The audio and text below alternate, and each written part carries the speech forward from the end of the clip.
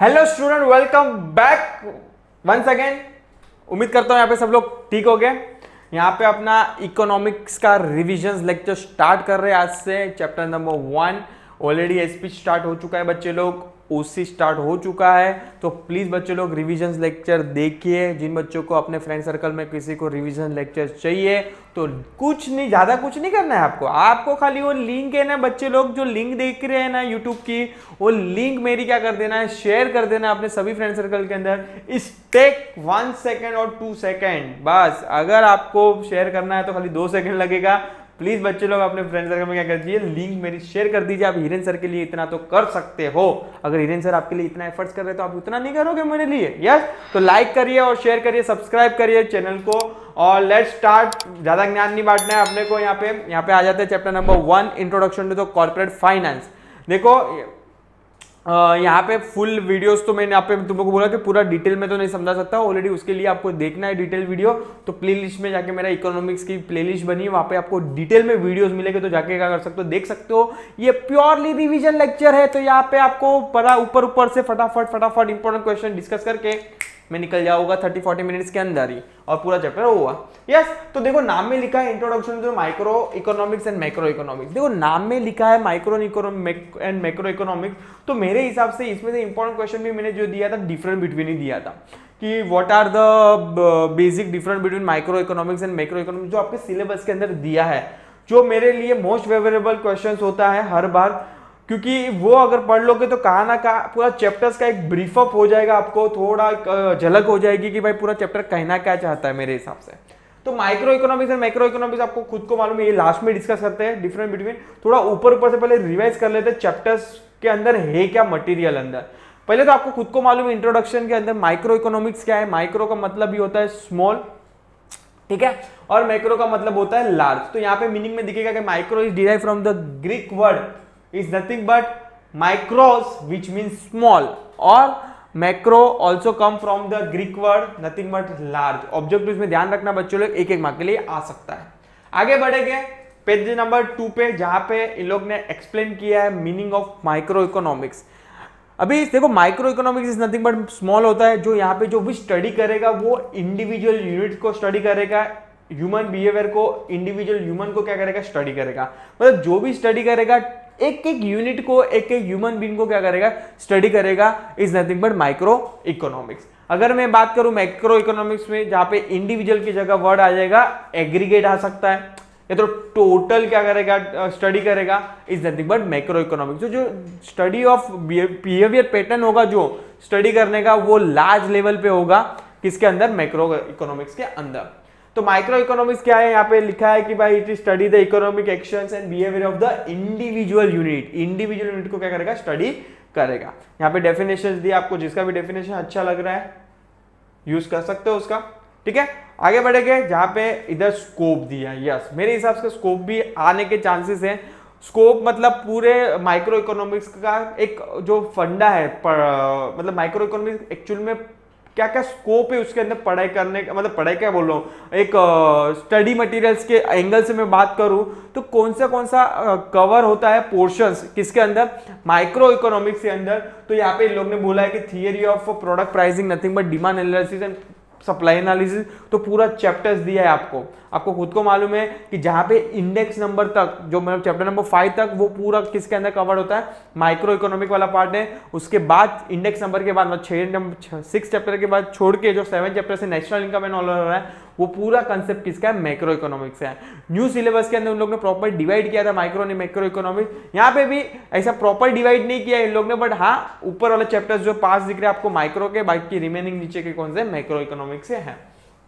बाद में आएगा कि उसके अंदर फैक्टर प्राइसिंग डिस्कस होता है। फैक्टर प्राइसिंग नथिंग बट कि आज मुझे आ, कोई भी प्रोडक्ट बनाना है तो उसके अंदर कौन सी कौन सी चीज़ें मुझे डायरेक्टली और इनडायरेक्टली लगती है? तो इज़ नथिंग बट मेरा फैक्टर प्राइसिंग मतलब आज कोई प्रोडक्ट का मुझे प्राइस डिसाइड करना है तो इसमें मुझे सब चीज़ें देखनी पड़ेगी। खाली मैं मटेरियल नहीं देखूँगा, इसको बनाने के लिए लेबर भी लगेगा तो उसका वेजेस कितना होगा? इसको बनाने के लिए एक फैक्ट्री ली है, वो फैक्ट्री का रेंट कवर होगा।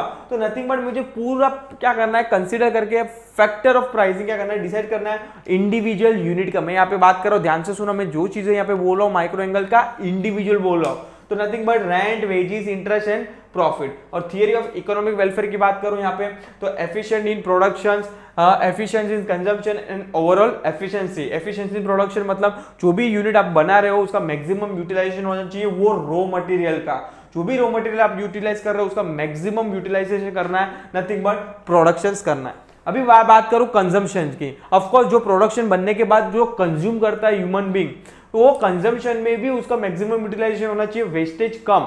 देखो एफिशिएंट का मतलब होता है जहाँ पे वेस्टेज कम, उसका मतलब होता है एफिशिएंसी एफिशिएंसी अगर प्रोडक्शन में रही तो बहुत अच्छी बात है एफिशिएंसी कंजम्पशन रही तो भी बहुत अच्छी बात है। और ओवरऑल एफिशिएंसी मतलब आपको दोनों को सोच के क्या करना है, कोई भी मटेरियल आप बना रहे हो तो ओवरऑल एफिशिएंसी होना ज़रूरी है प्रोडक्शन में और कंजम्पशन के अंदर। ठीक है तो ये हो जाएगा आपका थियरी ऑफ़ इकोनॉमिक वेलफेयर आ जाते फीचर्स के अंदर फीचर्स ऑफ़ माइक्रो इकोनॉमिक्स की बात करूँ तो पहला हो जाएगा स्टडी ऑफ़ इंडिविजुअल यूनिट अपन ने डेफिने मीनिंग में देखा कि ये जो माइक्रो इकोनॉमिक वो स्टडी करता है, किसको स्टडी करता है? एक इंडिविजुअल को क्या करेगा? स्टडी करेगा। एक इंडिविजुअल यूनिट को क्या करेगा? स्टडी करेगा। तो फ़र्स्ट फीचर हो जाएगा study of individual unit second है, ये प्राइस थियरी है, क्योंकि ये जो भी, मैं तो तुमको जस्ट बोला अभी कि भाई फैक्टर प्राइसिंग तो ये जो भी यूनिट कैलकुलेट करता है इंडिविजुअल यूनिट को क्या करता है कैलकुलेट करता है, जो कंज्यूमशन की बात करूँ तो इंडिविजुअल यूनिट को कितना कंज्यूम होगा, वो सब चीज़ का डिस्कस करेगा, इसलिए इसको बोला है price theory micro economics deal with the determination of the price of the goods and services as well as the factor of production जो मैंने तुमको जस्ट बोला। नेक्स्ट है पार्शियल इक्विलिब्रियम सर इसको पार्शियल इक्विलिब्रियम क्यों बोला है? पार्शियल इक्विलिब्रियम इसलिए बोला है कि मैंने तुमको जस्ट बोला कि ये जो स्टडी करता है, वो एक एक इंडिविजुअल को स्टडी करता है इकोनॉमी एज ए होल को स्टडी नहीं करता है। इसलिए इसको बोला है पार्शियल इको और equilibration equilibration is the balance between two factor micro economic analysis deal with the partial equilibrium, which analyze the equilibrium position of the individual economy unit that is individual consumption कितना होगा individual form कितना production बना रही है individual industry कितना product बना रही है। मतलब जो भी कैलकुलेशन करेगा, यहाँ पे इंडिविजुअल के बेस पे करेंगे। नेक्स्ट हो जाएगा बेस्ड ऑन सर्टन अजम्पशन आपको खुद को मालूम है, अपने इकोनॉमिक्स आई होप तुम लोग का पूरा हो गया रहेगा पोर्शन तो ही रिवीजन वे लेक्चर्स देखना बच्चे लोग अदरवाइज़ क्या सर बोल रहे, क्या बोल रहे, पका रहे सर यार, ऐसा फील होगा। तो प्लीज़ बच्चे लोग, अगर डिटेल में पहले वीडियोस देखे, उसके बाद ये सब चीज़ें आपको इजीली समझ में आएगा। तो यहाँ पे बात कर रहा हूँ कि जैसे कि मैं बोल रहा सर्टन अजम्पन है। कि पूरा आपने डिमांड पढ़ा सडन अजम्पन है वहाँ पे। Demand of law law of sorry law of demand law of DMU law of supply सब क्या है? पूरा अजम्पन के बेस पे है।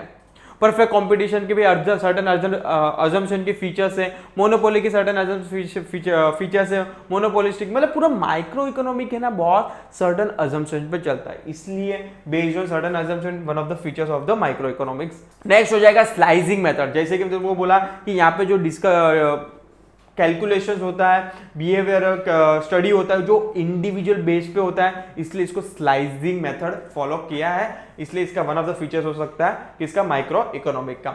नेक्स्ट है यूज़ ऑफ़ मार्जिनलिज्म प्रिंसिपल जैसे कि अपन ने डीएमयू में देखा था कि अगर एक्स्ट्रा यूनिट बाय करते हो तो क्या होता है? तो ये सब चीज़ें ऑलरेडी लॉ ऑफ़ डीएमयू में रिवीजन में भी डिस्कस करेंगे और डिटेल वीडियो में तो ऑलरेडी डिस्कस कर दिया है। Analysis of the market structure micro economic structure को मार्केट इकोनॉमिक स्ट्रक्चर को क्या करता है? स्टडी करता है कि भाई क्या, कैसे चल रहा है। वो एक छोटे छोटे पॉइंट जैसे तुम लोग को बोला ना कि माइक्रो इकोनॉमिक छोटे छोटे एक इंडिविजुअल को क्या करता है? स्टडी करता है। ठीक है? और लास्ट पॉइंट हो जाएगा लिमिटेड स्कोप ऑफकोर्स अगर इंडिविजुअल को स्टडी करोगे, क्योंकि ये इकोनॉमी एज होल को तो स्टडी नहीं कर रहा है। इसको कोई लेना देना नहीं माइक्रो इकोनॉमिक्स को, कि भाई कंपनी का सॉरी कंट्री के अंदर कितना पॉपुलेशन है? नहीं. कंट्री का नेशनल इनकम क्या है? वो नहीं. ये सब डिस्कस नहीं करता है, ये सब स्कोप के अंदर नहीं आता, इसलिए इसको क्या बोला है? Limited scope the scope of micro economics is limited only to the individual unit it does not deal with the national income world wide मतलब उसको कोई लेना देना नहीं इन्फ्लेशन से डिफ्लेशन से बैलेंस ऑफ़ पेमेंट से पॉवर्टी लाइन अनएम्प्लॉयमेंट पॉपुलेशन इससे कोई लेना देना नहीं है। तो ये हो जाएगा फीचर्स ऑफ़ माइक्रो इकोनॉमिक्स उसकी इंपॉर्टेंस क्या है? Let's see price determination of course यहाँ पे दूसरा पॉइंट ही पढ़ा था कि ये जो थियरी डिस्कस करता है वो प्राइस के लेवल पे तो ऑफ़ कोर्स पहला पॉइंट बन जाएगा इसका price determination free market economy है, यहाँ पे इजीली कोई भी आ सकता है, कोई जा सकता है। मतलब फ्री मार्केट मतलब आप अपना बिज़नेस चूज़ कर सकते हो, अपने हिसाब से प्रोडक्ट सेल कर सकते हो कस्टमर को और प्राइस भी अपने हिसाब से डिसाइड कर सकते हो। फॉरेन ट्रेड ऑफकोर्स की भाई पर यूनिट टेरिफ क्या लग रहा है? चार्जेस क्या कर रहा है? फॉरन एक्सचेंज रेट क्या होगा? इंडिविजुअल क्वांटिटी का? ये सब डिसीज़न किधर इंडिविजुअल की बात करो मैं अभी भी बोल रहा हूँ, मेरा इंडिविजुअल पे फोकस करो। जो भी मैं यहाँ पे बात कर रहा हूँ इंडिविजुअल क्योंकि अपन जो डिस्कस कर रहे हैं माइक्रो इकोनॉमिक डिस्कस कर रहे हैं, इसलिए। Micro economic model economic model building हो गया। नेक्स्ट होगा बिज़नेस डिसीज़न बिज़नेस के अंदर, भाई प्रोडक्ट का प्राइस क्या होगा? छोटे मोटे डिसीज़न लेने हैं। तो micro economy one of the important factor for the micro economics business decision के अंदर। नेक्स्ट हो जाएगा useful to the government government को अगर पॉलिसी बनानी है, अगर इंडिविजुअल यूनिट पर कोई पॉलिसी बनानी है तो माइक्रो इकोनॉमिक बहुत ज़्यादा हेल्पफुल करता है किसको? गवर्नमेंट को also basis of welfare economy जो अपन ने देखा ऊपर, जो efficiency in production efficiency in consumption and overall efficiency next आ जाएगा मैक्रो इकोनॉमिक्स की बात करो मैक्रो इकोनॉमिक्स का मतलब ही होता है, यहाँ पे जो स्टडी होगा, वो ओवरऑल एज अ कंट्री का क्या होगा स्टडी होगा मतलब ओवरऑल कंट्री के साथ साथ मतलब जो भी डिस्कशन होगा, यहाँ पे टोटल डिस्कशन होगा एग्रीगेट स्टडी होगा मतलब ह्यूमन ह्यूमन बिहेवियर की बात करूँ तो एग्रीगेट होगी यहाँ पे population is one of the example बात हो गया। इनकम की बात करूँ तो यहाँ पे इंडिविजुअल इनकम ने नेशनल इनकम क्या होगी? Is a one of the second example बोल सकते हो आप नेशनल इनकम तो these are the nothing but scope of the macro economics तो यहाँ पे आ जाते हैं स्कोप ऑफ़ मैक्रो इकोनॉमिक्स के अंदर, यहाँ पे जो चार्ट दिख रहे हैं यहाँ पे, ये रहा स्कोप ऑफ़ मैक्रो इकोनॉमिक्स अगर मैं बात करूँ इनकम एंड एम्प्लॉयमेंट तो one of the first best example है। उसके अंदर भी दो ऑप्शन दिया है theory of consumption function and theory of investment function and उसका कॉम्बिनेशन है थियरी ऑफ़ बिज़नेस साइकिल कि। आप जी क्या कमा रहे हो, कितना कंज्यूम कर रहे हो और कितना इन्वेस्ट कर रहे हो, ये बहुत ज़्यादा फैक्टर इंडिविजुअल लेवल पे तो पड़ता है, पर ओवरऑल कंट्री पे भी क्या होता है होता है। आज देख रहे हो कि आज इंडिया इतना ग्रो कर रही है। क्यों ग्रो कर रही है? नो डाउट इंडिया ग्रो कर रही है in term of business and all startups and all completely agree but individual भी आज ग्रो कर रहा है इन फॉर्म ऑफ़ मैं बात करूँ कि आज कस्ट आफ्टर कोविड सब समझ गए हैं कि भाई पैसा बचाना पड़ेगा अदरवाइज़ कभी भी ऐसी टाइप की मुसीबत इन फ्यूचर में कभी भी आ सकती है। तो नावडे अपन देख रहे हैं कि भाई आज स्टॉक मार्केट में सब क्या कर रहे हैं? बहुत अभी आजकल तो ऐसा पहले मैं बात करूँ, पंद्रह पंद्रह, दस साल पहले की बात करूँ, जो पंद्रह साल पहले की बात चलो, ये मूवी आने से पहले ही बात करता हूँ, जो अपन ने देखा था स्केम नाइनटीन वाला। उससे पहले की बात करूँ तो इतना किसको अवेयर नहीं था स्टॉक मार्केट को रिलेटेड हार्डली मैं देखने जाऊँगा तो दस परसेंटेज से भी कम। ध्यान से सुनो मैं क्या बोल रहा हूँ, दस परसेंटेज परसेंटेज से भी कम लोग स्टॉक मार्केट में इन्वेस्ट करते थे बट नावर डे वो रेशियो क्या हो गया चेंज हो गया है। जो आज देखने जाओगे तो almost twenty thirty percentage of the population क्या कर रहा है? अपने इंडिया में क्या कर रहा है? स्टॉक मार्केट के अंदर इन्वेस्ट कर रहा है। तो अल्टीमेटली वो स्टॉक मार्केट के अंदर इंडिविजुअल इंडिविजुअल इन्वेस्ट कर रहे हैं, पर ओवरऑल उसके कारण क्या हो रहा है? कंट्री का ग्रोथ हो रहा है। क्योंकि इजीली सबको क्या मिल रहा है? फाइनेंस मिल रहा है। तो ये सब छोटे छोटे डिसीज़न छोटे छोटे मैं बोलता ना कि एक बड़ा सा अपना को मुकाम हासिल करना है तो जैसे कि फॉर एग्जांपल समुद्र की बात करूँ तो समुद्र एक छोटे छोटे बूंद से ही भरा जाता है। यस तो ये इसकी ऐसे ही हो गया कि ग्रोथ भी सडनली ऐसे सडनली नहीं हो जाता ग्रोथ भी छोटे छोटे जो व्यापारी लोग हैं, उनको मिलके क्या होता है ग्रोथ होता है कंट्री का भी। Yes theory of general price level and inflation theory of economic growth and development and macro theory of distribution ऐसे करके थियरी उसको एक्सप्लेन किया गया है किसके अंदर? स्कोप ऑफ़ मैक्रो इकोनॉमिक्स मतलब यहाँ पे बॉटम लाइन ये है कि भाई यहाँ पे जो डिस्कशन होगा ओवरऑल एज अ कंट्री का क्या होगा? डिस्कशन होगा। नेक्स्ट आ जाएगा उसके फीचर्स ऑफ़ मैक्रो इकोनॉमिक्स के अंदर। स्टडी ऑफ़ एग्रीगेट एग्रीगेट का मतलब होता है total next income theory micro economic ने देखा था, जो स्टडी थियरी करता है, वो प्राइसिंग थियरी होता है। बट इसके अंदर income is a main theory होगा किसके अंदर मैक्रो इकोनॉमिक्स के अंदर। ये सब चीज़ें देखो, मैं तुम लोग को कंपेयर कराते जा रहा हूँ। क्योंकि आप क्या कर सकते हो? आप डिफरेंट बिटवीन में भी लिख सकते हैं। हो नेक्स्ट हो जाएगा जनरल इक्विलिब्रियम प्राइस वहाँ पे अपन देखा था पार्शियल इक्विलिब्रियम प्राइस था। यहाँ पे जनरल इक्विलिब्रियम प्राइस है। मतलब जो भी लोग टूल्स यूज़ करेंगे ओवरऑल एज अ कंट्री के लिए यूज़ करेंगे, जो भी बिहेवियर में डील होगी, वो लार्ज लेवल पे होगी। टोटल एज अ एग्रीगेट पे क्या होगी? बिहेवियर को क्या किया जाएगा? एनालिसिस किया जाएगा। नेक्स्ट है इंटरडिपेंडेंस यहाँ पे उधर इंडिपेंडेंट बोल सकते हो, क्योंकि यहाँ वहाँ पे तो इंडिविजुअल यूनिट पे क्या होता है बिहेवियर स्टडी होता है बट यहाँ पे तो कहा ना कहा एक फैक्टर दूसरे फैक्टर पे क्या डिपेंडेंट है। जैसे कि मैं तुम लोग को भी जस्ट बोला कि अगर आप पैसा बचाओगे, अपने सैलरी में से कहा इन्वेस्ट करोगे स्टॉक मार्केट के अंदर इन्वेस्ट करोगे अल्टीमेटली स्टॉक मार्केट में इन्वेस्ट किया रहोगे तो ऑफकोर्स बिज़नेस को क्या मिलेगा, अपने बिजनेसमैन को क्या मिलेगा, पैसा मिलेगा, वो आगे पैसा इन्वेस्ट करेगा अपने बिज़नेस के अंदर ग्रोथ होगा कंट्री का, उसके बदले में रिटर्न मिलेगा, वो रिटर्न अपने आप अल्टीमेटली क्या होगा ट्रांसफ़र होगा in the form of dividend तो मतलब देख रहे हो साइकिल पूरी कैसी है तो यही हो गया मैक्रो इकोनॉमिक्स में क्या होता है जनरली एक फैक्टर दूसरे फैक्टर पे क्या होता है इंटरडिपेंडेंस होता है। वहाँ पे अपन ने देखा था स्लाइसिंग मेथड था, यहाँ पे लंपिंग मेथड मतलब ओवरऑल मेथड पे क्या होता है स्लाइसिंग मेथड मतलब एक एक इंडिविजुअल को स्टडी करना बट लंपिंग मेथड में ओवरऑल क्या होता है? स्टडी होता है कंट्री का। Next growth model of course expansion and business oriented बात करूँ तो यहाँ पे जो भी uh, बात होगी वो प्रॉपर ग्रोथ और ग्रोथ मॉडल और डेवलपमेंट मॉडल पे क्या होगी? बात होगी। जनरल प्राइस लेवल हो गया और पॉलिसी ओरिएंटेड तो ऐसे करके सर्टन फीचर्स है किसके? मैक्रो इकोनॉमिक्स है। देखो बच्चे लोग, अभी बोल रहा हूँ, यहाँ पे आपको लग रहा है कि सर भगा रहे हैं। यहाँ पे प्योरली रिविजन लेक्चर है। तुम लोग को ब्रीफ अप करा रहा हूँ कि क्या क्या चीज़ें अपन ने पढ़ी थी। अगर आपको डिटेल में वीडियोस देखना तो जाके देखो कौन रोक रहा है आपको। बिंदा जाके क्या अगर फ्री में लेक्चर है जितनी बार देखना है, उतनी बार आप देख सकते हो। प्लीज़ जाके ज़रूर देखिए। विदाउट आप डिटेल वीडियोस ये रिविजन लेक्चर मत देखिए, वरना सर टाइम वेस्ट होगा। वेरी फ्रेंकली बोला हूँ एज अ फ्रेंड, आपको रिक्वेस्ट कर रहा हूँ कि आप सब पहले डिटेल वाली वीडियोस देखें, उसके बाद भी रिवीजन लेक्चर को क्या करें स्टार्ट करिए। नेक्स्ट आ जाएगा इंपॉर्टेंस ऑफ़ मैक्रो इकोनॉमिक्स के अंदर बात करो तो फंक्शनिंग ऑफ़ एन इकोनॉमी यहाँ पे जो ओवरऑल डिस्कशन की बात कर रहा था इकोनॉमी एज अ होल बात कर रहा था, यहाँ पे इकोनॉमिक फ्लक्चुएशन में तो मैं जैसे बोला कि जो भी फ्लक्चुएशन की बात होगी वो माइक्रो में नहीं होती वो मैक्रो में होती है। अपन ने जैसे अभी माइक्रो में पढ़ा था कि भाई यहाँ पे लिमिटेड स्कोप है बट यहाँ पे there is no limit yes national income micro economic में इंडिविजुअल इनकम पे कैलकुलेशन होता है बट यहाँ पे नेशनल इनकम पे क्या होगा? कैलकुलेशन होगा। नेक्स्ट आएगा economic development performance of the economy जो भी डिस्कशन होगा नेशनल इनकम क्या है? उसके बेस पे, उसके बेस पे परफॉर्मेंस डिसाइड होगी भाई कंट्री में ग्रोथ हो रहा है कि कंपनी ऊपर जा रही है कंट्री सॉरी कंपनी नहीं कंट्री ऊपर जा रही है कंट्री नीचे जा रही है?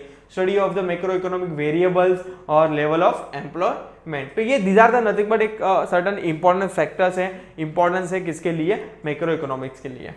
यहाँ पे लास्ट में आ जाते हैं अपन यस uh, yes, जो है most favourable question for me जो मैंने तुम लोगों को इंपॉर्टेंट क्वेश्चन में भी दिया था.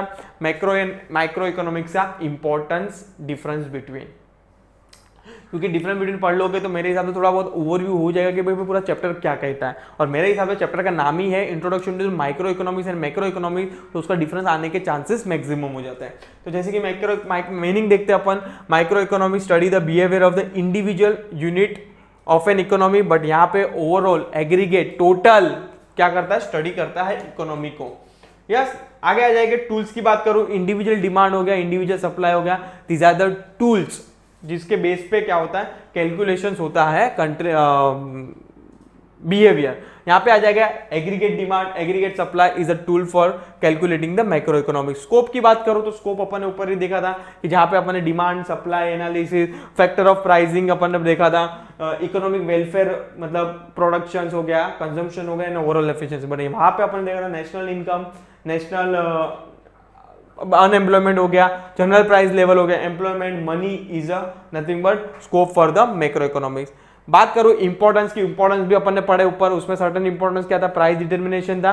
मॉडल बिल्डिंग बिज़नेस डिसीज़न भी अंदर हेल्प करता है गवर्नमेंट डिसीज़न को हेल्प करता है। यहाँ पे देखोगे तो economic fluctuation study of the national income economic development etcetera is are the importance of the macro economics theory की बात करो तो this are the price and this are the income theory objective इसमें प्लीज़ हाईलाइट करके रखना, आने के chances लग रहे हैं मुझे।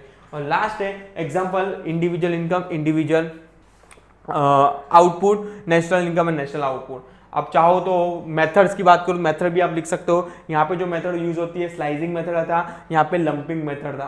पार्शियल इक्विलिब्रियम जनरल इक्विलिब्रियम तो ये दो तीन दो तीन पॉइंट भी आप क्या कर सकते हो, अपने हिसाब से ऐड कर सकते हो। यस सर नो तो यहाँ पे चैप्टर नंबर वन का रिविजन इतना ही है। आपके लिए एक्सरसाइज भी मैं ऑलरेडी दे दिया है। अगर चाहिए तो वापस से तुम लोग को एग्ज़ाम टाइम पे करा दूँगा। बट हाँ यहाँ पे चैप्टर नंबर वन कंक्लूड होता है। Chapter number two next session में चालू करेंगे। यूटिलिटी एनालिसिस सो so, मतलब लॉ ऑफ़ डीएमयू रहेगा उसके अंदर। तो प्लीज़ बच्चे लोग प्रेजेंट रहना ज़रूर। और कुछ भी आपको स्पेशल रिक्वेस्ट है तो प्लीज़ कमेंट सेक्शन में डाल दीजिए। टिल टाइम प्लीज़ चैनल के लिए अपडेट रहिए। Thank you so much hello student welcome back उम्मीद करता हूँ यहाँ पे सब लोग ठीक हो गए यहाँ पे अपना रिविजन लेक्चर जो चल रहा था, वो कंटिन्यू करेंगे। और यस जिन्होंने चैनल को सब्सक्राइब नहीं किया तो फ़र्स्ट ऑफ़ ऑल प्लीज़ बच्चे लोग चैनल को सब्सक्राइब कर लीजिए लाइक कर लीजिए और शेयर कर दीजिए अपने सभी फ्रेंड सर्कल के अंदर जो भी रिविजन लेक्चर्स देखना चाहता है।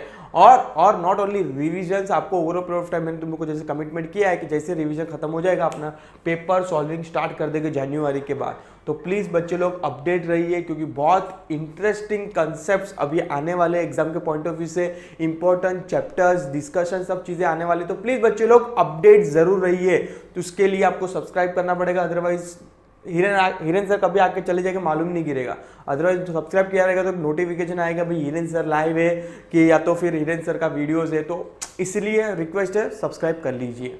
यस ऑलरेडी फ़र्स्ट चैप्टर्स मैंने डिस्कस कर लिया रिवीजन सेशन में। जिन बच्चों ने वो नहीं देखा तो प्लीज़ जाके प्लेलिस्ट में जाके मेरा रिवीजन लेक्चर देख सकते हो चैप्टर वन का।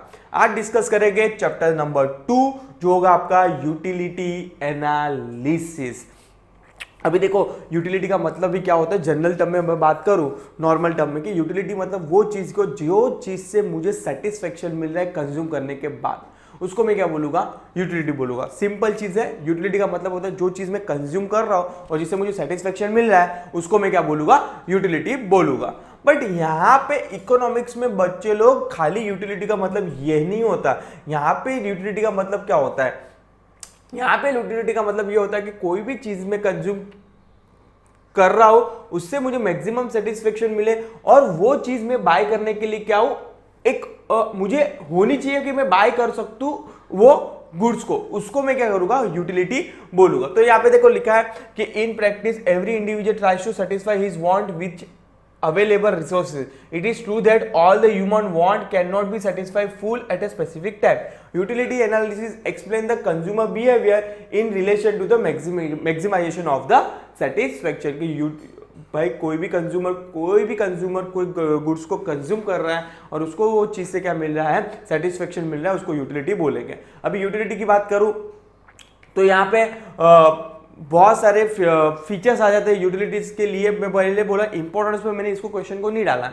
बट गूगली बॉल डालना है तो डाल भी सकता है। ऐसा कोई कंपलसरी नहीं कि ऑलरेडी मैंने इंपॉर्टेंट क्वेश्चन दे दिया है बच्चे लोग। जिन बच्चों ने इंपॉर्टेंट क्वेश्चन नहीं देखे हैं तो जाके वो इंपॉर्टेंट क्वेश्चन 2024 के लिए मैंने ऑलरेडी वीडियो बना के रखा है। वो भी जाके क्या कर सकते हो? रिवाइज कर सकते हो। यस तो यहाँ पे आ जाते हैं फीचर्स ऑफ़ यूटिलिटी के अंदर कि भाई कौन से कौन से फीचर्स से जो मैंने इंपॉर्टेंट क्वेश्चन में आई डोंट थिंक जो दिया है। पर अगर सपोज़ फॉर एग्ज़ाम्पल एग्जामिनर को पेपर जो सेट कर रहा है, अगर उसको गूगली बॉल डालना है इजी पेपर थोड़ा डालना है तो ये वाला क्वेश्चन आने के चांसेस हैं। अभी बात करो कि फीचर्स ऑफ़ यूटिलिटी के अंदर पहला है रिलेटिव कंसेप्ट कि हाँ भाई वो प्लेस टू प्लेस और टाइम टू टाइम क्या करता है? रिलेट करता है यूटिलिटी जैसे कि फॉर एग्ज़ाम्पल यहाँ पे एक एग्ज़ाम्पल दिया है वुलन क्लोथ का, कि भाई वो वुलन क्लोथ अगर मैं वो समर में पहनूँ एज कंपेयर टू मैं बात करूँ विंटर में यस अगर मैं समर में पहनूं तो मुझे उतना सेटिस्फेक्शन नहीं मिलेगा। भाई, गर्मी है, और वुलन क्लोथ पहनूँगा तो और गर्मी होगी। मुझे थोड़ी सेटिस्फेक्शन मिलेगा।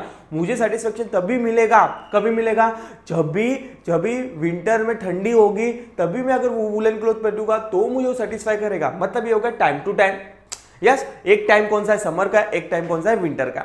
अभी मैं प्लेस की प्लेस बात करूँ, अगर सपोज़ कि फॉर एग्जांपल मैं कश्मीर जाऊँ, उधर मैं वुलन क्लोथ पहनूं और मुंबई में मैं वुलन क्लोथ पहनूं पहनूं तो मुझे सबसे ज़्यादा सेटिस्फेक्शन कहाँ पे मिलेगा? कश्मीर जाऊँगा, उधर मिलेगा, क्योंकि वहाँ पे ठंडी ज़्यादा होगी वहाँ पे मुझे वुलन क्लोथ का क्या मिलेगा? मैक्सिमम सेटिस्फेक्शन मिलेगा। तो यहाँ पे वही एग्ज़ाम्पल दिया है कि woollen cloth have a greater utility in winter and यहाँ पे दूसरा एग्ज़ाम्पल भी दिया है sand has a greater utility as a construction site than at a sea shore of course के भाई जो रेती है वो कंस्ट्रक्शन साइड में ज़्यादा क्या मिलेगा? यूटिलिटी उसकी ज़्यादा होगी, क्योंकि एज कंपेयर टू जो अपन जू बीच पे, या तो बीच पे जो रेती होती है एज कंपेयर टू वहाँ पे जो रेती है, ठीक है? तो ये दो एग्ज़ाम्पल सेट किया, पर मैंने एक ही एग्ज़ाम्पल को दो अलग अलग वे में बताया। मतलब टाइम टू टाइम और प्लेस टू प्लेस यस चलो, आगे बढ़ेंगे सर आगे है सब्जेक्टिव कंसेप्ट ऑफकोर्स ये सब्जेक्टिव कंसेप्ट है कि वो यूटिलिटी एक ज़रूरी नहीं कि एक टाइम के लिए सेम हो। सबका यूटिलिटी अलग अलग हो सकता है। मतलब सबकी लाइक डिसलाइक वांट सबको एक हैबिट्स हो गए। तो ये सब डिपेंड करता है ह्यूमन टू ह्यूमन बिहेवियर तो इसलिए हो जाएगा सब्जेक्टिव कंसेप्ट नेक्स्ट हो जाएगा ethically neutral concept the concept of utility has no ethically consideration it is no morally colourless concept क्योंकि ऐसा ऐसा इसलिए बोला गया है कि भाई सपोज़ कि फॉर एग्जांपल यहाँ पे एक आ, आ, एक नाइफ का एग्जांपल दिया था तुम लोग को। जैसे कि इधर भी दिया है कि भाई नाइफ अगर आप फ्रूट कटिंग कर रहे हो तो वहाँ पे आपको मैक्सिमम सेटिस्फेक्शन मिलेगा वहाँ पे आपका वॉन्ट सेटिस्फाई हो जाएगा। बट वही नाइफ अगर किसी मर्डर के लिए मर्डरर के लिए अगर यूज़ करता है वो तो उसको भी सेटिस्फेक्शन मिलता है। यस और नो उसको भी जो क्योंकि उसका भी इंटेंशन क्या होता है मर्डर करना है। उसका भी वांट क्या हो रहा है सेटिस्फाई हो रहा है मर्डर करने के बाद। बट दोनों नाइफ एक ही नाइफ दो अलग अलग वांट क्या कर रहे हैं? सेटिस्फाई कर रहे हैं। एक एथिकली है, एक अनएथिकली है। मर्डर करना is not ethically boss is unethically illegal है। बट फ्रूट कटिंग करना इज़ एथिकली इसलिए कंसेप्ट को कलरलेस माना गया है। यस नेक्स्ट आ जाएगा। Utility different from usefulness utility is a concept of capacity of the commodity to satisfy the human want of course utility में वो कैपेसिटी है कि वो ह्यूमन वॉन्ट को सेटिस्फाई कर पाए whereas usefulness indicate value in use of the commodity for example milk has a both utility भी है यूजफुल भी है. कैसे सर? uh, देखो यहाँ पे लिखा है milk has a both utility as well as usefulness to the consumer while liquor has a utility only to the addicted but has a no useful मतलब कोई कमोडिटी ऐसी है कि जो यूटिलिटी भी है मतलब सेटिस्फाई भी कर सकते हैं ह्यूमन वर्ड को और उसको यूज़ भी कर सकते हैं. One of the example milk हो गया. सेकेंड लोग ने एग्जांपल लिया लीकर का नथिंग बट चार बज गए हैं। बाटी अभी बाकी है। नथिंग बट दारू की बात की है लिकर की। कि जहाँ पे आ, वो जो एडिक्टेड है जो बंदा रोज पीता है उसके लिए क्या है? यूटिलिटी है। बट यूजफुल है? नहीं है। यस नेक्स्ट आएगा utility different from the pleasures commodity में possess the utility but it may not give the any pleasure to the customer customer. For example injection. यहाँ पे एक इंजेक्शन का एग्ज़ाम्पल दिया है कि जहाँ पे आपको जो, आप सपोज़ को बुखार आ रहा है तो डॉक्टर आपको इंजेक्शन दे रहा है तो आपको यूटिलिटी मिलेगा मतलब आपसे उसे राहत मिल जाएगी। बट आपको मज़ा आएगा उससे प्लेजर फील होगा वाह मज़ा आ रहा है, और दो तीन ठोक। अपन डॉक्टर को ऐसा बोलते नहीं बोलते। इसलिए बोला utility different from pleasure yes utility different from the satisfaction once again कि यहाँ पे देखो क्या लिखा है utility is cause of the consumption satisfaction is the end result of the consumption of course देखो मैं तुमको अभी जस्ट क्या बोला कि यूटिलिटी क्या है, कि आप कोई भी गुड्स खा रहे हो, उससे अगर आपको सेटिस्फेक्शन मिल रहा है मतलब आपकी यूटिलिटी सेटिस्फाई होगी तो utility is a first step satisfaction is a end step इसलिए यहाँ पे क्लियरली लिखा है utility is a cause of consumption satisfaction is a end result of the consumption next measurement of utility is is hypothetical मतलब sir, ऐसा क्यों बोला गया? अरे भाई, आप यूटिलिटी को कैलकुलेट थोड़ी कर सकते हो। आप पानी पूरी खा रहे हो, आपको मज़ा आ रहा है, क्योंकि आपको पानी पूरी अच्छी लगती है। बट आप खाली बोल सकते हो, मज़ा आ रहा है। आप बोलते हो दो किलो मज़ा आया, तीन किलो मज़ा आया।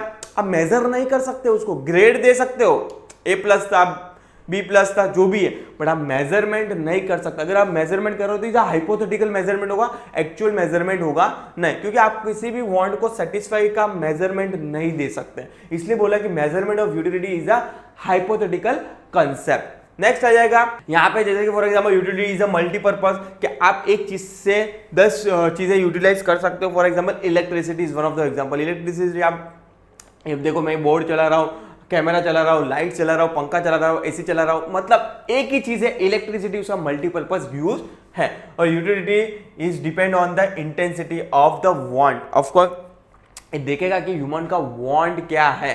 इज़ नथिंग बट एक सपोज़ फॉर एग्ज़ाम्पल आज सपोज़ कोई जैसे कि मर्डर का एग्ज़ाम्पल लिया मैंने, उसका वॉन्ट क्या था, उसको मर्डर करना है। तो ये इंटेंसिटी दिखाता है कि भाई देखो करना क्या है। यस तो is a utility depend on the intensity of the want next यहाँ पे देखो फॉर एग्ज़ाम्पल लिया hungry person find a more utility in food than the person who is a not hungry ठीक है? अगर सपोज़ की for example आपने अभी जस्ट डिनर किया है, आपके सामने और डिनर आपने बहुत अच्छी तरह किया, पूरा पेट भर के किया। अगर आपका पिज़्ज़ा कितना भी अच्छा होगा तो भी आपको इतना यूटिलिटी नहीं मिलेगा उससे एज कंपेयर टू जो हंगरी रहेगा बंदा। उसके लिए तो कुछ भी चीज़ रहेगी, वो क्या रहेगा, भूखा रहेगा तो वो खा लेगा। यस और utility is the basis of demand of course क्या आज यूटिलिटी एक अपन आज कुछ चीज़ें मांगते हैं, वो आपकी क्या है इट्स अल्टीमेटली एक starting point of the demand ही है कि भाई मुझे ये चीज़ चाहिए। यस और आगे बढ़ेंगे अभी तो ये हो गया nothing but features of utility आगे बढ़ेंगे सर आगे किधर गए? यहाँ पे आ जाएँगे। अभी आ जाएगा टाइप्स ऑफ़ यूटिलिटी यहाँ पे पहला है फॉर्म ऑफ़ यूटिलिटी मतलब एक यहाँ पे आपको दिख ही रहा है कि एक लकड़े से आप फॉर्म मतलब डिफरेंट डिफरेंट फॉर्म में आप क्या कर सकते हो? एक ही चीज़ को डिफरेंट डिफरेंट फॉर्म में बना सकते हो इस नथिंग में फॉर्म यूटिलिटी जैसे कि फॉर एग्ज़ाम्पल लकड़ा दिया है यहाँ पे तो वुड से आप चेयर भी बना सकते हो। डोर भी बना सकते हो, टेबल्स भी बना सकते हो, is nothing but form utility. Next आ जाएगा अपना प्लेस यूटिलिटी। जैसे कि तुम लोग को एक प्लेस यूटिलिटी का मैंने कंसेप्ट भी समझाया था।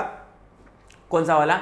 वो वुडलैंड वाला, क्योंकि यूटिलिटी इज़ अ, पहला features of utility is a relative concept place to place and time to time तो यहाँ पे एक प्लेस का दिया है, जैसे कि इधर इधर सेम एग्जांपल दिया। For example woollen cloth have a more utility at a cold place than at a warm place nothing but मैंने मुंबई और कश्मीर का एग्जांपल दे दिया है तुम लोग को। नेक्स्ट है service utility of course service utility मतलब जो रिलेटेड टू करता है स्पेशल स्किल और special services like doctor C A C S is nothing but lawyers तो ये जाएगा service utility knowledge utility once again कोई देखो क्या लिखा है when a consumer acquire knowledge about a particular product is called as a knowledge utility nothing but अभी मैं बात करूँ मोबाइल्स इज़ आपका one of the latest example हो सकता है. मतलब आर द लाइव एग्ज़ाम्पल कि मोबाइल आपका क्या है? एक नॉलेज यूटिलिटी के जहाँ से आपको गेन मिल सकता है नॉलेज मिल सकता है। Yes computer is a knowledge utility तो जहाँ से आपको नॉलेज मिल रहा है is nothing but knowledge utility जैसे कि यहाँ पे दिख रहा है कि आप इसके हाथ में क्या है? टैब है तो इज़ अ एग्ज़ाम्पल नेक्स्ट है। पोजीशन यूटिलिटी पोजीशन यूटिलिटी मतलब कि आपने अगर कोई गुड्स लिया है और आप उसके बदले में कुछ पे कर रहे हो और आपको क्या मिल रहा है, वो प्रॉपर्टी मिल जा रही है नथिंग बट आपको पोजीशन मिल रहा है ज़्यादा नथिंग बट पोजीशन यूटिलिटी जैसे कि फॉर एग्जांपल आप रेंट लेते हो रेंट पे कुछ लेते हो, घर लेते हो फॉर एग्जांपल घर ऑफ़िस लेते हो तो आपको चाबी मिलती है after payment of the certain amount और डिपोजिट और रेंट तो वो क्या हो जाएगा पोजिशन यूटिलिटी मतलब एक ओनरशिप क्या हो रहा है ट्रांसफ़र हो रहा है from one person to another person is nothing but possession utility. Possession utility arise when the ownership of the goods is transferred from one person to another person. जैसे कि यहाँ पे दिख रहा है, ये अपना ओनरशिप ट्रांसफ़र कर रहा है किसको? सेलर को बायर को। नेक्स्ट टाइम यूटिलिटी ये भी एक, जस्ट अपने ऊपर पढ़ा था, एक एग्जांपल मैंने लिया था किसका? टाइम यूटिलिटी का। कौन सा? समर और विंटर वाला। ये हो जाएगा टाइम यूटिलिटी तो ये हो जाएगी टोटल सिक्स टाइप्स की यूटिलिटी बाद में आ जाता है concept of total utility and marginal utility क्या होता है? टोटल यूटिलिटी मतलब आप सभी गुड्स को कंज्यूम करने के बाद आपको जो सेटिस्फेक्शन मिलता है वो उसको बोलोगे total utility it is aggregate of the utility from the all the successive unit of the community consume marginal का मतलब होता है मार्जिनल का मतलब आप लिख लो मार्जिनल का मतलब होता है क्या होता है? मार्जिनल का मतलब होता है एक्स्ट्रा मार्जिनल का मतलब होता है एक्स्ट्रा कि आप एक्स्ट्रा यूनिट को कंज्यूम करने के बाद आप जो कंज्यूम कर रहे हो वो, उसमें से जो यूटिलिटी मिल रहा है, उसको क्या बोलेंगे? मार्जिनल यूटिलिटी फॉर एग्जांपल आपका पेट भर गया, आप 25 पानीपुरी खाया 25 पानीपुरी खाने के सर, सुबह सुबह में कहा पानीपुरी की याद दिला रहे हो? नहीं जस्ट एग्ज़ाम्पल ले रहा हूँ. सपोज़ कि फॉर एग्ज़ाम्पल आप पच्चीस पानीपुरी खाने के बाद आपका पेट भर गया, आप सेटिस्फाई हो गए पूरी तरह. 26 की पानीपुरी 26वीं पानीपुरी जो 26 यूनिट आप जो कंज्यूम कर रहे हो this are nothing but marginal utility count हो जाएगा आपके लिए। ठीक है? चलो, यहाँ पे सर्टन इन लोग ने मार्जिनल यूटिलिटी का यहाँ पे एक डायग्राम शो किया इन लोग ने कि मार्जिनल यूटिलिटी क्या होता है। देखो, यहाँ पे एक टेबल शो किया इन लोग ने कंपैरिजन किया कि total utility and marginal utility का कंसेप्ट है। सपोज़ कि फॉर एग्जांपल यूनिट वन में कंज्यूम कर रहा हूँ, जहाँ पे मुझे सेटिस्फेक्शन मिल रहा है, दस यूनिट टोटल यूटिलिटी कितनी मिल रही है? दस मिल रही है। मार्जिनल यूटिलिटी दस मिल रही है। मतलब दोनों का स्टार्टिंग पॉइंट सेम है। बाद में जैसे जैसे मैं यूनिट कंज्यूम करते जाऊँगा ना, देखोगे? जैसे जैसे मैं कंज्यूम करते जाऊँगा, यहाँ पे यूटिलिटी लेवल बढ़ते जाएगा टोटल यूटिलिटी लेवल बढ़ते जाएगा, एक टाइम पे कांस्टेंट हो जाएगा, और बाद में क्या हो जाएगा? नेगेटिव में चला जाएगा। एक टाइम पे क्या हो जाएगा? कांस्टेंट हो जाएगा, और उसके बाद क्या हो जाएगा? नेगेटिव सॉरी नेगेटिव नहीं बोल सकता नीचे आ जाएगा। डिक्रीज होता जाएगा। कौन सा? टोटल यूटिलिटी जैसे कि मैं पहली पानी पूरी खाया second third fourth fifth six seven eight nine ten twenty two twenty three पे मैं क्या हो जाएगा ऑलमोस्ट स्टेबल हो जाऊँगा। और बाद में जो मैं खाऊँगा, उसके बाद टोटल यूटिलिटी क्या हो जाती है? डिक्रीज होने लगती है। बट यहाँ पे मैं मार्जिन यूटिलिटी की बात करूँ भाई भाई day one twenty six panipuri से ही मैं क्या होगा? नीचे नीचे जाऊँगा, क्योंकि वो मैं एक्स्ट्रा यूनिट क्या कर रहा हूँ? कंज्यूम कर रहा हूँ। तो स्टार्टिंग से क्या होगा? हो जाएगा, उसके बाद ज़ीरो पे आ जाएगा, उसके बाद नेगेटिव में चला जाएगा कौन? मार्जिनल यूटिलिटी तो इसका मस्त एक कव भी दिया है। एग्ज़ाम के पॉइंट ऑफ़ व्यू से अगर आएगा तो लिख सकते हो, बहुत इजी कव है और आना भी चाहिए। अगर ये ज़रूरी नहीं कि डीएमयू पूछे लॉ ऑफ़ डीएमयू ये चैप्टर में से ये भी पूछ सकते हैं। Comparison what are the basic difference between total utility and marginal utility please explain the diagram in form of तो आपको पूछ सकते हैं, कोई यहाँ पे गारंटी नहीं है कि भाई जो इंपॉर्टेंट क्वेश्चन हिरेन सर ने दिया बाकी कोई प्रोफेसर ने दिए, उसमें से आएगा। कोई गारंटी नहीं है पेपर कैसे भी सेट हो सकता है बट हाँ आएगा तो बुक के अंदर से ही आएगा, वो गारंटी ले सकते हैं। जैसे कि फॉर एग्ज़ाम्पल दस पे चालू हुआ था टोटल यूटिलिटी पहले तो आ जाएगा आपका, यहाँ पे total utility marginal utility Y axis पे और एक्स एक्सिस पे आ जाएगा आपका यूनिटी यूनिट्स ऑफ़ कमोडिटी दोनों चालू हो रहा है टेन से। जैसे कि डायग्राम में अपन ने देखा टेन से चालू हो रहा है टोटल यूटिलिटी देख रहे हो ऊपर जा रहा है ऊपर जा रहा है ऊपर जा रहा है ऊपर जा रहा है ऊपर जा रहा है थर्टी में वो क्या हो जाएगा थर्टी में वो क्या जाएगा स्टेबल हो गया था। बाद में देख रहे हो अट्ठाईस में वो क्या हो रहा है डाउनफॉल होने लग रहा है मतलब डिक्रीज होने लगा।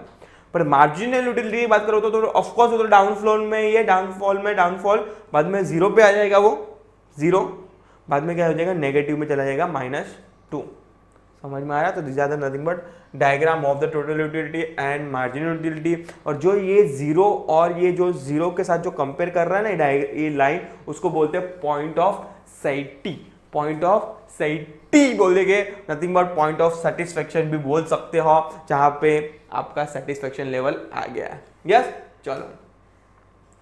तो यहाँ पे लोग ने जो डायग्राम ड्रॉ किया है, इसने लोग ने प्रॉपर प्रॉपर ये जो कर्व है, उसको एक्सप्लेन किया है छः पॉइंट के अंदर। मेरे हिसाब से अगर total utility and marginal utility पे कुछ भी डिफरेंस आ रहा है, या तो कुछ भी क्वेश्चन आ रहा है तो ये छः पॉइंट विद डायग्राम और विथ टेबल्स अगर ड्रॉ करके आए तो बहुत अच्छी तरह लगेगा एग्जामिनर को और एग्जामिनर समझेगा कि आपका जो भी कंसेप्ट है, वो क्या है? क्लियर है. आपको पहले टोटल यूटिलिटी मार्जिनल यूटिलिटी के बारे में समझाना है, जो अपन ऊपर देखा. उसके बाद ये डायग्राम सॉरी ये टेबल उसका डायग्राम और बाद में छः पॉइंट के कव को क्या करना है? एक्सप्लेन करना है सिक्स पॉइंट के अंदर.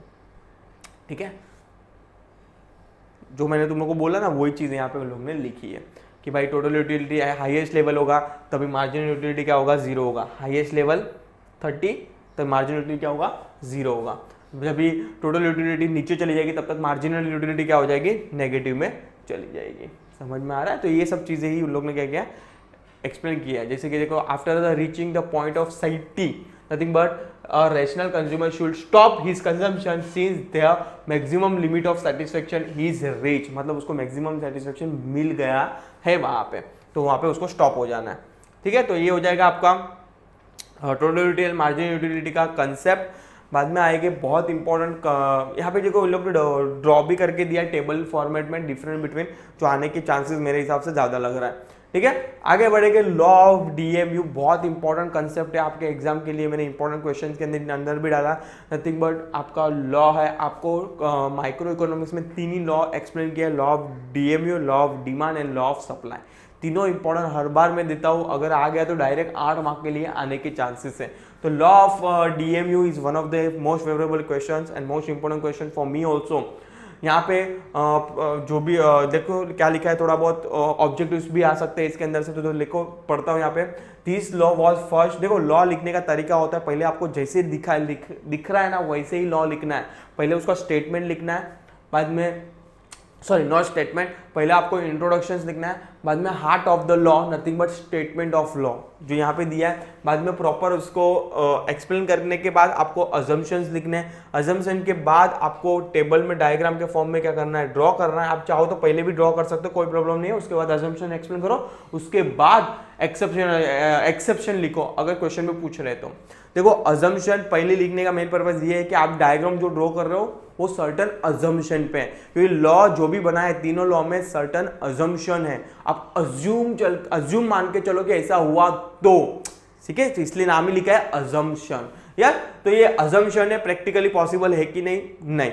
Yes yes? चलो। तो यहाँ पे देखो, जैसे कि this law was first propose by the professor Gossen but was discuss in detail by the professor Alfred Marshall in his book principle of economics publish in eighty nine ये वाला concept जो ये तीनों लॉ प्रोफेसर अल्फ्रेड मार्शल ने दिया है, उसकी books में principle of economics publish in 1980 ये कॉमन है। स्टेटमेंट की बात करूँ तो according to professor Alfred Marshall, ये भी एक लाइन कांस्टेंट रहेगी आपकी। अदर थिंग रिमेन कांस्टेंट ये वर्ड सेम रहेगा। मतलब सब चीज़ें एक सरीका रहा तो। क्या? The addition benefit additional benefit which a person derive from the given given increasing in his stock of a diminishing with every increasing in stock that he already has मतलब वो उसकी बात कर रहा है कि 25 पानीपुरी के पानीपुरी खाने के बाद उसको सेटिस्फेक्शन मिल गया था, उसके बाद जो 26वीं पानीपुरी खा रहा है, उसके बाद इवन तो उसके कमोडिटी रहेगी तो भी उसको उतना सेटिस्फेक्शन नहीं मिलेगा। यस तो वो ही स्टेटमेंट ऑफ़ लॉ बोलता है स्टेटमेंट ऑफ़ लॉ आपको रट्टा मार के जाना है। उसमें अ, ध, कुछ भी, एक भी एरर एडिशन डिलीशन नहीं होना चाहिए। जैसा है वैसा ही होना चाहिए। आप चाहो तो 25 बार 30 बार वो लॉ ऑफ़ स्टेटमेंट को लिखो। ये थोड़ा लॉ ऑफ़ स्टेटमेंट थोड़ा हार्ड है। हार्ड तो नहीं समझोगे तो बहुत इजी है। बाकी डिमांड और सप्लाई का तो बहुत इजी दिया है। यस अजम्पशन की बात करूँ तो ऑफकोर्स पहला है रेशनल है। Consumer is assume to be a rational it means that his behaviour is normal and he is try to maximise his satisfaction भाई एवरी ह्यूमन का um, कभी भी ह्यूमन एक एक एक ही मूड में नहीं हो सकता है मतलब एक ही बिहेवियर उसका बिहेवियर पैटर्न नहीं हो सकता। तो इससे बोला कि एक ही बिहेवियर है, ऐसा थोड़ी हो सकता है दिस आर द अजम्पशन है। नेक्स्ट है कार्डिनल मेज़रमेंट अरे, अपन ने अभी जस्ट ऊपर फीचर्स में पढ़ा था कि measurement of the utility is a hypothetical ये बोल रहा है कार्डिनल मेज़रमेंट पॉसिबल है पॉसिबल नहीं है। देखो the law assume that utility can be cardinal और न्यूमेरिकली मेजर भाई नंबर से माप ही नहीं सकते यूटिलिटी को। आपको कितना सेटिस्फेक्शन है, कैसे माप सकते हो आप? समझ में तो ये क्या है? अजम्पशन है। तो ये हो जाएगा अजम्पशन के अंदर। होमोजिनिटी मतलब सभी यूटिलिटी का मतलब सभी कमोडिटी का या तो सर्विस का कलर शेप सब सेम होगा। होमो होमोजिनिटी का मतलब होता है सेम हेट्रोजिनिटी का मतलब होता है अलग अलग तो होमोजिनिटी का मतलब होता है सब सेम पर इट्स प्रैक्टिकली नॉट पॉसिबल सब कमोडिटी का स्ट्रक्चर अलग हो सकता है शेप अलग हो सकता है कलर अलग हो सकता है। तो ये हो जाएगा अजम्पशन हो जाएगा। कंटिन्यूटी अरे ये भी पागल है क्या? कोई भी कंज्यूमर एक गुड्स कंटिन्यूस कंज्यूम करेगा? नहीं करेगा ना। इजाज़त नथिंग बट अजम्पशन और reasonability, all the unit of commodity consume are of the reasonable size they are neither too long or मतलब neither too big or not too small. Possible थोड़ी है every community का अपना अपना shape है, वो बड़ा भी हो सकता है। अभी मैं फ्रिज के साथ ये कंपेयर करूँ तो फ्रिज बड़ा है, ये स्मॉल है। समझ में आ रहा है कि नहीं? तो एवरी कमोडिटी का अपना अपना शेप है और बिग स्मॉल तो होने वाला है तो ज़्यादा अजम्पशन ये बोलता है कि एक ही साइज़ होगी। ऐसा पॉसिबल कैसे है बाबा? कैसे है?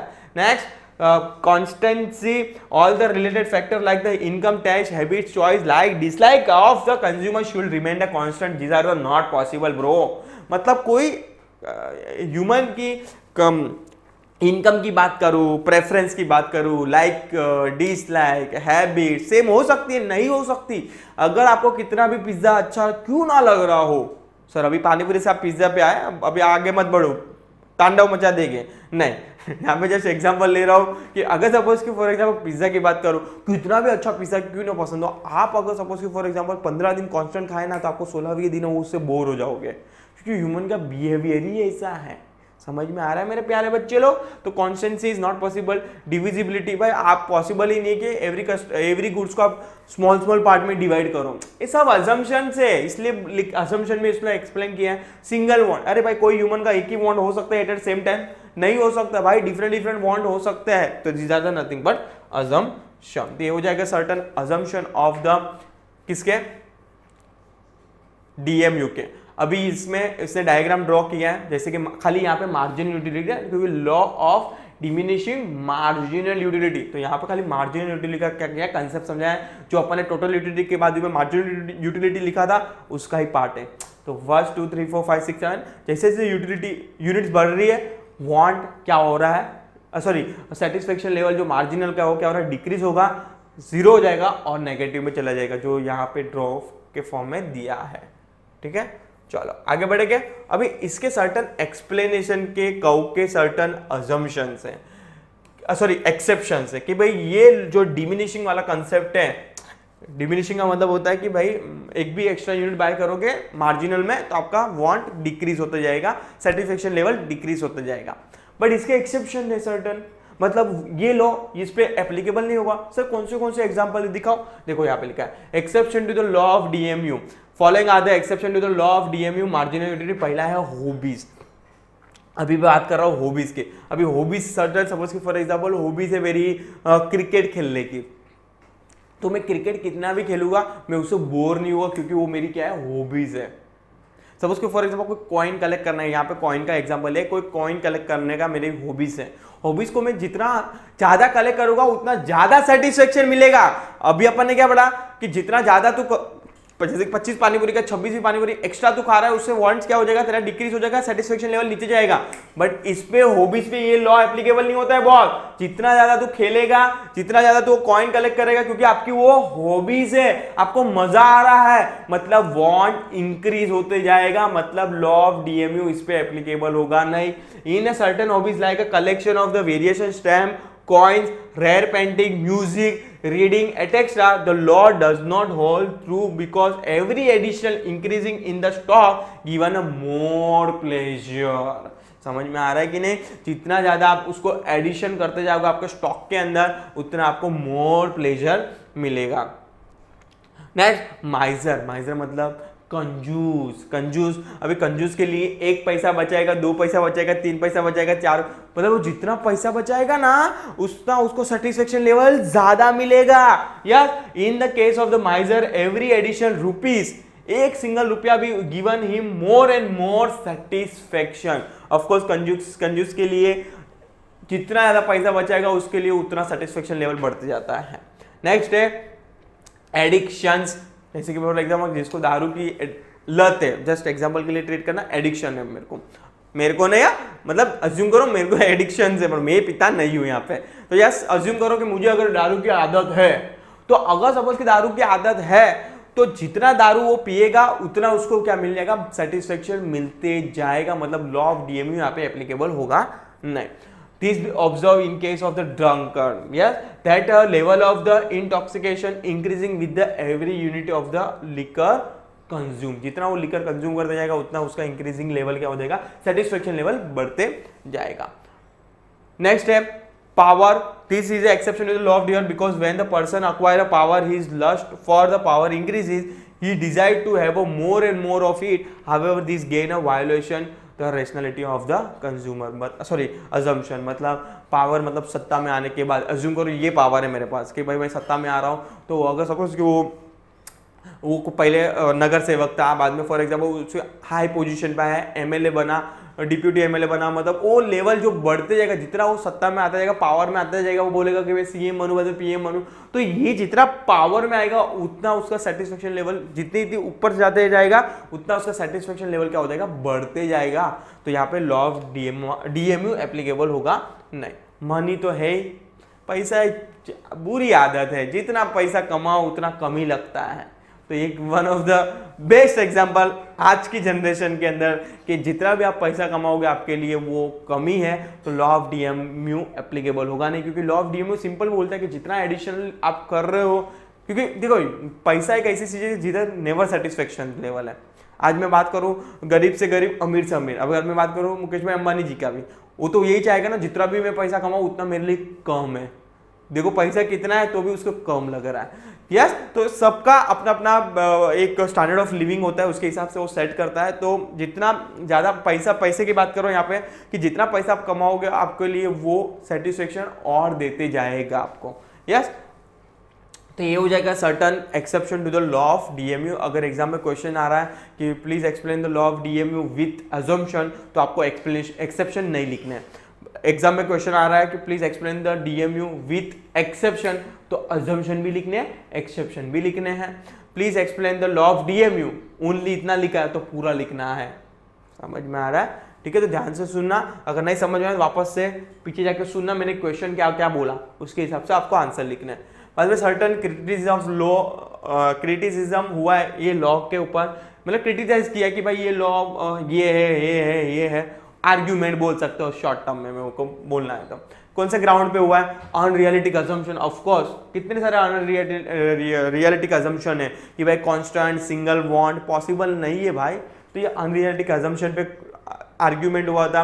बाद में कार्डिनल मेज़रमेंट इज़ अपन ने पढ़ा था कि मैंने तुम लोगों को बोला कि मेज़रमेंट इज़ नॉट पॉसिबल आप माप ही नहीं सकते कितना सेटिस्फेक्शन मिला है। तो इस पर भी डिस्कस ये हुआ था इंडिविजुअलिजबल सॉरी इनडिविजिबल गुड्स अपन ने देखा था कि गुड्स स्मॉल यूनिट वो बोला कि डिविजिबल गुड्स करना है छोटे छोटे पार्ट्स में पॉसिबल नहीं है। इस पर आर्ग्यूमेंट हुआ था कांस्टेंट मार्जिनलिटी ऑफ़ मनी तो ये भी एक क्या है, एक आर्ग्यूमेंट का पॉइंट था सिंगल वॉन्ट ये भी एक आर्ग्यूमेंट का पॉइंट था। इसलिए ये सब पॉइंट पे क्या होता है आर्ग्यूमेंट हुए थे नथिंग बट क्रिटिसाइज किया था ये लॉ को। यस चलो।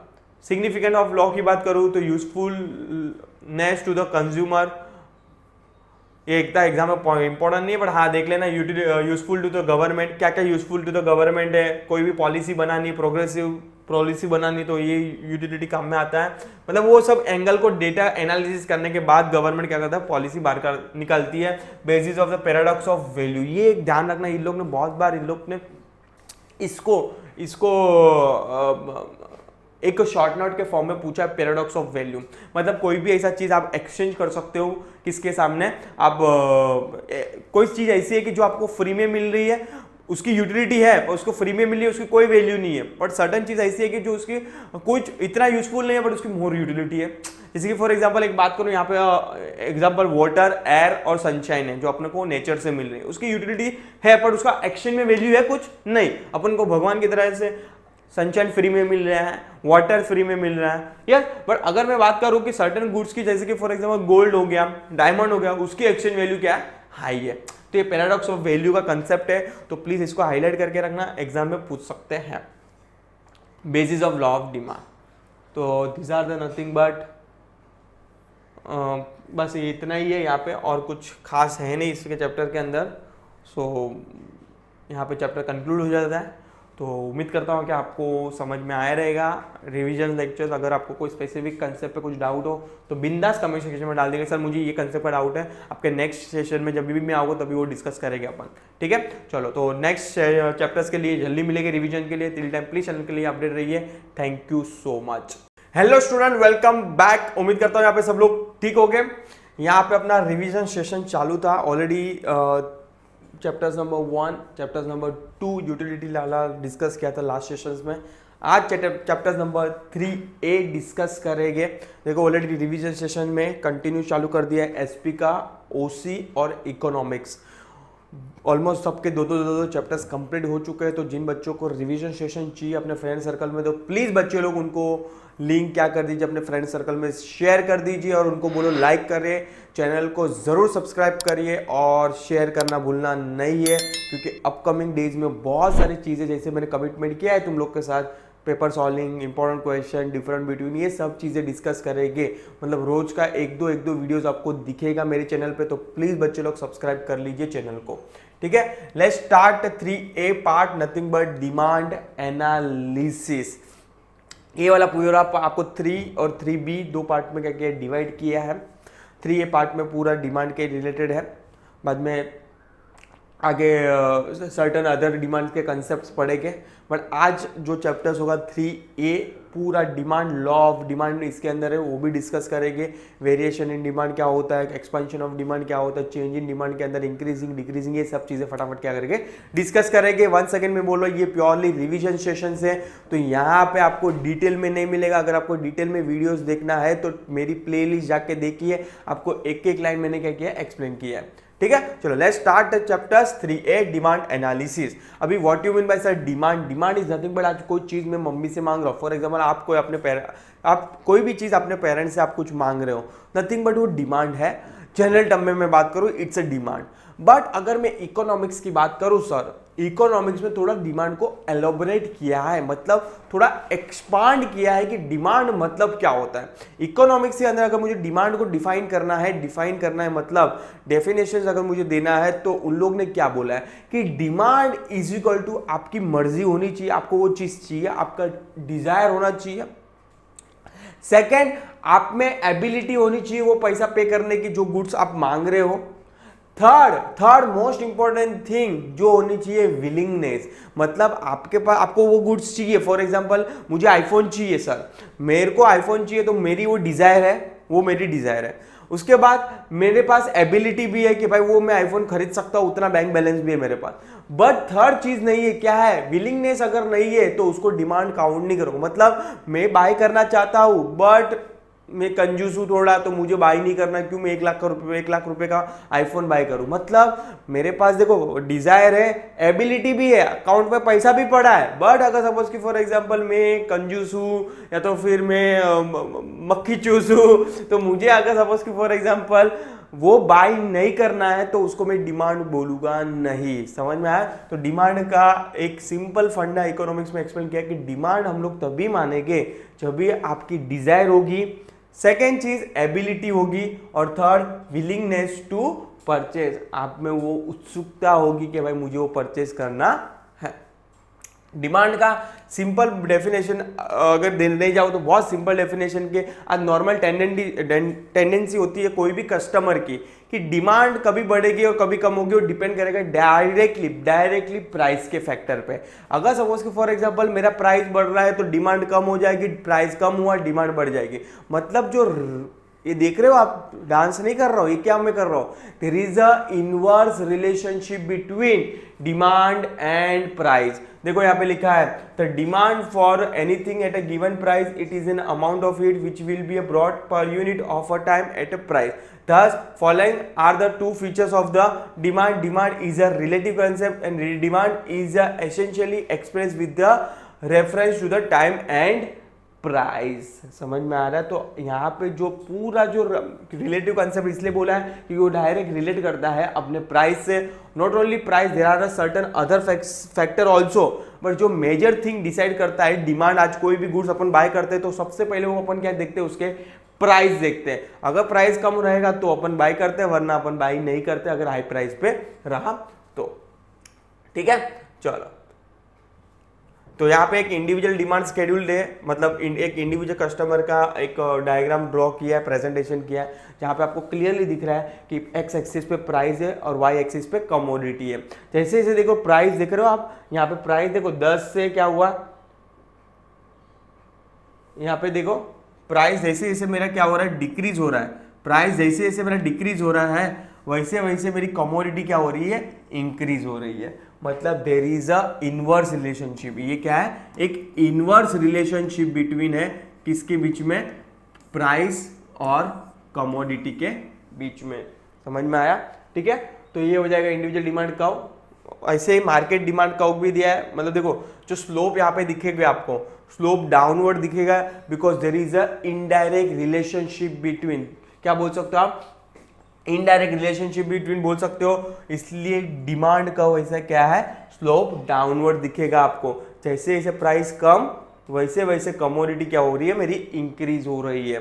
Yes yes? तो यहाँ पे एक्सप्लेन किया कि डिमांड का। Nothing but DD slope downward from left to from left to right indicating the inverse relationship between. There is a inverse relationship between price and quantity demanded. Yes तो और यहाँ पे आ जाएगा सेम लाइक मार्केट डिमांड का इन लोग ने market का स्केड्यूल बनाया है मतलब यहाँ पे मोर देन वन कस्टमर हो गए।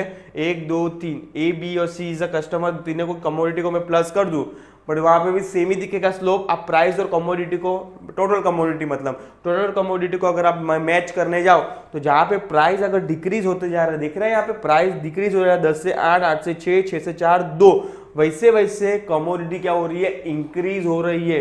Thirty, forty five, sixty, seventy five और नाइन्टी तो एक ह्यूमन टेंडेंसी होती है एज अ कस्टमर कि प्राइस अगर फॉल हुआ तो डिमांड बढ़ेगी और प्राइस अगर हाइक हुआ हाई हुआ तो डिमांड फॉल हो जाएगी। Yes yeah? तो ये डिमांड कव है सेम उसका भी स्लोप आपको डाउनवर्ड ही दिखेगा because dire there is a यहाँ पे रिलेशन जो है डिमांड और प्राइस का है। तो इज़ अ इनवर्स रिलेशनशिप और इनवर्स रिलेशनशिप मतलब इनडायरेक्ट और स्लोप डाउनवर्ड आ जाते बाद में आगे। Reason justifying the downward sloping कहो। तेरा ऐसे कौन से रीजन है कि मेरी डिमांड डाउनवर्ड तरफ़ जा रही है? पहला अपन ने लास्ट लेक्चर सेशन में पढ़ा था चैप्टर नंबर टू में यूटिलिटी के अंदर डीएमयू डीएमयू में अपन देखा था लॉ ऑफ़ डिमांड में उसका कौ भी स्लोप डाउनवर्ड ही था क्योंकि वो एक्स्ट्रा यूनिट बाय कर रहा था marginal utility extra unit buy कर रहा था ऑफकोर्स उसकी यूटिलिटी कम होने वाली है सेटिस्फेक्शन लेवल डाउन होने वाला है. तो एक वन ऑफ़ द फैक्टर ये हो सकता है कि भाई डाउनवर्ड स्लोप कब का? लाइक like डिमांड का. कि भाई वो एडिशनल डिमांड 26 पानीपुरी वाला एग्जांपल दिया था कि 26 पानीपुरी वो खा रहा है डिमांड कर रहा है. बट उसको उतना सेटिस्फेक्शन नहीं मिल रहा है इसलिए स्लोप डाउनवर्ड की तरफ़ जा रहा था तो वन ऑफ़ द रीजन ये हो सकता है। सेकेंड रीजन हो सकता है कि इनकम इफ़ेक्ट ऑफकोर्स कि भाई कोई पर्सन की इनकम डाउनफॉल होती गई तो वो भी रीजन हो सकता है कि उसका डिमांड uh, कम हो जाएगा। ऑफकोर्स अगर आज कोई पर्सन पहले एक लाख रुपया कमा रहा था आज पचास लाख हज़ार कमा रहा है। एक लाख कमा रहा था अभी पचास हज़ार कमा रहा है। तो अल्टीमेटली डायरेक्ट उसकी जहाँ पे वो पचास हज़ार ज़्यादा कमा रहा था पहले तो उसकी डिमांड उस टाइम पे उस ज़्यादा होगी। बट अभी पचास हज़ार कम कमा रहा है तो ऑफकोर्स उसकी डिमांड कम हो जाएगी। तो इनकम इफ़ेक्ट डायरेक्ट रिलेट करता है अपनी डिमांड को। There is a direct relationship between income and demand ध्यान से सुनो मैंने क्या बोला। प्राइस नहीं बोल रहा हूँ यहाँ पे। इनकम बोल रहा हूँ। ध्यान से सुनो बच्चे लोग, गड़बड़ मत करना। There is a direct relationship between income income income और तीन बार बोल रहा हूँ। इनकम इनकम इनकम और किसके बीच में? इनकम और डिमांड के बीच में डायरेक्ट रिलेशन है। जितना ज़्यादा इनकम उतनी ज़्यादा डिमांड बढ़ते जाती है अपनी। जितना कम इनकम उतने कम डिमांड हो जाएगी अपनी। ठीक है? मतलब यही बात होगी ना, जितना पैसा कमाओगे, उतने शौक बढ़ेंगे। समझ में आया? सीधा फंडा। नेक्स्ट थर्ड पॉइंट तो यहाँ पे अगर मेरी इनकम फॉल हुई तो ऑफकोर्स मेरा डिमांड भी फॉल होने के चांसेस है। तो वन सेकंड रीजन ये हो सकता है। सब्सिट्यूशन इफ़ेक्ट ऑफकोर्स मार्केट में अगर कोई सब्सिट्यूट गुड्स आ गया कम प्राइस में तो कस्टमर आपका गुड्स क्यों बाय करेगा हाई प्राइस में? वो सब्सिट्यूट गुड्स ही बाय करेगा लो प्राइस में। तो ये भी एक रीजन हो सकता है। डाउनवर्ड स्लोप का। यस देखो यहाँ पे लिखा है in case of the substitute goods when the price of the commodity rise the customer tends to buy more of its substitute goods and less of that commodity whose price has increase next आगे बढ़ेंगे। Multipurpose use of course customer वही goods का demand high करेगा, जिसका multipurpose होगा और कम price में होगा उसका। समझ में मल्टीपर्पज मतलब एक ही चीज़ से आपका तीन चार काम हो जा रहा है। तो वही गुड्स क्या करेगा? कस्टमर बाय करेगा तो ये भी एक रीजन हो सकता है। डाउनफॉल डाउन फ्लो डिमांड का होगा। Next new customer of course new customer तभी जुड़ेंगे जब भी प्राइस क्या होगे? मेरे कम हो गए अदरवाइज़ नए नए कस्टमर जुड़ेंगे नहीं। तो प्राइस कम हो गए तो ऑफकोर्स डिमांड बढ़ेगी। तो ये भी एक रीजन हो सकता है अपना डाउनफॉल डिमांड का होगा। तो डिजा था नथिंग बट डिमांड का स्लोप डाउनवर्ड क्यों जा रहा है? तो अगर एग्ज़ाम में क्वेश्चन आया, मैंने इंपॉर्टेंट क्वेश्चन में नहीं दिया बट अगर एग्ज़ाम में आया तो आप लिख सकते हो there is no rocket science कि ट्रू फॉल्स विद रीजन में पूछ सकते हैं। परफेक्ट बैठ रहा है क्वेश्चन कि what are the reason for downfall demand curve down slope demand curve का क्या क्या रीजन है? तो ये मस्त रीजन दिए, पाँच रीजन दिए परफेक्ट बैठता है आपका पाँच मार्क के लिए, या तो चार मार्क के लिए। ठीक है? आगे बढ़ेंगे।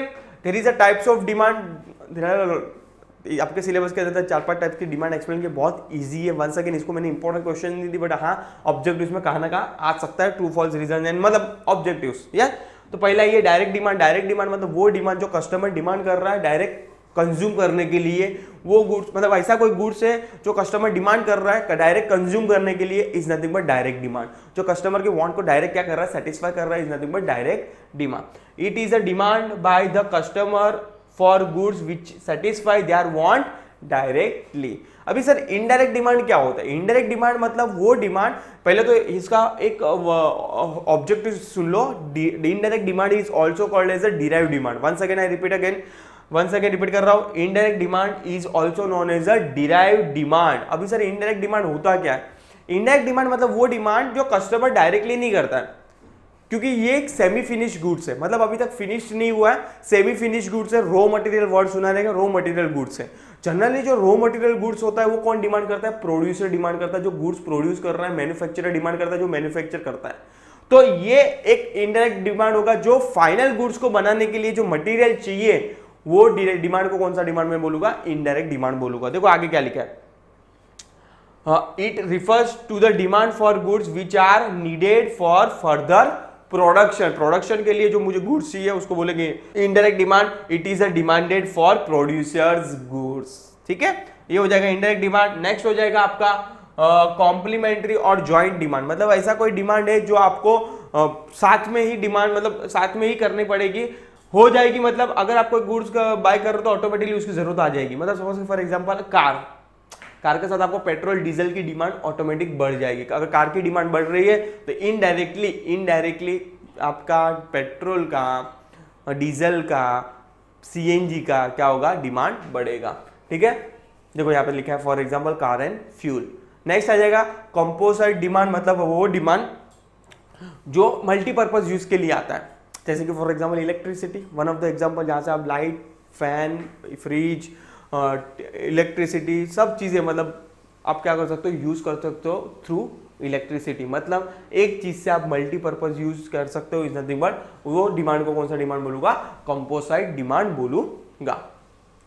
और आई थिंक सो लास्ट है कॉम्पिटिटिव डिमांड यस लास्ट है कॉम्पिटिटिव डिमांड मतलब वो डिमांड जो मार्केट में एक कंपटीशन के फॉर्म में गुड्स अवेलेबल है. इन uh, अगर मेरे को नॉर्मल टर्म में बोलना है तो सब्सटीट्यूट गुड्स अगर सपोज़ कि फॉर एग्जांपल कॉफ़ी का प्राइस बढ़ रहा है कॉफ़ी के सामने अगर प्राइस है अरे कॉफ़ी के सामने अगर टी है तो this are the nothing but एक कॉम्पिटिटिव डिमांड है नथिंग बट एक सब्सिट्यूट डिमांड भी बोल सकते हो। फॉर एग्ज़ाम्पल टी और कॉफ़ी और शुगर और जैगरी यस तो these are the nothing but types of demand I don't think so it's a rocket science और इट्स अ हार्ड आप मैनेज कर सकते हो अपने आप से भी। यस yes, आगे बढ़ते हैं sir determinant of demand very very important question for me also और मैंने I think so important question में भी दिया गया है।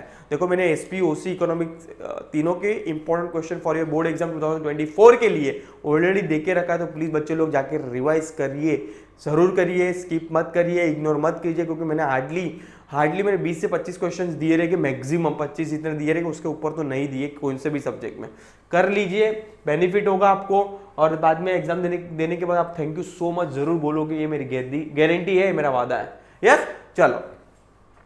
डिटर्मिनेंट ऑफ़ डिमांड किसके बेस पे? देखो डिटर्मिनेंट का मतलब होता है किसके बेस पे मेरी डिमांड नक्की होती है फिक्स होती है।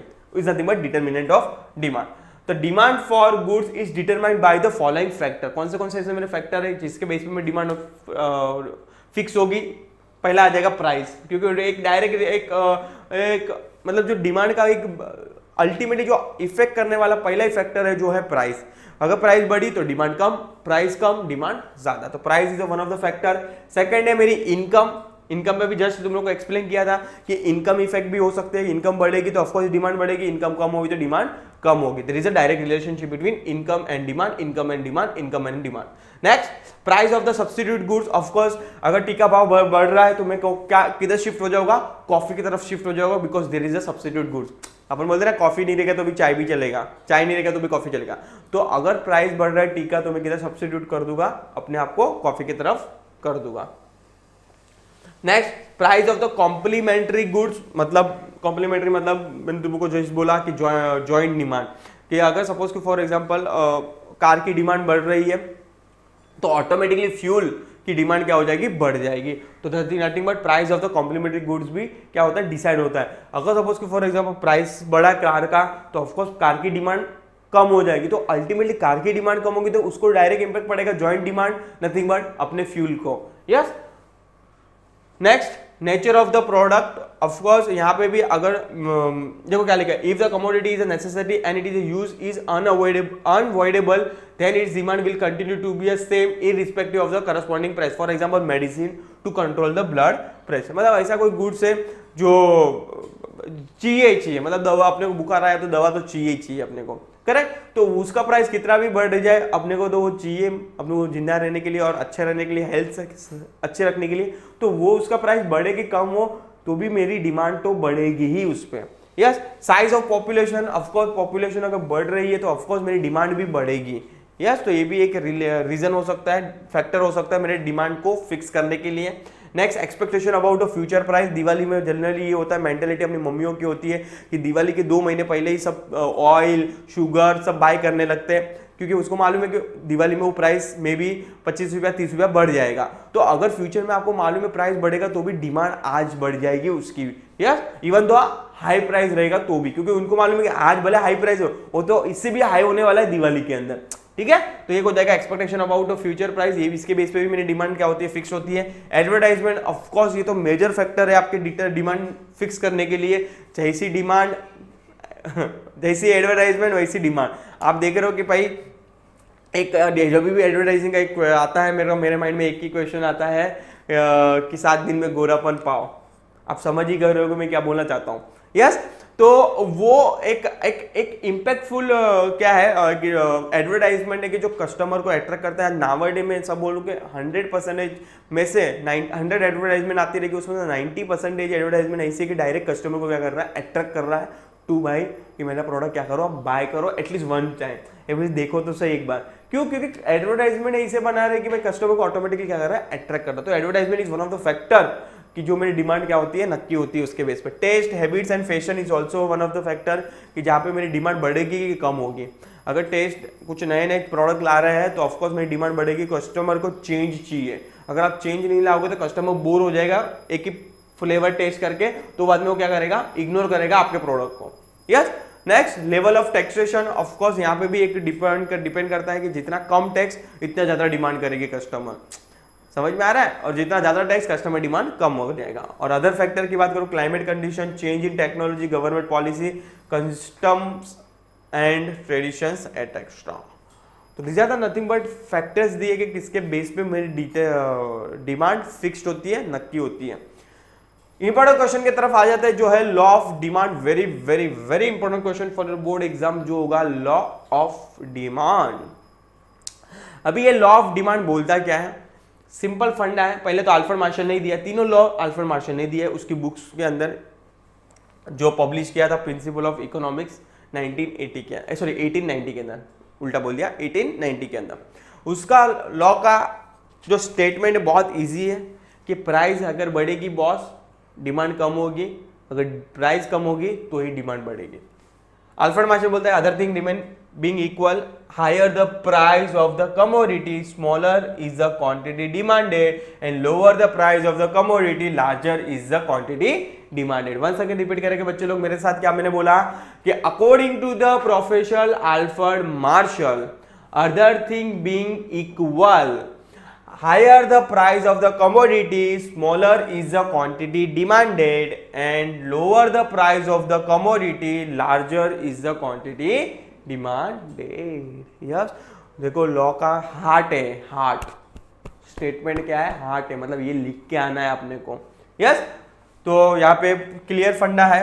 प्राइस बढ़ी डिमांड कम प्राइस कम डिमांड बढ़ेगी. बट तुम लोगों को खुद को मालूम है कि एवरी लॉ के सर्टन अजम्पन है. क्योंकि जो अभी लॉ बना है, उन लोग ने अजम्पन के बेस पे बना कि अगर ये हुआ तो क्योंकि आप देख रहे हो ना, यहाँ पे देखो स्टार्टिंग में क्या लिख रहा है? अदर थिंग बींग इक्वल मतलब मान के चलो, बाकी सब चीज़ें बराबर है दुनिया में। खाली प्राइस बढ़ी तो ये डिमांड कम होगी। अगर प्राइस कम हुई तो डिमांड बढ़ेगी। मतलब उन्होंने बाकी सब फैक्टर को इग्नोर मारा, जो अपन ने ऊपर पढ़ा अभी। ये वाला सब फैक्टर मतलब क्या इग्नोर मारा? इग्नोर मारा मतलब बोला कि ये सब क्या है? इक्वल है। कुछ चेंज नहीं है। इनकम सेम है। सब्सिट्यूट गुड्स का प्राइस सेम है। कॉम्प्लीमेंट्री गुड्स का प्राइस सेम है। नेचर ऑफ़ प्रोडक्ट सब सेम है। Size of population was it is है। कोई फ्यूचर में एक्सपेक्टेशन नहीं है। प्राइस बढ़ने वाला, कम होने वाला है। ये टेस्ट हैबिट सब सेम है। भाई, ये उसने बोला है अल्फर मास्टर ने स्टार्टिंग में कि अदर थिंग बीइंग इक्वल मतलब सब चीज़ें सेम है। खाली अगर प्राइस ऊपर नीचे हुआ तो ही डिमांड पर ये क्या है? ये लॉ है। तो नहीं ये अजम्पन है। अजम्पन के बेस पे लॉ बनाया है। तो देखो यहाँ पे अजम्पन दिखे कि किसके बेस पे अज्यूम कर रहे हैं हम लोग कि ये सब चीज़ें स्थिर होगी। पहला है कांस्टेंट लेवल ऑफ़ इनकम मैंने तुमको अभी बोला। ये constant of level of income हो ही नहीं सकती ना किसी भी पर्सन की। यस yes, बोल रहे कि साइज़ पॉपुलेशन ऑफ़ साइज़ बढ़ेगी नहीं कम ही नहीं होगी। भाई, ऐसा नहीं हो सकता। अजम्पन है। Price of substitute goods remain constant अरे भाई प्राइस सब्सिट्यूट गुड्स का तो हमेशा प्राइस चेंज होता रहता है। Assumption price of complementary goods remain constant assumption no expectation about future change in price अरे भाई फ्यूचर चेंज इन प्राइस क्यों? मैंने जस्ट अभी तुम लोग को बोला कि दिवाली में अगर प्राइस बढ़ा तो मम्मी आज के भाव में भी इवन दो हाई प्राइस में गुड्स क्या करेगी? डिमांड कर लेगी। है assumption no change in taste habit preference fashion अरे भाई एवरी डे आज तो as a human being every moments में बात करूँ human as a human being customer का टेस्ट हैबिट क्या होता है? चेंज होता है। No change in taxation policy अरे भाई गवर्नमेंट आज नावडे कुछ ना कुछ चेंज ला रहे गवर्नमेंट के टैक्सेशन के पॉलिसी के अंदर। तो ये सब क्या है? अजम्पन से आप ये अज्यूम करो कि अगर ये सब स्थिर रहा तो डिमांड लॉ है। तो ये मेरे हिसाब से अजम्पन है। अभी इसके सर्टन एक्सेप्शन दिए कि भाई देखो अजम्पन लॉ ऑफ़ डिमांड बोलता क्या है? कि अगर प्राइस कम डिमांड बढ़ी प्राइस बढ़ी डिमांड कम। सॉरी क्या बोल रहा हूँ सर प्राइस बढ़, अगर सपोज़ की प्राइस हाई डिमांड कम। अगर प्राइस कम डिमांड ज़्यादा। ये फंडा बोलता है लॉ ऑफ़ डिमांड डिमांड का फंडा सिंपल डेफिनेशन ये बोलता है। बट सर एक्सेप्शन के अंदर क्या है? मतलब एक्सेप्शन के अंदर ये लॉ एप्लीकेबल नहीं होगा। मतलब अगर इसकी प्राइस कम भी हुई ना, इसकी प्राइस कम भी हुई ना तो भी डिमांड बढ़ेगी नहीं। क्या बोल रहे हो सर यस कौन से कौन से एक्सेप्शन से देखो, आपके आपके सामने। देखो, पहला ये गिफन पैराडॉक्स बच्चों को ध्यान में रखना दो दो मार्क के लिए तीन तीन मार्क के लिए स्टीफन गिफन अरे सर सर रॉबर्ट गिफन ने दिया है। दो दो मार्क के लिए पूछ सकते हैं। तो अगर ये फंडा क्या बोलता है कि अगर सपोज़ कि इंफीरियर क्वालिटी इंफीरियर क्वालिटी मतलब चीप क्वालिटी वन सेकेंड में बोल रहा हूँ। इंफीरियर क्वालिटी अगर चीप क्वालिटी के गुड्स रहेंगे तो भी उसका प्राइस कितना भी कम हो जाएगा डिमांड बढ़ेगी, नहीं, आपको खुद को मालूम है कि अपन का मेंटेलिटी कैसे जितना चीप क्वालिटी के गुड्स रहेंगे, उतना कस्टमर ज़्यादा डिमांड नहीं करता, उसकी डिमांड ही नहीं करता है। यस तो इन्फीरियर गुड्स और low quality goods are these goods whose demand does not rise even if the price fall वरना लॉ ऑफ़ डिमांड क्या बोलता है? अगर प्राइस कम हुई तो डिमांड बढ़नी चाहिए थी ना। बट अगर यहाँ पे इंफीरियर क्वालिटी के रहेंगे चीप क्वालिटी के रहेंगे तो भी प्राइस गिरेगा, पर डिमांड उठेगी नहीं। यस आगे बढ़ेंगे। प्रेस्टीज गुड्स प्रेस्टीज गुड्स मतलब वो गुड्स लग्जरी गुड्स बोल सकते हो आप। डायमंड्स हो गया बाद में कुछ ऐसे गोल्ड हो गया तो उसका प्राइस जितना बढ़ेगा, उतना डिमांड बढ़ेगी। वाह सर क्या बात है। यस लग्जरी गुड से प्रेस्टीज गुड से वो यस तो उसका प्राइस बढ़ने के साथ साथ डिमांड भी बढ़ेगी। मतलब यहाँ पे लॉ ऑफ़ डिमांड एप्लीकेबल नहीं होगा, इसलिए one of second exception to the law of demand third speculation अपन जैसे कि मैंने तुम लोग को जस्ट एग्ज़ाम्पल दिया था अपनी मम्मी का तो उनको मालूम कि दिवाली के एक दो महीने पहले ही उन लोग शुगर ऑयल बाय बाय कर लेते हैं। इवन दो हाई प्राइस में इवन दो हाई प्राइस में तो प्राइस बढ़ रहा है तो भी वो गुड्स क्या करेगी? डिमांड करेगी। उसको मालूम है प्राइस इससे भी हाइक होगा दिवाली के मंथ में। तो ये हो जाएगा स्पेक्यूलेशन जैसे कि दिवाली का यहाँ पे एग्ज़ाम्पल दिया पढ़ लेना।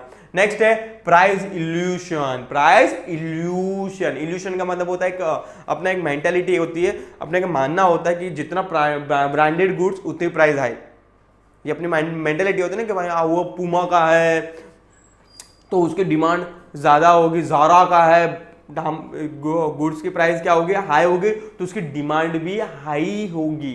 ठीक है तो price high demand high because अपना एक मानना है प्राइस इंड्यूशन अपना है कि जितना ब्रांडेड गुड्स इतनी अच्छी क्वालिटी का गुड्स प्राइस हाई होगा डिमांड भी हाई होगी। Next ignorance sudden times customer ignore कर देता है और हाई प्राइस देके बैठ जाता है।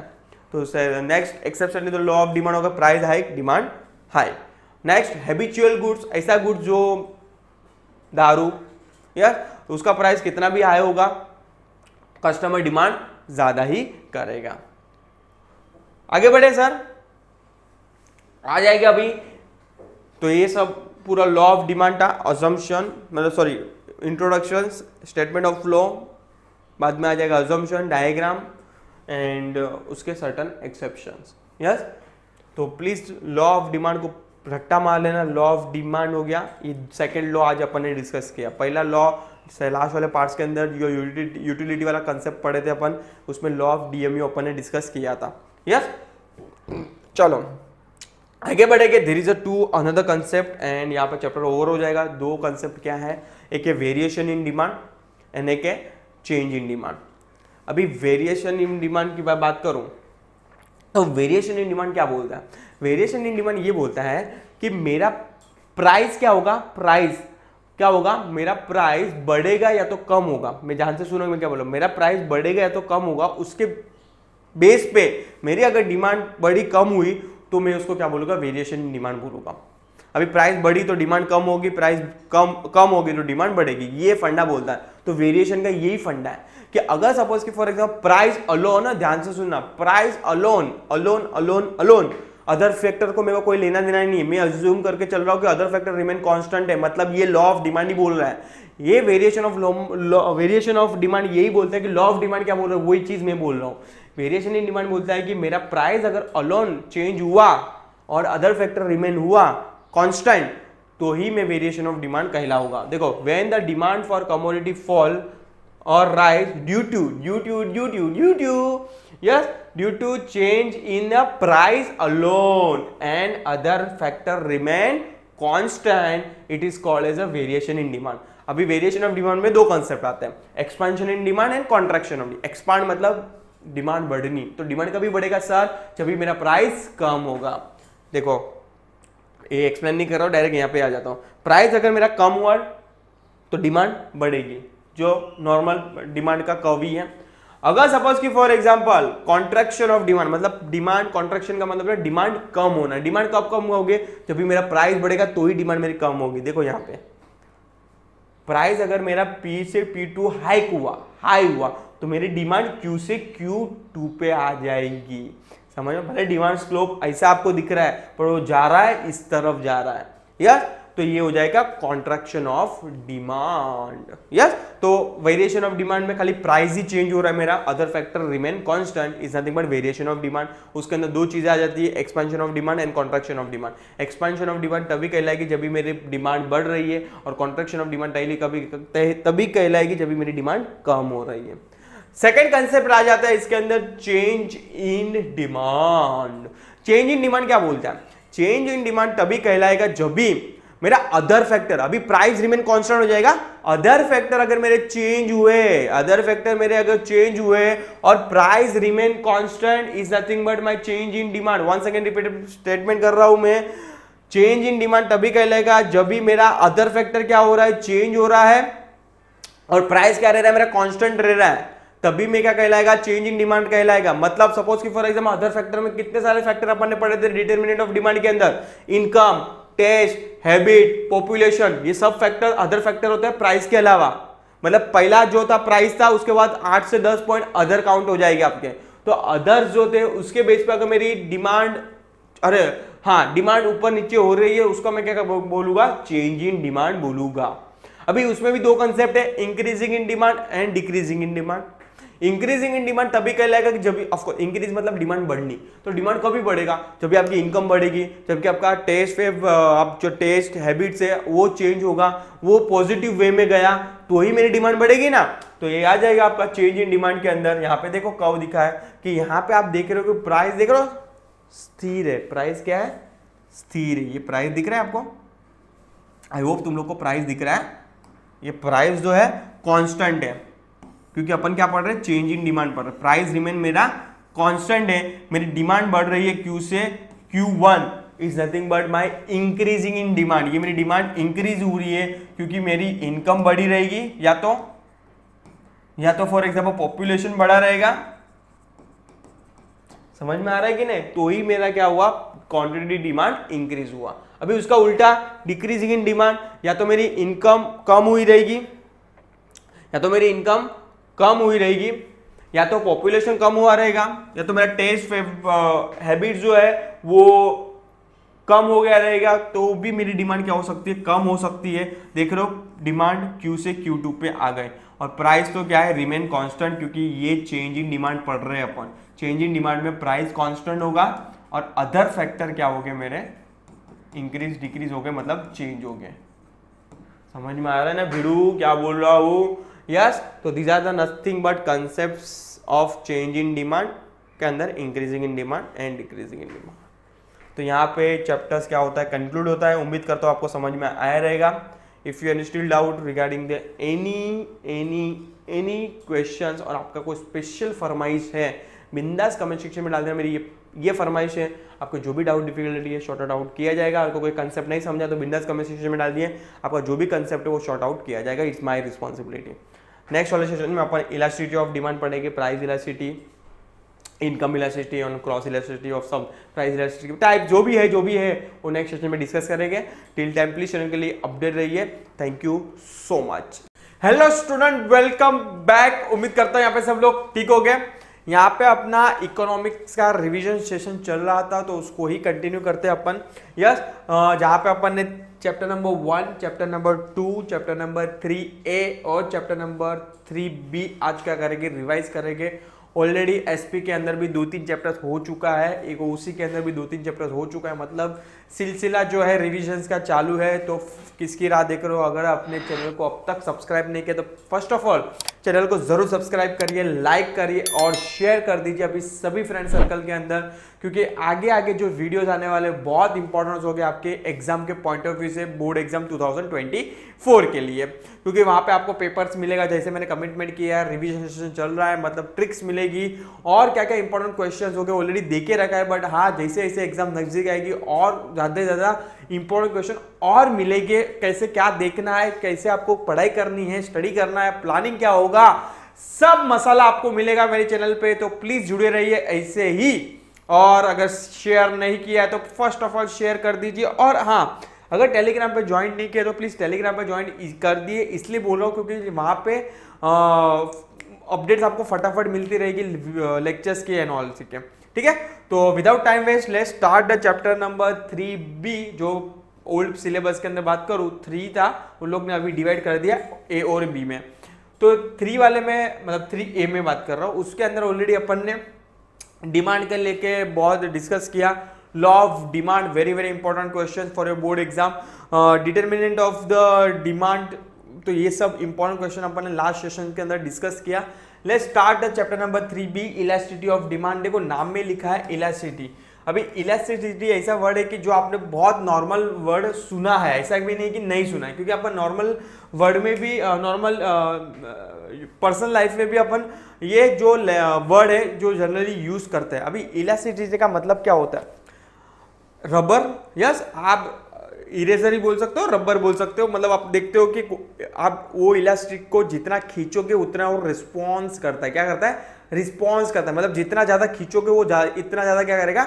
रिस्पॉन्स करेगा। तो ये वाले चैप्टर्स के अंदर अपने को वही पढ़ना है कि आपके यहाँ पे मतलब थोड़ा अलग टर्म में बोलना चाहता हूँ। यहाँ पे आपकी डिमांड कैसे चेंज होगी? अभी मेरे हिसाब से इलास्टिसिटी का अगर मेरे को ऑल्टरनेट वर्ड यहाँ पे निकालना है तो क्या निकल के आऊगा? चेंज कि भाई अगर सपोज़ की फॉर एग्ज़ाम्पल मेरी इनकम चेंज हुई तो मेरी डिमांड कितनी चेंज होगी? अगर सपोज़ प्राइस चेंज हुआ तो मेरी डिमांड कितनी चेंज होगी? अगर सपोज़ फॉर एग्ज़ाम्पल कोई ऐसा सब्सिट्यूट गुड्स है, अगर वो मार्केट में आ जाता है तो मेरा एग्जिस्टिंग गुड्स है, उस पर कितनी डिमांड अफेक्ट करेगी? Is nothing but elasticity of demand let start आपका यहाँ पे तीन टाइप का जो मैंने वो बोला वही यहाँ पे लिख दिया है कि आपके सिलेबस के अंदर तीन टाइप की इलास्टिसिटी कवर किया है।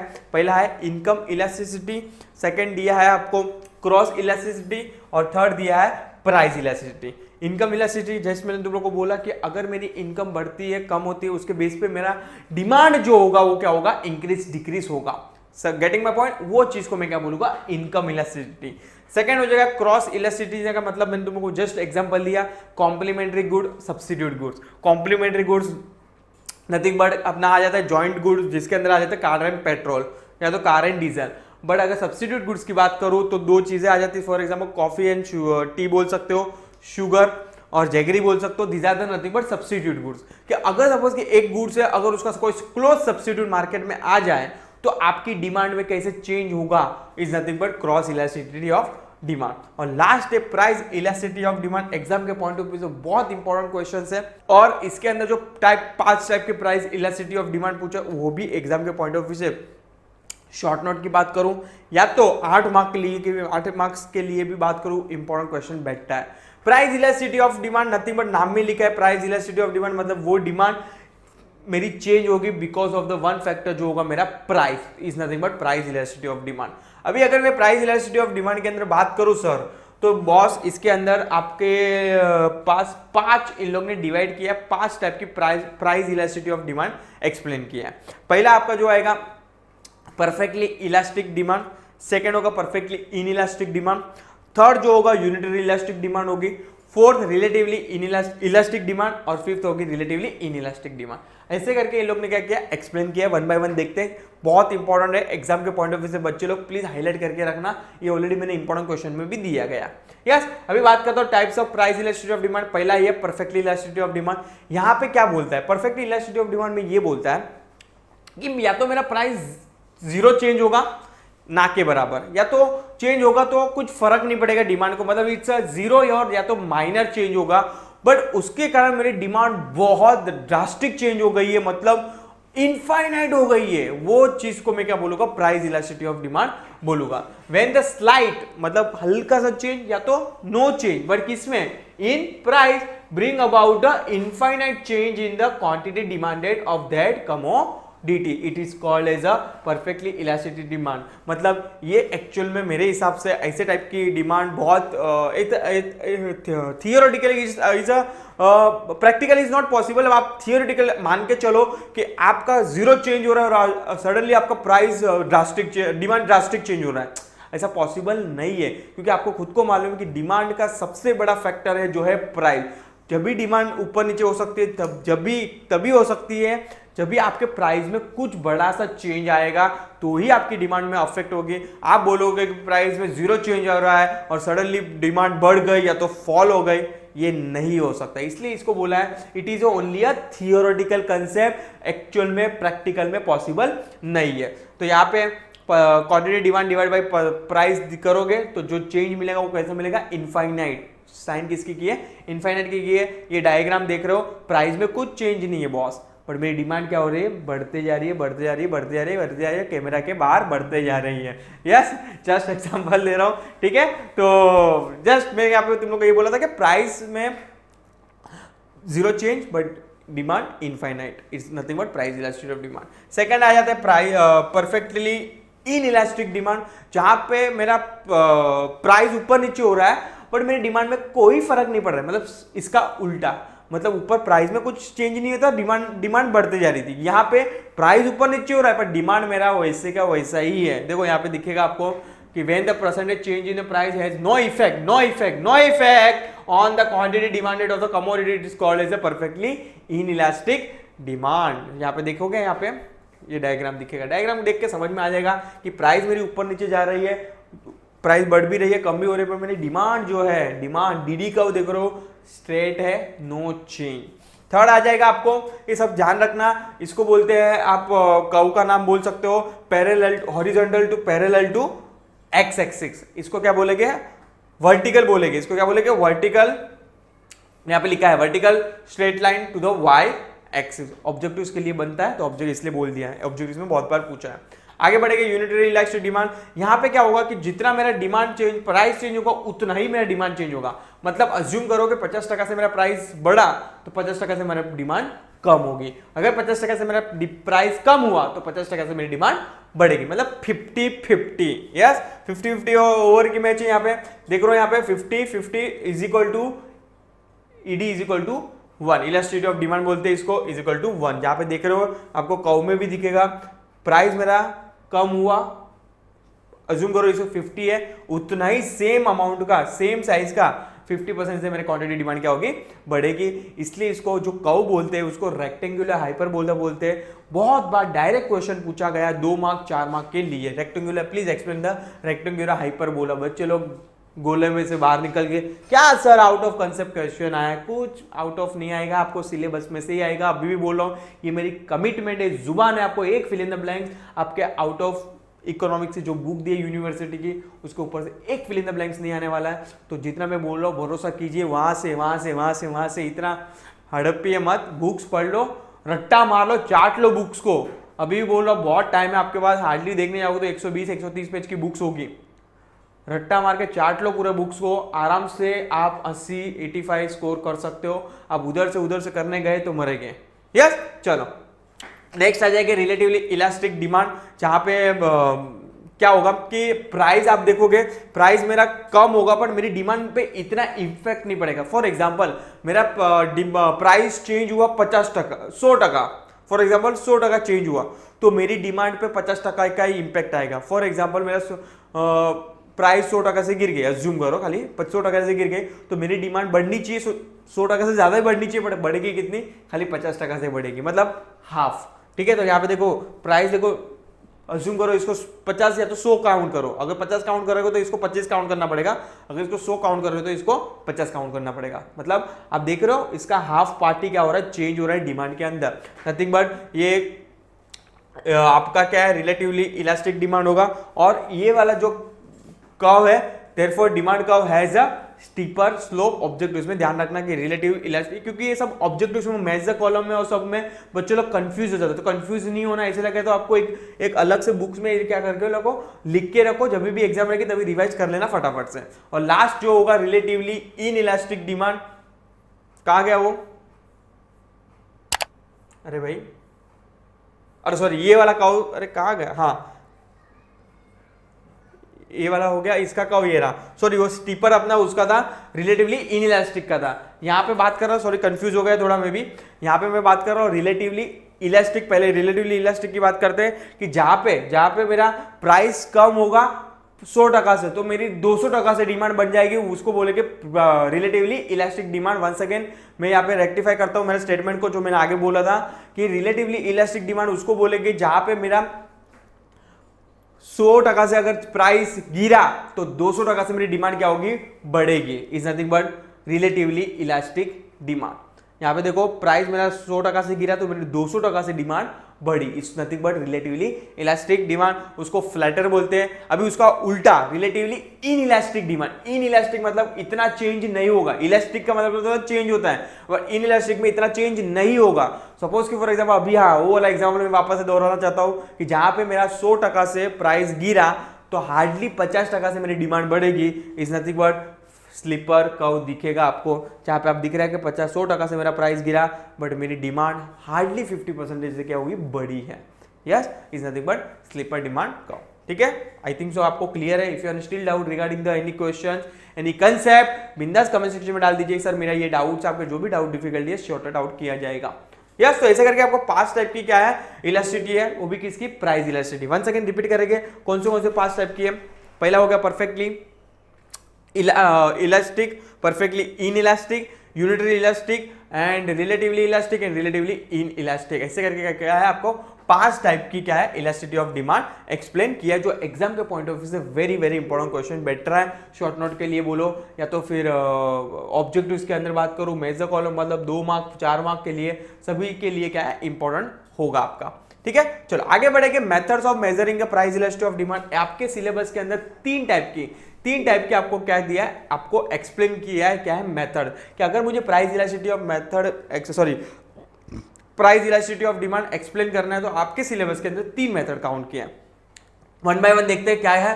पहला है रेशियो मेथड और परसेंटेज मेथड नथिंग बट आप जो प्राइस इलास्टिटी ऑफ़ का फॉर्मूला लगाते थे demand is demand divide by price is nothing but price और रेशियो परसेंटेज मेथड भी बोल सकते हो। आप देखो यहाँ पे लिखा है। Percentage change in quantity demand divide by percentage change in price ये ये जो आपको दिख रहा है, ये वाला, इसका नथिंग बट चेंज में होता है. परसेंटेज शॉर्ट में लिखा है. Percentage change in quantity demand divide by percentage change in quantity price इसका मतलब होता है चेंज समझ में आ रहा है? आई होप तुम लोग को मालूम ही होगा. डिटेल में वीडियोस देखे रहेंगे तो. यस तो ये जो भी परसेंटेज आता है, इसको नथिंग बट रेशियो मेथड भी बोलते हैं परसेंटेज मेथड भी बोलते हैं और ऑल्टरनेट टर्म में, और ऑल्टरनेट टर्म में ऑब्जेक्टिव में बहुत बार पूछा गया है एरिथमेटिकल मेथड भी बोलते हैं। तो प्लीज़ बच्चे लोग, इसको ऑब्जेक्टिव में हाईलाइट करके रखना। चलो, मेरा काम हो गया, आगे बढ़ेंगे। सेकेंड मेथड जो होगी आपकी total expenditure method total expenditure कैसे आता है? प्राइस इंटू क्वांटिटी डिवाइड कर, और प्राइस इंटू क्वांटिटी करूँगा, is nothing total expenditure method total outlay method भी बहुत बार इसको बोला गया है। और ये सभी मेथड मार्शल ने एक्सप्लेन किया तो वंस अगेन ऑब्जेक्टिव के लिए ध्यान रखना। रेशियो मेथड की बात करूँ total expenditure this method is also develop by the professional Marshall yes तो यहाँ पे टोटल एक्सपेंडिचर के अंदर क्या होगा? प्राइस इंटू क्वांटिटी डिमांड करूँगा is nothing total expenditure method बोलेंगे इसको। यहाँ पे तीन डिवाइड किया टोटल एक्सपेंडिचर के अंदर same relatively elastic relatively inelastic और थर्ड यूनिटरी इलास्टिक ऐसे करके तीन एक्सप्लेन किया है, वो सेम रिलेटिवली इलास्टिक मतलब greater than one unitary elastic मतलब E D is equal to one और रिलेटिवली इन इलास्टिक मतलब लेस देन वन मतलब यहाँ पे मेरा प्राइस चेंज होगा। अगर मेरा प्राइस चेंज होगा तो कमोडिटी इंक्रीज होगी बहुत ज़्यादा। मतलब यहाँ पे एक्सपेंडिचर बोल सकता हूँ सॉरी आउटले का मतलब एक्सपेंडिचर बोल सकता हूँ, ज़्यादा होगा। अगर सपोज़ कि फॉर एग्ज़ाम्पल यहाँ पे मेरा जितना प्राइस चेंज हो रहा है, उतना ही same रेरेक्ट outlay is nothing but constant is nothing but elastic unitary elastic demand अगर रिलेटिवली इन इलास्टिक की बात करूँ प्राइस चेंज हो रहा है बट मेरे आउटली आउटले क्या हो रहा है? डिक्रीज हो रहा है, कम हो रहा है nothing but is less than one is nothing but relatively inelastic demand. ऐसे करके तीन एक्सपेंडिचर को तीन में एक्सप्लेन किया है जहाँ पे देख रहे हो यहाँ पे इन लोगों ने टेबल फॉर्मेट में इजीली एक्सप्लेन किया है। पहला ही है ग्रेटर देन वन वाला, कि जहाँ पे आप देख रहे हो प्राइस मेरा दस था पहले क्वांटिटी डिमांड सिक्स था। तो मेरा टोटल एक्सपेंडिचर कितना था? सिक्सटी था। मतलब टोटल खर्चा बोल सकते हो पर जहाँ पे मेरा प्राइस इंक्रीज हुआ ऑफकोर्स डिमांड कम ही होगी ना प्राइस इंक्रीज होगा तो मेरी डिमांड क्या हो जाएगी? कम हो जाएगी। बट मेरा टोटल खर्चे की बात करो टोटल खर्चा भी क्या होगा? बढ़ेगा।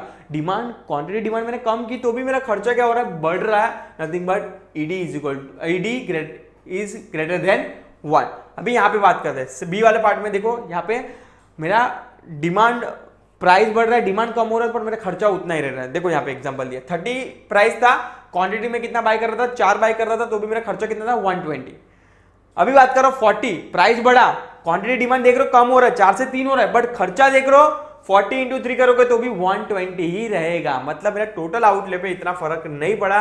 मतलब is nothing but ED is equal to one unitary elastic demand बोल सकते हो और लास्ट लेस देन वन जहाँ पे प्राइस देख रहे हो, बढ़ रहा है। यहाँ पे भी प्राइस बढ़ रहा है। क्वांटिटी डिमांड क्या हो रही है? कम हो रही है। पर अल्टीमेटली जो मेरा खर्चा है, वो भी क्या हो रहा है? कम हो रहा है, इसलिए लेस देन जो जो अपने ऊपर पड़ा, वो क्वांटिटी डिमांड का था, ये टोटल आउटले का है नथिंग बट टोटल एक्सपेंडिचर का है। नेक्स्ट आ जाएगा पॉइंट मेथड और जियोमेट्रिक मेथड ये भी मार्शल ने दिया है। देखो, तीनों तीन आपको जो मेथड एक्सप्लेन किया है मार्शल ने एक्सप्लेन किया। तो ऑब्जेक्टिव इसमें आएगा तो कंफ्यूज नहीं होने का है। तो पॉइंट मेथड के अंदर और जियोमेट्रिक के अंदर बात करूँ तो point is a base to calculate your elasticity of demand जहाँ पे आपको लीनियर डिमांड का लीनियर डिमांड का और नॉन लीनियर डिमांड का को क्या किया एलोबरेट किया है एक्सप्लेन किया है। अभी ये यहाँ पे देखोगे तो इन लोग ने P इज़ अ टारगेट जहाँ पे लीनियर डिमांड कर्व की बात करूँ तो इज़ अ स्ट्रेट लाइन है। और यहाँ पे देखो, मैं थोड़ा ऊपर ले लेता हूँ, दोनों को साइमेटेनियसली एक्सप्लेन करने की ट्राई करता हूँ। देखो, यहाँ पे आपको दिखेगा लिनियर डिमांड कर्व के अंदर बात करूँ तो यहाँ पे जो कर्व है वो स्ट्रेट लाइन है।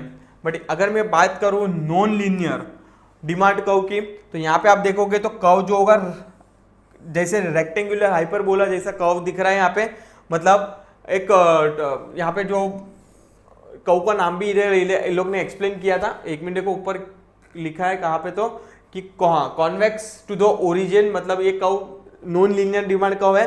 मतलब एक राउंड शेप में आपको लाइक हाइपर बोला जैसा कव दिख रहा है यहाँ पे। तो यहाँ पे इन लोग ने सेम एक्सप्लेन किया है, इन लोग ने सेम मतलब elasticity relatively elasticity sorry relatively in elasticity and unitary elasticity ये डायग्राम को एक्सप्लेन किया है कि मतलब यहाँ से अगर यहाँ से डिवाइड करोगे तो कितना होगा, यहाँ से यहाँ पे डिवाइड करोगे तो कितना होगा, यहाँ से यहाँ पे। तो ये पूरा एक्सप्लेनेशन यहाँ पे दिया है। डिटेल में अगर वीडियो चाहिए तो ऑलरेडी मैंने बनाया प्लीज़ जाके देख लीजिए। ये प्योरली रिविजन सेशन है, सब चीज़ें यहाँ पे नहीं पढ़ा पाऊँगा फटाफट जाना है अपने आगे बढ़ना बढ़ना है। यस आगे बढ़ेंगे। Factor influencing the elasticity of demand अगर कोई से कोई से, कौन से कौन से ऐसे मेरे फैक्टर है जो मेरे इलास्टिटी ऑफ़ डिमांड को अफेक्ट करेगा। इफ़ेक्ट करेगा अफेक्ट करेगा। मतलब कौन से कौन से ऐसे मेरे फैक्टर है जो मेरे डिमांड को ऊपर नीचे कर सकता है is nothing but factor affecting elasticity of demand पहला ये नेचर ऑफ़ कमोडिटी की आपका कमोडिटी कैसा है। सपोज़ कि फॉर एग्ज़ाम्पल लग्जरी आइटम की बात करूँ कंफर्ट आइटम की बात करूँ, जो मेरी डिमांड को इतना नहीं चेंज करेगा। समझ में आ रहा है कि नहीं? देखो, यहाँ पे लिखा by nature can classify the commodity necessary comfort and luxury demand demand for necessary goods like a food grade medicine text book etcetera is relatively inelastic मतलब जो आपके डे टू डे बिज़नेस वाले, उसकी डिमांड इतना effect नहीं करेगा as compare to luxury item luxury item का demand इतना होता नहीं है। तो अगर सपोज़ के सडनली उसके प्राइस में कुछ चेंज होता है तो ऑफकोर्स मेरे डिमांड को क्या होगा? अफेक्ट करेगा। बट अगर मैं बात करूँ जो बेसिक नेसेसिटी है, जैसे कि सोल्ट की बात करूँ, नमक डे टू डे बेस पे यूज़ करते हैं। अगर उसका भाव सपोज़ कि जो तीस रुपए की थैली आती है, अगर वो दस रुपया भी हो गया तो अपन नमक थोड़ी ज़्यादा खाएँगे, वो तो जितना सब्ज़ी में डालेंगे, अपन जितना खाएँगे, उतना ही खाएँगे, उसमें उतना इम्पैक्ट नहीं पड़ेगा, इसलिए वो हो जाएगा रिलेटिवली इन इलास्टिक डिमांड मतलब वो मेरे डिमांड पे इतना चेंज नहीं करेगा इज़ इन इलास्टिक बट अगर मैं बात करूँ लग्जरी के आइटम्स की, अगर लग्जरी आइटम प्राइस में कुछ कम हो गया तो भाई प्राइस ऑफकोर्स प्राइस कम होने के साथ साथ उसकी डिमांड बढ़ेगी तो रिलेटिवली इलास्टिक डिमांड कहलाएगी। बाद में आ जाएगा अवेलेबिलिटी ऑफ़ सब्सिट्यूट अगर मेरे पास सब्सिट्यूट गुड्स अवेलेबल है मार्केट के अंदर तो ऑफकोर्स मेरी डिमांड इलास्टिक होगी, बहुत ज़्यादा फ्लक्चुएट करेगी। अगर अज्यूम करो कि मार्केट में कोई कॉमोडिट सब्सिट्यूट गुड्स है ही नहीं तो ऑफकोर्स अपनी मार्केट के अंदर कोई सब्सिट्यूट है ही नहीं तो ऑफकोर्स आपकी डिमांड इतनी इफ़ेक्ट नहीं करेगी मतलब इतनी चेंज नहीं होगी, इसलिए ये इलास्टिक रहेगा। देखो यहाँ पे लिखा है demand for a commodity will be a more elastic if if it is a close substitute मतलब ज़्यादा चेंजेस देगी अगर मार्केट में सब्सिट्यूट गुड्स है, जैसे coffee and tea but but अगर सपोज़ कि for example commodity having a no close substitute like salt salt का कोई सब्सिट्यूट नहीं है। हाँ ब्रांड अलग अलग हो सकती है टाटा नमक एंड ऑल बट हाँ उसके अंदर नमक का टेस्ट तो एक ही है ना, समझ में आ रहा है कि नहीं? बट उसके अंदर मेरी इलास्टिटी इतना चेंज नहीं करेगी मतलब ये हो जाएगा इन इलास्टिक डिमांड जिसका कोई कॉम्पिटिशन नहीं है, जो प्रोडक्ट का उसकी डिमांड में इतना चेंज आता नहीं है। अगर सपोज़ के क्लोज सब्सिट्यूट होगा तो ऑफकोर्स डिमांड में बहुत ज़्यादा चेंज आएगा। देखो elastic elastic and non elastic में फ़र्क इतना ही है। इलास्टिक मतलब ज़्यादा चेंज होना और नॉन इन इलास्टिक मतलब इतना चेंज होगा नहीं नो इफ़ेक्ट बोल सकते हो आप। यस नेक्स्ट हो जाएगा number of use of course अगर सपोज़ कि फॉर एग्जांपल मल्टीपर्पज यूज़ के लिए कोई गुड्स है जैसे कि इलेक्ट्रिसिटी इज़ मोर इलास्टिक मतलब उसकी चेंजेस बहुत ज़्यादा हो सकती है। करेक्ट तो वो एक मल्टीपर्पज यूज़ होगी तो सम सम लेवल पे वो लेस इलास्टिक हो, हो सकता है। बट एक अगर मैं डिटेल में बात करूँ उसको तो एक नया मतलब एक मोर एक्सटेंड लेवल पे मैं बात करूँ तो उसकी इलेक्ट्रिसिटी इतना चेंज नहीं होगी जितना जो लग्जरी आइटम्स मैंने बात किया लग्जरी आइटम्स हो गए बाद में अपन बात किया सब्सिट्यूट आइटम्स इतना चेंज नहीं करेगी मेरी किसको? मल्टीपर्पज यूज़ को। अगर मल्टीपर्पज है, जैसे कि वन ऑफ़ द बात कोल हो गया इलेक्ट्रिसिटी हो गई, जिसकी चेंज इतना नहीं होगी मतलब होगी पर इतना इफ़ेक्ट दिखेगी नहीं। इसलिए आप बोलने चाहो तो आप बोल सकते हो is a less elasticity of demand habits की कुछ बात करूँ सपोज़ कि ड्रंकर हो गया ड्रग्स ले रहा है, उसकी इलेक्ट्रिसिटी में इतना चेंज नहीं आएगा, वो जितना ले रहा है, उतना ही लेगा। उसके प्राइस से कोई लेना देना नहीं होगा, वो जितना ले रहा है, उतना ही लेगा वो। इसलिए उसकी भी प्राइस प्राइस भले नीचे आ जाएगा। ऐसा है कि प्राइस कम होगी तो सब ड्रग्स लेना शुरू करेंगे। नहीं, उसकी डिमांड इनइलास्टिक ही रहेगी, उसकी डिमांड में कोई फ़र्क नहीं पड़ेगा, इसलिए वो इनइलास्टिक रहेगा, यहाँ पे लिखा है पढ़ लेना। ड्यूरेबिलिटी की बात करूँ कि अगर जिसका गुड्स बहुत ज़्यादा टाइम तक टिकने वाला, जैसे कि furniture is a durable good जो बिगड़ता नहीं है जनरली तो उसकी डिमांड रिलेटिवली इलास्टिक होती है, बहुत ज़्यादा चेंज होती है, क्योंकि वो अगर प्राइस कम हुआ, उसका तो आपको मालूम है कि भाई सपोज़ कि प्राइस कम हुआ, मेरे को फर्नीचर लेना है सोफा लेना है तो प्राइस अगर सपोज़ कि सडनली पचास टका हो जाता तो इवन तो अपने को ज़रूरत नहीं है तो भी अपन ले लेते हैं कि भाई आप बिगड़ने वाला तो है नहीं, पड़ा रहेगा घर में। तो इसकी चेंजेस दिखेगी आपको, इसलिए क्या हो जाएगा रिलेटिवली इलास्टिक डिमांड बाद में आ जाएगा कॉम्प्लीमेंट्री गुड्स उसकी भी बात करूँ जनरली उसकी भी प्राइस में उतना कुछ चेंज नहीं होता है। वो डिपेंड करता है कि ज्वाइंट गुड्स मतलब कार पे क्या इंपैक्ट पड़ रहा है तो उसके करस्पॉन्डिंगली डीजल पे क्या होगा इंपैक्ट पड़ेगा।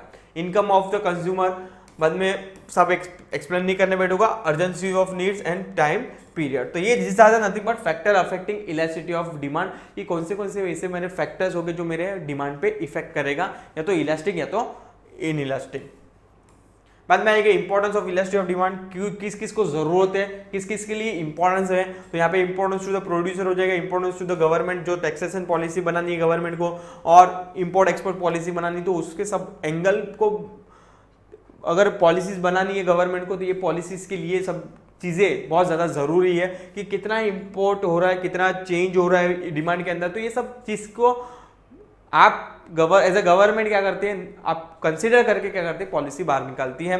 इंपॉर्टेंट इन फैक्टर प्राइसिंग बाद में जाएगा importance in a foreign trade and public utilities and proportion of the expend expenditure तो these are nothing but electricity of demand कहाँ का कंसिडर किया जाता है? कहाँ का उसका इंपॉर्टेंस है? जनरली ये तो बहुत लिमिटेड आपको ऑप्शंस दिए। इसके अलावा बहुत जगह इलेक्ट्रिसिटी ऑफ़ डिमांड का क्या होता है? इम्पैक्ट होता है।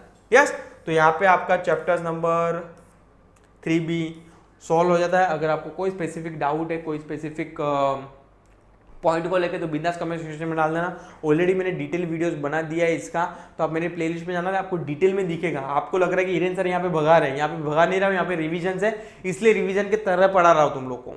अगर आपको डिटेल में वीडियोस चाहिए तो ऑलरेडी मैंने डिटेल वीडियोस लाइव सेशन में मैंने पढ़ाया था। आप जाओगे प्ले में जाओगे तो आपको वीडियोस दिखेगा। डिटेल में एक एक लाइन को क्या किया है? एक्सप्लेन किया है। यहाँ पे क्या टाइम थोड़ा कम होता है, मुझे 20 25 30 मिनट में क्या करना है कंक्लूड करना है, इसलिए फटाफट घुमा देता हूँ, फटाफट घुमा देता हूँ मतलब फटाफट भगा देता हूँ। पर हाँ प्योरली रिवीजन सेशन है रिवीजन में इतना ही मिलेगा आपको डिटेल वीडियो आपको पास ऑलरेडी है, देख लेना।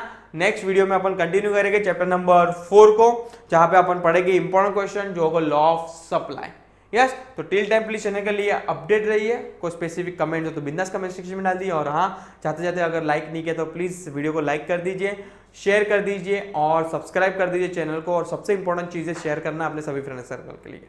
Thank you so much hello student welcome back उम्मीद करता हूँ यहाँ पे सब लोग ठीक हो गए आज अपन चैप्टर्स नंबर फोर इकोनॉमिक्स का क्या करेंगे? डिस्कस करेंगे। ऑलरेडी मैंने चैप्टर नंबर थ्री तक मतलब three A and three B तक मैंने ऑलरेडी रिविजन्स करवा लिया है। ऑलरेडी सभी चैप्टर्स का आपको डिटेल में वीडियो चाहिए तो ऑलरेडी प्लेलिस्ट में जाओ, किस दे, किस, किसकी राह देख रहे हो। जाके देखो, आप सभी के लिए बनाया है।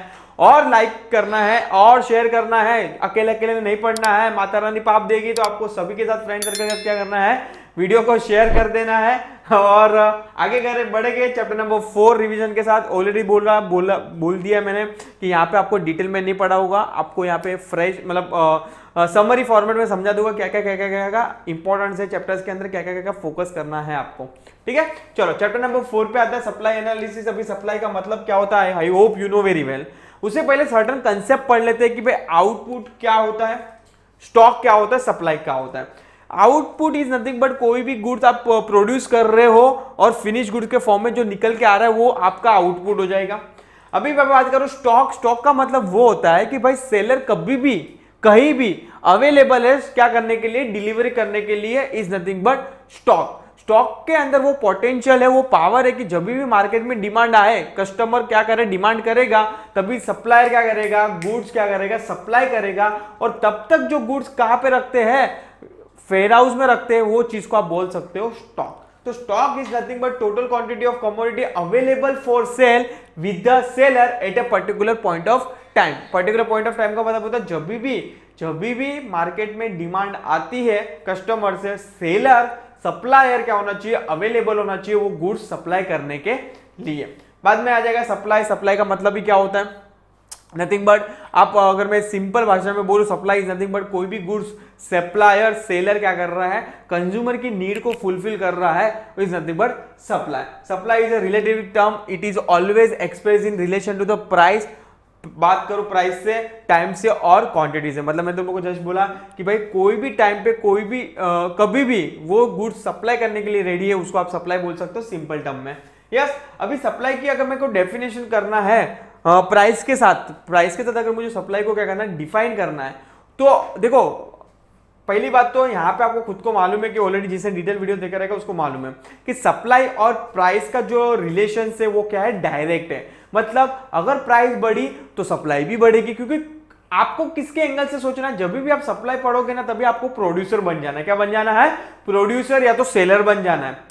सेलर मतलब सप्लायर बन जाना है कि आप अगर सपोज़ कि कोई गुड्स क्या कर रहे हो, आप सेल कर रहे हो, सेलर बन जाना है तो आप क्या सोचोगे कि जितना प्राइस बढ़ेगा, उतना मैं सेल ज़्यादा करूँगा, क्योंकि उसके कारण क्या होगा, मेरा प्रॉफिट बढ़ेगा। प्राइस कम होगा सप्लाई रोक दूँगा सप्लाई कम कराऊँगा उससे कारण मेरा लॉस क्या होगा, कम होगा। मतलब आप जो रिलेशंस देख रहे हो सप्लाई और प्राइस के बीच में वो क्या है डायरेक्ट रिलेशंस है, नहीं कि इनवर्स रिलेशन अपन ने देखा था कि डिमांड और प्राइस के बीच में जो रिलेशन है, उसमें क्या है इनवर्स रिलेशन है कि भाई वो अपन किसके एंगल से पढ़ रहे थे? वो कस्टमर के एंगल से पढ़ रहे थे। कि कस्टमर तभी बाय करेगा जब भी प्राइस कम होगा कस्टमर कम बाय कभी करेगा जब भी प्राइस हाइक होगा। तो वो जो रिलेशन था, वो किसके एंगल से सोच रहे थे अपन? कस्टमर के एंगल से सोच रहे थे। इसलिए देर इज़ इनवर्स रिलेशनशिप बोल सकते हो आप डिमांड और प्राइस के बीच में। बट यहाँ पे आपको प्रोड्यूसर से एंगल से सोचना है। प्रोड्यूसर के एंगल से क्या सोचेगा कि अगर प्राइस बढ़ेगा तो मैं सप्लाई ज़्यादा करूँगा सप्लाई ज़्यादा करूँगा तो मुझे क्या मिलेगा? प्रॉफिट मिलेगा। तो ये सप्लाई की सिंपल डेफिनेशन से, अभी इंडिविजुअल सप्लाई का क्या होता है? देखो रिलेशन देख रहे हो आप ये? क्या जा रहा है? अपवर्ड मूवमेंट में जा रहा है। आप बोल सकते हो लेफ़्ट टू राइट यस अगर मैं इंडिविजुअल सप्लाई कर्व की बात करूँ या तो मार्केट सप्लाई कर्व की बात करूँ, दोनों डायग्राम डायग्राम आपको दिख रहा है। तो दोनों का कर्व अपवर्ड मूवमेंट में जाएगा क्योंकि भाई जैसे जैसे प्राइस बढ़ेगा, वैसे वैसे प्रोड्यूसर सप्लायर क्या करेगा? अपनी क्वांटिटी सेल करने के लिए ज़्यादा सप्लाई करेगा। अभी वेरी वेरी इंपॉर्टेंट क्वेश्चन ये आ जाएगा डिटर्मिनेंट ऑफ़ सप्लाई कि, किसके बेस पे मेरी सप्लाई क्या होती है? फिक्स होती है nothing but determinant price is one of the best factor क्योंकि बेस्ट फैक्टर मतलब मेन फैक्टर बोल सकते हो, क्योंकि आज अपन ने जस्ट ऊपर भी पढ़ा कि supply is relative term related to the price हो गया। तो ये फ़र्स्ट आपका जो डिटर्मिनेंट भी सेट होता है, किसके बेस पे होता है? प्राइस ऑफ़ द कमोडिटी अगर प्राइस ज़्यादा होगा तो सप्लाई ज़्यादा होगी प्राइस कम हुआ तो सप्लाई कम होगी। सेकेंड आ जाता है स्टेट ऑफ़ टेक्नोलॉजी अगर सपोज़ कि फॉर एग्ज़ाम्पल कॉस्ट मेरा अगर बढ़ रहा है तो प्रोड्यूस का, जो गुड्स प्रोड्यूस करेगा, उसका भी कॉस्ट बढ़ेगा। तो मेरी सप्लाई क्या हो जाएगी? कम हो जाएगी, क्योंकि कस्टमर बाई नहीं करेंगे। अगर सपोज़ कि फॉर एग्ज़ाम्पल मैं ऐसा ऐसा टेक्नोलॉजी यूज़ कर रहा हूँ, जिसके कारण फेवरेबल इंपैक्ट पड़ रहा है मतलब जिसका कॉस्ट कटिंग हो रहा है कॉस्ट कटिंग होगा तो सप्लाई का एमआरपी कम होगा मतलब सप्लाई गुड्स का क्या हो जाएगा कॉस्ट कम हो जाएगा कॉस्ट कम होगा तो क्या बढ़ेगी? सप्लाई बढ़ेगी। समझ में आ रहा है? तो ये डिपेंड करता है स्टेट ऑफ़ टेक्नोलॉजी क्या है? Cost of production one second बोला कि अगर कॉस्ट बढ़ेगा तो भाई मेरा गुड्स का कॉस्ट भी बढ़ेगा। गुड्स का कॉस्ट भी बढ़ेगा तो अल्टीमेटली मेरी सप्लाई क्या होने नीचे वाली हो, नीचे होने वाली है। देखो यहाँ पे क्लियरली लिखा है if the factor price increasing cost of production is also increasing as a result supply decreases next आ जाएगा इंफ्रास्ट्रक्चर फैसिलिटी जैसे कि ट्रांसपोर्ट हो गया कम्युनिकेशन पावर अगर सपोज़ कि फॉर एग्ज़ाम्पल ये इसमें चेंज हो रहा है इसमें प्राइस हाइक हो रही है तो अल्टीमेटली मेरे cost of production nothing but sorry cost of production क्या बोलो? कॉस्ट ऑफ़ सप्लाई भी क्या होगी? इंक्रीज होगी और अल्टीमेटली मेरी सप्लाई क्या हो जाएगा? कम हो जाएगा। नेक्स्ट है government policy once again government अगर कोई फेवरेबल पॉलिसी लाता है सेलर के एंगल से सोच के तो ऑफकोर्स सप्लाई क्या होगी? ज़्यादा होगी। अगर गवर्नमेंट कोई अनफेवरेबल पॉलिसी लाता है तो सप्लाई क्या होगी? कम होगी। नेक्स्ट रहेगा नेचुरल कंडीशंस कैसी है? जैसे कि नेचुरल क्लाइमेटिस आ गई फ्लड हो गया तो उस पर भी डिपेंड करता है कि भाई मेरा सप्लाई पे क्या इंपैक्ट पड़ेगा। तो ऑफकोर्स ये सब नेचुरल क्लाइमेट आ गई तो भाई ऑफकोर्स सप्लाई डिक्रीज ही होने वाला है? नेक्स्ट आ जाएगा मतलब जनरली ये जो जो एग्रीकल्चर गुड्स है, उस पर डायरेक्ट इंपैक्ट पड़ता है। मैं बात, यहाँ पे स्टील की बात नहीं कर रहा हूँ, कि भाई यहाँ पे कोई रेफ्रिजरेटर गुड्स की बात नहीं कर रहा हूँ। यहाँ पे मैं जो बात कर रहा हूँ एग्रीकल्चर गुड्स की बात कर रहा हूँ, कि उस पर ज़्यादा इंपैक्ट पड़ सकता है। कि अगर सपोज़ कि फॉर एग्ज़ाम्पल अच्छी सी फ़सल हो रही थी, पर अचानक सडनली फ्लड आ गया तो पूरी फ़सल बेकार। तो ऑफकोर्स मार्केट में अगर खेत में ही फ़सल नहीं है तो मार्केट से कहाँ से पहुंचेगी? तो अल्टीमेटली शॉर्टेज का क्या होगा? प्रॉब्लम होगा। Future expectation about price of course अगर सेलर अगर मैं सोच रहा हूँ कि मुझे मालूम है फ्यूचर में अब दिवाली आ रही है नेक्स्ट मंथ में तो भाई उधर जो चीनी का भाव तीस रुपए था, वहाँ पे चालीस रुपए पर केजी मिलेगा। तो मैं क्या करूँगा? अभी कम प्राइस पे क्या करूँगा? सेल करूँगा। मतलब सॉरी जो भी प्राइस रहेगा, उसमें कम सप्लाई करूँगा। फ्यूचर में मैं क्या करूँगा? ज़्यादा प्राइस में ज़्यादा सप्लाई करूँगा, क्योंकि उसके कारण क्या होगा? मुझे प्रॉफिट होगा। नेक्स्ट हो जाएगा। Other factor also natural nature of the market कैसा है relative price of the other goods export import industrial relation available of the factor of production et extra ये सब क्या हो गया? अदर फैक्टर्स के अंदर काउंट हो जाए, इसके बेस पे मेरी सप्लाई क्या होती है? फिक्स होती है। उसके बाद आ जाता है इंपॉर्टेंट क्वेश्चन जो होगा law of supply very very important question for your board exam जो आठ मार्क के लिए भी फिट हो सकता है मेरे हिसाब से। अभी लॉ ऑफ़ सप्लाई का फंडामेंटल वंस अगेन ये प्रोफेसर आल्फ्रेड मार्शल ने दिया उसकी books principle of economics 19 1890 yes उसमें क्लियरली उसने जो लॉ ऑफ़ स्टेटमेंट का जो हार्ट है स्टेटमेंट ऑफ़ लॉ क्लियरली लिखा है अदर थिंग बींग कॉन्स्टेंट मतलब सब चीज़ें क्या है कॉन्स्टेंट है higher the price of the commodity more is the quantity supply and lower the price of the commodity less is the quantity supply ये तो जो अभी जस्ट मैं हिंदी में बोला वो इंग्लिश में बोल रहे हैं कि भाई जितना सप्लाई प्राइस बढ़ेगा उतना ज़्यादा सप्लाई होगा जितना कम प्राइस होगा उतना कम सप्लाई होगा वंस अगेन रिपीट कर रहे कि मेरे साथ ये स्टेटमेंट ऑफ़ लॉ क्या बोला है other thing being constant higher the price of the commodity more is the quantity supplied and lower the price of the commodity, less is quantity supplied. Simple, sober form में इन लोग ने law को क्या किया? स्टेटमेंट ऑफ़ लॉ बनाया है supply का। जब भी आपको लॉ आता है तो हमेशा इसका हार्ट जो है स्टेटमेंट ऑफ़ लॉ लिखना भूलना नहीं है बाबा। प्लीज़ एक मार्क्स है उसका। यस चलो। अजम्पशन ऑफकोर्स सब अजम सभी लॉ अपन ने डीएमयू पढ़ा।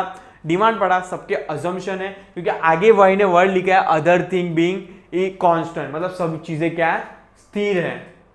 तो ऑफकोर्स ये अजम्पशन के बेस पे बनाया देख सी क्या क्या कॉन्स्टेंट रखा है भाई ने। पहला ही है कांस्टेंट कॉस्ट ऑफ़ प्रोडक्शन ज़रूरी थोड़ी है कि भाई अगर मैं अभी बात करूँ लास्ट ईयर जो कॉस्ट सपोज़ कि मार्कर बनाने का खर्चा मुझे दस रुपया आ रहा था जूम करो एग्ज़ाम्पल दे रहा हूँ तो ज़रूरी थोड़ी कि इस साल भी मुझे दस रुपया है, या तो ज़्यादा भी आ सकता है, कम भी आ सकता है। कॉन्स्टेंट कभी भी नहीं ले सकता। तो पहला है अजम्पशन सेकेंड है कांस्टेंट टेक्निक ऑफ़ प्रोडक्शन ये भी कांस्टेंट थोड़ी होने वाली है। इसका जो टेक्निक है बनाने के लिए, ज़रूरी नहीं कि एवरी ईयर सेम हो।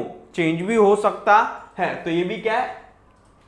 अजम्पशन इसलिए बोला कि अज्यूम करो but is practically not possible no change in weather condition क्या बोले no change in weather condition अरे भाई, आपने मानसून कभी भी चेंज होता है। लड़कियों की मूड की तरह मानसून अभी तो चेंज हो जाता है। कभी भी बारिश आ जाती है कभी भी ठंड लगने लगती है कभी भी गर्मी लगने लगती है। जस्ट चिल लड़की लोग ज़्यादा दिल पे मत लीजिए। यस तो यहाँ पे मैं बात कर रहा था कि भाई no change in weather condition मतलब एक अजम्पशन ही है ना? क्या लग रहा है आपको? अजम्पशन ही लग रहा है कि भाई यहाँ पे वेदर कंडीशन ऑफकोर्स चेंज होता है। यस तो ये क्या हो जाएगा? आपका अजम्पशन हो जाएगा। No change in government policy अरे भाई, कुछ भी कुछ भी बोलने का। कि गवर्नमेंट की पॉलिसी कभी चेंज ही नहीं होगी।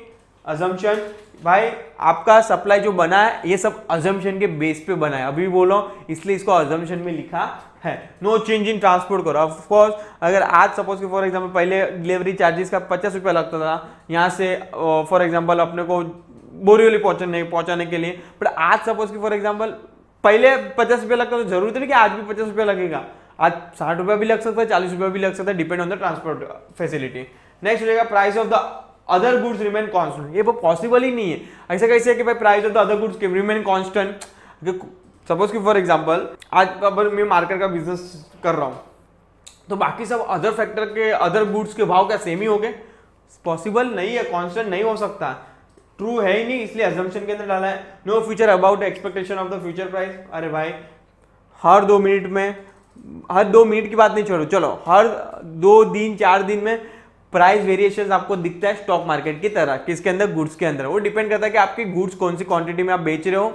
क्या आपका बिज़नेस है, वो डिपेंड करता है nature of business scope of work कि भाई वो डिपेंड करता है industry to industry also yes so ये हो जाएगा अजम्पन्स यहाँ पे आपको कव ड्रॉ किया है, जहाँ पे क्लियरली एक्सप्लेन किया कि जैसे जैसे मेरा प्राइस बढ़ते जा रहा है, दिख रहा है यहाँ पे दस, बीस, तीस, चालीस, पचास, वैसे वैसे मेरा सप्लाई भी देखो, सौ, दो सौ, तीन सौ, चार सौ, पाँच सौ ऐसे क्या हो रहा है, बढ़ते जा रहा है. आई होप तुम लोग को डायग्राम देख के समझ में आ रहा है, मैं क्या बोलना चाहता हूँ. लेट सी आपको ड्रॉ करके दिखाता हूँ। देखो यहाँ पे मेरा जैसे जैसे मेरा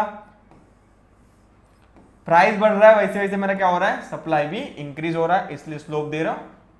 थोड़ा रॉन्ग गया ये रहा। अपवर्ड मूवमेंट में दिख रहा है। एस एस का ठीक है? मतलब लेफ़्ट टू राइट यस चलो, आगे बढ़े सर आगे देखते क्या लिखा है। एक्सेप्शन ऑफकोर्स एवरी लॉ के अपन ने अजम्पशन के बाद सर्टन एक्सेप्शन पढ़ा एक्सेप्शन का मतलब होता है जो लॉ बोला है, बोल रहा है, क्या बोल रहा है? प्राइस बढ़ेगा तो सप्लाई बढ़ेगी प्राइस कम होगा तो सप्लाई कम होगी।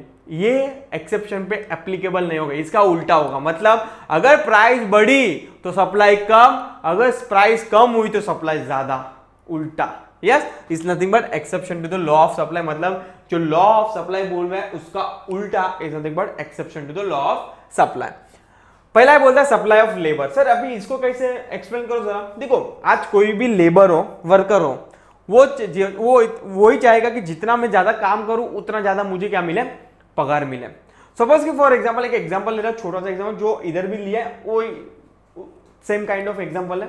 सपोज़ कि फॉर एग्ज़ाम्पल एक वर्कर है जो दिन का पाँच घंटा काम करता है उसको मिल रहा है पाँच घंटे का आ, दस रुपया पकड़ लो आज थोड़ा ले पाँच घंटा काम कर रहा है, पचास, दस, सौ रुपया पकड़ो। चलो, सौ रुपए के हिसाब से उसको पाँच सौ रुपया मिलता है। पर अगर सपोज़ कि फॉर एग्ज़ाम्पल कंपनी ने उसको बोला कि अगर तू और एक ज़्यादा घंटा काम करेगा तो हम लोग ज़्यादा देखो क्या करेंगे? सौ रुपया और देंगे। ठीक है? तो उससे भाई ने छह घंटा काम किया। छह सौ रुपया लेके गया। बाद में क्या बोला कि अगर तू और ज़्यादा काम करेगा ना मतलब उसका सपोज़ कि फॉर एग्ज़ाम्पल इंक्रीमेंट हो गया। एक साल के बाद उसका इंक्रीमेंट हो गया। उससे सपोज़ कि छह घंटे के उसका इंक्रीमेंट पर आर बेस पे होगा। कि जहाँ पे उसको सौ रुपया मिल रहा था पर आर वहाँ पे उसका दो सौ रुपया होगा। क्या हो गया? दो सौ रुपया हो गया पर आर तो अभी वो क्या करेगा? पहले वो क्या सोचता था कि मैं छह घंटा काम कर तो अभी जाकर छह सौ रुपया मिलता था मुझे। अभी मैं तीन घंटा काम करूँगा तो मुझे कितना मिलेगा? छह सौ रुपया मिल जाएगा तो मैं क्यों दो सौ दो घंटा और काम करूँ? समझ में आ रहा है कि नहीं? पहले उसको प्राइस हाइक हुई, सौ से दो सौ रुपया हुआ उसका। बट उसका जो जो आर्ली वर्क है, जो करने वाला है वो काम जहाँ पे पहले पाँच घंटा कर रहा था, वो डायरेक्ट कितना घंटा हो गया? तीन घंटा हो गया। मतलब उसका जो आर्ली वर्क से वो क्या हो जाएगा? कम हो जाएगा।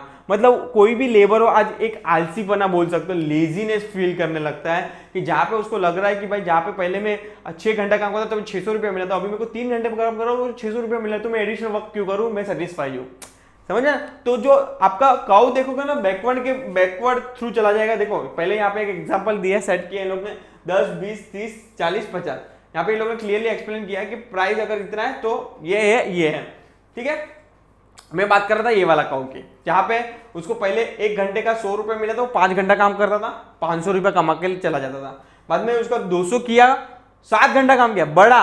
ऑफकोर्स प्राइस भी बढ़ा आज भी बढ़े उसके। चौदह सौ कमाए। बाद में उसका पर आवर देखो, तीन सौ कर दिया। तो भाई ने क्या कर दिया?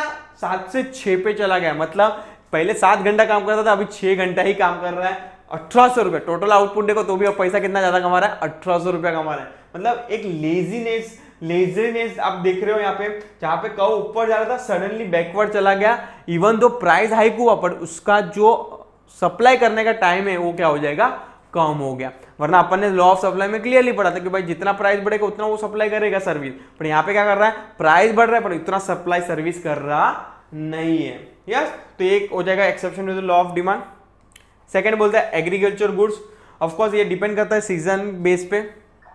कि जहाँ पे अपन देखते हैं कि भाई आ, कोई गुड्स सीज़न पे उसका प्राइस है। बट नॉन सीज़न की अगर मैं बात करूँ इवन दो सप्लाई उसकी ज़्यादा है डिमांड उसकी ज़्यादा है तो भी उसकी प्राइस कोई भी हो, उसकी सप्लाई इतना इंपैक्ट नहीं करती है। देखो, जैसे कि फॉर एग्जांपल सर नहीं समझ में आप थोड़ा एक्सप्लेन करो। देखो क्या लिखा तो law of supply does not apply to the agriculture goods as they are produce in a specific season and their production depend on the weather condition due to the unfavorable change in the weather, if the agriculture production is low the supply cannot be increased even at a higher price. Suppose कि, for example, यहाँ पे इन लोग ने बहुत simple example form में लिखा कि पहले तो एग्रीकल्चर गुड्स पे एप्लीकेबल इसलिए नहीं बोला लॉ ऑफ़ सप्लाई क्योंकि वो डिपेंड करता है वेदर पे। अगर सपोज़ कि फॉर एग्ज़ाम्पल वेदर खराब रहा वेदर क्या रहा? खराब रहा। भले आप एक, पहले सपोज़ कि फॉर एग्ज़ाम्पल एक के जी वीट का चालीस रुपया था, ठीक है? अगर फॉर एग्ज़ाम्पल गेहूँ वीट कंडीशन जो जी वेदर कंडीशन अच्छी नहीं रही, फ़सल इतनी अच्छी नहीं हुई। तो जहाँ पे इवन तो आप सौ रुपया भी देने के लिए रेडी है ना कस्टमर पर आप लाओगे कहाँ से वीट अगर सपोज़ की फॉर एग्जांपल इतनी फ़सल हुई नहीं तो आप वीट कहाँ से लाओगे? कस्टमर के वांट को कैसे सेटिस्फाई करोगे? इवन तो वो हाई प्राइस दे रहा है तो भी। वरना अपन ने क्या क्या पढ़ा पढ़ा था कि अगर सपोज़ की फॉर एग्ज़ाम्पल प्राइस बढ़ेगा, देखो चालीस से सौ रुपया हो रहा है पर केजी प्राइस देखो साठ रुपए का जंप है ऑलमोस्ट डबल से भी ज़्यादा। तो भी प्रोड्यूसर ज़्यादा सप्लाई नहीं कर पाएगा, क्योंकि क्योंकि फ़सल इतनी हुई ही नहीं है मार्केट में कि भाई स्टॉक है ही नहीं इतना कि सप्लाई क्या कर, अपन पूरा कर सके। तो ये, यही बोल रहा है due to the unfavourable change in weather condition if the agriculture production is low अपना एग्रीकल्चर प्रोडक्शन क्या है? लो है मतलब कम है इन शॉर्ट त्यार supply can not be increase even at a high price मतलब यहाँ पे बल्ले बल्ले नहीं कर रहा हूँ। मैं तुम लोग ये बोल रहा हूँ कि सौ रुपया भी हो गया तो भी उसकी सप्लाई इंक्रीज नहीं होगी क्योंकि उसके प्रोडक्शन में, उसके खेती में, या तो फिर उसके स्टॉक में इन्वेंट्री में वीट है ही नहीं तो क्या सप्लाई करेगा? बाबा जी का टुल्लू, समझ में आया? ठीक है? Next urgent need for cash, अगर कोई सप्लायर को अर्जेंट में कैश की ज़रूरत है तो वो क्या करेगा? कम प्राइस में भी क्या करेगा? गुड्स निकाल देगा, क्योंकि उसको हार्ड कैश की क्या है? ज़रूरत है। वरना लॉ क्या पड़ा था अपन ने? सप्लायर तभी सेल करेगा, ज़्यादा जब भी पैसा बढ़ेगा प्राइस बढ़ेगा, तभी बढ़ेगा ये वाले सीनियर में क्या होगा? अगर वो सप्लायर को पैसे की अर्जेंट नीड है तो भी वो कम प्राइस में भी क्या करेगा? सप्लाई कर देगा। Next perishable goods of course perishable goods मतलब जो गुड्स बिगड़ जाने वाला है। तो वो कम प्राइस पे भी क्या करेगा? सेल कर देगा कि भाई, ज़्यादा लॉस ना हो मुझे। और लास्ट है रेयर गुड्स रेयर गुड्स से कोई फ़र्क नहीं पड़ता आपके सप्लाई पे। वो प्राइस बढ़े कम हो, उसकी सप्लाई इतना ही इतना ही रहेगी। मतलब उतना, उसको अब चेंज नहीं हो जाएगा in short rare goods rare goods ही होता है। मतलब वो एक, देखते हैं ना अपन ओल्ड कॉइन हो गया ओल्ड पेंटिंग्स हो गई रेयर गुड्स के अंदर काउंट होता है। तो वो सभी चीज़, सभी लोग नहीं लेते हैं। भले उसका प्राइस बढ़े कि कम है, उसकी डिमांड पे कोई सप्लाई पे कोई इतना इंपैक्ट पड़ता नहीं है। तो ये हो जाएगा exception to the law of supply बाद में आते हैं। उम्मीद करता हूँ तुम लोग को समझ में आया। If you still doubt regarding the any question please मुझे बिंदास कमेंट सेक्शन में डाल दे, वरना मुझे सपना नहीं आएगा क्योंकि मेरा बच्चा उधर अंधेरी में बैठा है, उसको ये डाउट है, या तो वो बच्चा मेरा विरार में बैठा है, उसको ये डाउट है। जब तक आप कमेंट्स नहीं लिखोगे, तब तक मुझे नहीं समझ में आएगा। इसलिए आपको कमेंट्स लिखना ज़रूरी है। जो भी नहीं समझ में आ रहा बिंदास लिखो। और हाँ एक इंपॉर्टेंट चीज़ भूल देना, भूल गया यहाँ पे, जो है इंपॉर्टेंट क्वेश्चन जो है सप्लाई ऑफ़ लेबर बहुत बार इन लोग ने चार चार मार्क के लिए पूछा है इन लोग ने। चार चार मार्क के लिए पूछा है तो प्लीज़ बच्चे लोग डायरेक्ट डायरेक्ट क्वेश्चन आया supply of labour please explain क्योंकि वो लोग उम्मीद करते हैं कि आप क्या करो डायग्राम ड्रॉ करो, ये जो लेजर टाइम जो दिख रहा है ना बैकवर्ड बैकवर्ड बैंडिंग का उन लोग क्या कर रहे हैं? उम्मीद करते हैं कि ये चार मार्क के अंदर आप ये ड्रॉ करके आओ विथ टेबल समझ में आ रहा बता दिया, एक इंपॉर्टेंट चीज़ निकल गया था कंसेप्ट तुमको बता दिया। ठीक है? चलो, आ जाते हैं नेक्स्ट कंसेप्ट पे variation of supply and change in supply ये already variation in demand and change in demand पड़ा था, वैसा ही टाइप का है, कुछ चेंज नहीं है इसमें। वेरिएशन इन सप्लाई क्या बोलते हैं? कि यहाँ पे मेरा जो फैक्टर होगा वो प्राइस ही होगा, जो डिमांड में भी बोल रहा था कि जो फैक्टर होगा मेरा कौन सा होगा? प्राइस होगा। अगर प्राइस ऊपर नीचे हुई तो ही मेरी सप्लाई चेंज होगी। सपोज़ कि फॉर एग्ज़ाम्पल वेरिएशन के अंदर दो कंसेप्ट आता है। पहला हो जाएगा एक्सपेंशन ऑफ़ सप्लाई और दूसरा हो जाएगा कॉन्ट्रेक्शन ऑफ़ सप्लाई एक्सपांड तभी हो सकती सप्लाई जब भी प्राइस क्या होगी? हाइक होगी। ये तो जनरल लॉ बोलता है किसका? सप्लाई का। कि प्राइस बढ़ेगी तो ही सप्लाई बढ़ेगी। Is nothing but expansion of supply अगर कॉन्ट्रेक्शन ऑफ़ सप्लाई मतलब कम कभी होगी, जब भी प्राइस कम होगा तो हो जाएगा contraction of supply one second समझा तो क्या बोलता है? वेरिएशन सप्लाई किस पे फोकस करता है? खाली only only only only only price पे फोकस करता है कि अगर मेरा प्राइस ऊपर नीचे हुआ तो ही मैं वेरिएशन ऑफ़ सप्लाई कहलाऊँगा अदरवाइज़ नहीं कहलाऊँगा। ठीक है? पहला ये हो गया। मतलब other factor remain constant price ही ऊपर नीचे होगी। ये वेरिएशन ऑफ़ सप्लाई बोलता है। अभी उसके अंदर दो कॉन्सेप्ट आ जाता है expansion of supply and contraction of supply expansion of supply तभी कहलाएगी जब भी प्राइस क्या होगी, बढ़ेगी और मेरी सप्लाई बढ़ेगी तो एक्सपेंशन ऑफ़ सप्लाई में बोलूँगा। अगर मेरी प्राइस कम हुई सप्लाई कम करूँगा is nothing but contraction of supply जो हिंदी में बोलो बच्चे लोग, मेरे प्यारे बोले बच्चे लोग, वही इंग्लिश में यहाँ पे लिखा है तो प्लीज़ पढ़ लेना। नेक्स्ट आ जाएगा अपना चेंज इन सप्लाई के अंदर। उसके अंदर, अभी चेंज इन सप्लाई क्या बोलता है? कि यहाँ पे प्राइस कांस्टेंट रहेगी अदर फैक्टर रिमेन चेंज क्या बोलता है सप्लाई चेंज इन सप्लाई जो डिमांड में भी बोलता था, कि अदर फैक्टर मेरे क्या हो गए चेंज हो गए बट मेरा प्राइस क्या हो जाएगा? सॉरी यस यस मैं कंफ्यूज हो गया था। यहाँ पे क्या बोले, बोलो? चेंज इन सप्लाई में क्या होगा कि आपके अदर फैक्टर क्या होंगे? कांस्टेंट हो जाएँगे अदर फैक्टर क्या हो जाएँगे? चेंज हो जाएगा प्राइस रिमेन कांस्टेंट हो जाएगा। तो मेरा क्या कहलाएगा? चेंज इन सप्लाई कहलाएगा। देखो क्या लिखा when other factor change but price remain constant मेरा प्राइस क्या है बॉस सेम रहेगा बट मेरे अदर फैक्टर क्या होगा? चेंज हो गए तो मैं क्या कहलाऊँगा? Change in supply कहलाऊँगा। ऊपर क्या पड़ा था? वेरिएशन ऑफ़ सप्लाई में। जी price remain constant other factor क्या हो गया sorry price remain change other factor मेरे क्या हो जाएगा? कांस्टेंट हो जाएगा तो मैं क्या कहलाऊँगा? Variation in supply कहलाऊँगा। बहुत कंफ्यूजन हो रहा है कंफ्यूजन नहीं क्लियर करना है, वापस से मैं एक्सप्लेन कर रहा हूँ। पहले तो मैं एक्सप्लेन करता हूँ वेरिएशन इन सप्लाई क्या होता है? चेंज इन सप्लाई का वेरिएशन इन सप्लाई में अपन क्या पढ़ा था? कि मेरा प्राइस एक्टर एक ही फैक्टर है जो जो होगा चेंज अदर फैक्टर कॉन्स्टेंट रहेगा। चेंज इन सप्लाई में क्या बोला? चेंज इन अदर फैक्टर क्या होगा मेरे चेंज हो गए price remain constant is but change in supply अभी मैं बात करता हूँ वेरिएशन के अंदर वन सेकेंड बात करूँ, उसमें दो चीज़ें expansion and contraction expansion of supply तभी होगी जब भी मेरी प्राइस बढ़ेगी तो ही एक्सपांड होगी जब भी प्राइस कम होगी, तभी कॉन्ट्रेक्शन होगी। अभी बात करता हूँ चेंज इन सप्लाई में जब भी मेरे अदर फैक्टर ऊपर नीचे हो रहे हैं मतलब फेवरेबल अनफेवरेबल बोल सकते हो बट प्राइस क्या है? मेरा कांस्टेंट है। Yes is nothing but change in supply तो अगर सपोज़ इसके अंदर मैं बात करूँ, दो पॉइंट्स आते हैं increasing in supply and decreasing supply increasing increasing supply तभी होगा जब भी मेरे other factor for example other factor कौन से होंगे? प्राइस के अलावा income government policy infrastructure technology income मतलब गवर्नमेंट अच्छा बोल दिया दोनों इनकम हो गया गवर्नमेंट पॉलिसी हो गया इंफ्रास्ट्रक्चर हो गया तो अगर सपोज़ कि ये सब फैक्टर्स मेरे, ये फैक्टर्स अभी फेवरेबल हो गए, ये सब अगर फेवरेबल हुआ तो मेरा सप्लाई क्या होगा? इंक्रीज होगा is but increase in supply suppose कि ये सब फैक्टर मेरे, जैसे कि मैं बात किया अभी इनकम हो गई इंफ्रास्ट्रक्चर हो गया टेक्नोलॉजीज़ हो गया। अगर ये सब चीज़ें मेरे अनफेवरेबल में जाता है अनफेवरेबल में जाता है तो मेरा सप्लाई क्या हो जाएगा? डिक्रीज हो जाएगा। इस decreasing in supply yes decreasing in supply refers to fall in supply of the given commodity due to the unfavourable change in other factors such is the price price of the input increasing in tax rate हो गया technologies हो गया। तो is is nothing but other factor तो ये हो जाएगा आपका चेंज इन सप्लाई यस के अंदर दो चीज़ें पढ़े अपन ने इंक्रीजिंग और डिक्रीजिंग कुछ भी डाउट हो अभी भी कंफ्यूज हो तो डिटेल वीडियोस दिया है मैंने. आई डोंट थिंक इसके अलावा कुछ होना चाहिए डाउट्स क्लियर है ऑब्जेक्टिव के लिए ध्यान रखना और डिफरेंट बिटवीन के लिए ध्यान रखना. यस चलो आगे आ, आगे आ जाते हैं जो यहाँ पे आपको एक्सप्लेन किया है कॉस्ट के बारे में और रेवेन्यू के बारे में. तीन कंसेप्ट यहाँ पे एक्सप्लेन किया है. एक टोटल कॉस्ट क्या होता है? एवरेज कॉस्ट क्या होता है? और मार्जिनल कॉस्ट क्या होता है? रेवेन्यू के अंदर भी तीन कंसेप्ट इन लोगों ने एक्सप्लेन किया है। टोटल रेवेन्यू क्या होता है? एवरेज रेवेन्यू क्या होता है? और मार्जिनल रेवेन्यू क्या होता है? पहले देखते हैं टोटल कॉस्ट की बात करूँ।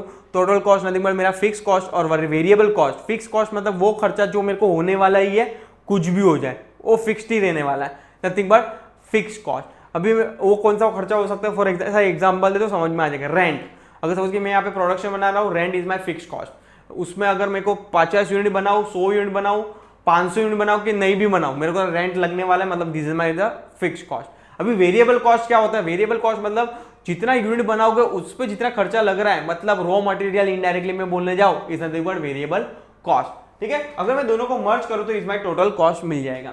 अगर मुझे एवरेज कॉस्ट निकालना है कि मुझे एक मार्कर बनाने के लिए कितना खर्चा लगता है तो मैं क्या करूँगा? Total cost divide by total quantity suppose कि फॉर एग्जांपल सौ रुपया खर्चा लग रहा है, सौ रुपया total cost divide by quantity है टोटल क्वांटिटी दस। तो कितना निकल के आएगा? दस रुपया per quantity is nothing but average cost अभी मार्जिनल कॉस्ट का मतलब क्या होता है? कि भाई, एक यूनिट बनने के बाद मुझे एक्स्ट्रा यूनिट बनाने के लिए कितना खर्चा लगता है? Is nothing but marginal cost तो यहाँ पे आ जाएगा total cost nothing but total cost के बाद जो एक यूनिट बनती है is nothing but marginal cost आ जाते हैं रेवेन्यू की तरफ़ रेवेन्यू नथिंग बट इनकम की तरफ़. अभी टोटल रेवेन्यू क्या होता है? अब जितना प्राइस है, उसके साथ मैं क्वांटिटी को इंटू कर दूँगा, मेरा टोटल रेवेन्यू मालूम जाएगा मुझे कितना टर्न ओवर हुआ है यस तो total revenue price into quantity is nothing but total revenue अगर मुझे एक रेवेन्यू जानना है कि एक मार्केट के पीछे मैं कितना कमा रहा हूँ तो total quantity total revenue divide by मैं क्या करूँगा? टोटल क्वांटिटी करूँगा तो मुझे मालूम की जाएगा कि भाई मुझे एक क्वांटिटी के पीछे इतना रेवेन्यू मिला है. सपोज़ कि फॉर एग्ज़ाम्पल टोटल रेवेन्यू मेरा हज़ार रुपया. समझ में और मैं क्वांटिटी डिवाइड कर रहा हूँ फॉर एग्जांपल दस से डिवाइड कर रहा हूँ टेन से। तो पर क्वांटिटी कितना हुआ? सौ रुपया मैंने कमाया। यस और लास्ट है मार्जिनल रेवेन्यू मतलब एक्स्ट्रा यूनिट बेच के आप कितना कमा रहे हो is nothing but marginal utility अरे मार्जिनल यूटिलिटी सॉरी क्या? मार्जिनल रेवेन्यू यस तो total revenue minus extra unit कमाने के बाद एक्स्ट्रा यूनिट बेचने के बाद सॉरी कितना यू कमा रहे हो, उसको मैं माइनस करूँगा तो मेरा, मेरे को क्या मिल जाएगा? मार्जिनल रेवेन्यू मिल जाएगा सो आई थिंक सो यहाँ पे अपना चैप्टर क्या हो जाता है? यस कंक्लूड हो जाता है। आई होप तुम लोग को समझ में आ रहेगा। को अगर कुछ भी डाउट है regarding this chapter number four बिंदास कमेंट सेक्शन में डाल के और नेक्स्ट वीडियो के लिए टिल टाइम अपडेट रहिए। Thank you so much hello student welcome back उम्मीद करता हूँ यहाँ पे सब लोग ठीक हो गए।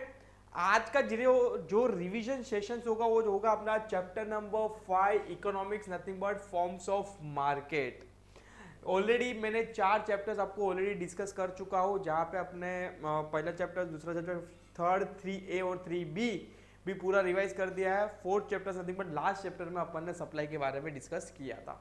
तो जिन बच्चों ने जो प्रीवियस वाले वीडियोस को नहीं देखा ना रिवीजन सेशन वाला तो प्लीज़ बच्चे लोग, ये वीडियोस आपके लिए बना रहा हूँ और आपके फ्रेंड्स के लिए बना रहा हूँ। तो प्लीज़ बच्चे लोग चैनल को क्या कीजिए सब्सक्राइब कीजिए और और और अगर आपने अभी भी चैनल को शेयर नहीं किया है वीडियो को शेयर नहीं किया है तो प्लीज़ बच्चे लोग चैनल को क्या कीजिए शेयर कर दीजिए वीडियोस को क्या कर दीजिए शेयर कर दीजिए। कोई अगर ढूंढ रहा है कि भाई फटाफट रिवीजन सेशन जहाँ पे चल रहा है कि भाई थर्टी फोर्टी मिनट्स में मेरे को चैप्टर रिवाइज करना है तो प्लीज़ किसकी राह देख रहे हो? अभी भी टाइम है। प्लीज़ बच्चे लोग ऑलरेडी अभी भी डिले नहीं हुए। बट हाँ अगर अभी भी पाँच दस दिन चले गए तो फिर आप डिले हो जाओगे। तो प्लीज़ बच्चे लोग, अगर स्टडी चालू नहीं किया तो फ़र्स्ट ऑफ़ ऑल स्टडी को अभी सीरियस ले लीजिए। जो भी आपका मज़ाक, मस्ती टाइम वेस्ट करना, वो सब सेट असाइड करके आपकी प्रायोरिटी अभी क्या होनी चाहिए? एग्ज़ाम को लेके होनी चाहिए। नेक्स्ट मंथ में आपकी क्या है? बोर्ड एग्ज़ाम से। ठीक है? चलो without time waste let start chapter number five forms of market देखते हैं यहाँ पे क्या क्या चीज़ें दिया है। और एग्ज़ाम के पॉइंट ऑफ़ व्यू से अगर मैं बात करूँ नो डाउट इंपॉर्टेंट क्वेश्चन यहाँ से निकल के आता ही है परफेक्ट कॉम्पिटिशन और इन परफेक्ट कॉम्पिटिशन के बारे में। अभी परफेक्ट कंपटीशन के भी फीचर्स पूछ सकते हैं और इन परफेक्ट कंपटीशन के अंदर बात करूँ तो there is a three force क्या है? मार्केट है अंदर। ठीक है? चलो लेट्स स्टार्ट यहाँ से डिस्कस करते हैं यहाँ पे। देखते हो, यहाँ पे पहले चार्ट जो दिया है, पहले तो मार्केट क्या होता है? I hope you know very well कि मार्केट नथिंग बट वो प्लेस जहाँ पे बायर और सेलर क्या करते हैं? टुगेदर मिलके क्या करते हैं? बाइंग एंड सेलिंग करते हैं गुड्स की। और in exchange of money barter वाला ट्रांजेक्शन अभी तो चल चलता नहीं है बट हाँ अगर मैं बात करूँ अभी भी विलेज विलेज एरिया की, वहाँ पे अभी भी चलता है बट यहाँ पे अगर मैं मेट्रो सिटी की बात करूँ तो बार्टर ट्रांजेक्शन अभी ऑलमोस्ट क्या हो गया, खत्म हो चुका है। यहाँ पे आपको अगर गुड्स चाहिए तो आपको उसके बदले में क्या देना पड़ेगा? कैश देना पड़ेगा। क्लासिफिकेशन ऑफ़ मार्केट की अगर मैं बात करूँ classification of market on the basis of अगर मैं प्लेस की बात करूँ तो लोकल नेशनल और इंटरनेशनल लोकल मतलब अपने आजू बाजू वाला।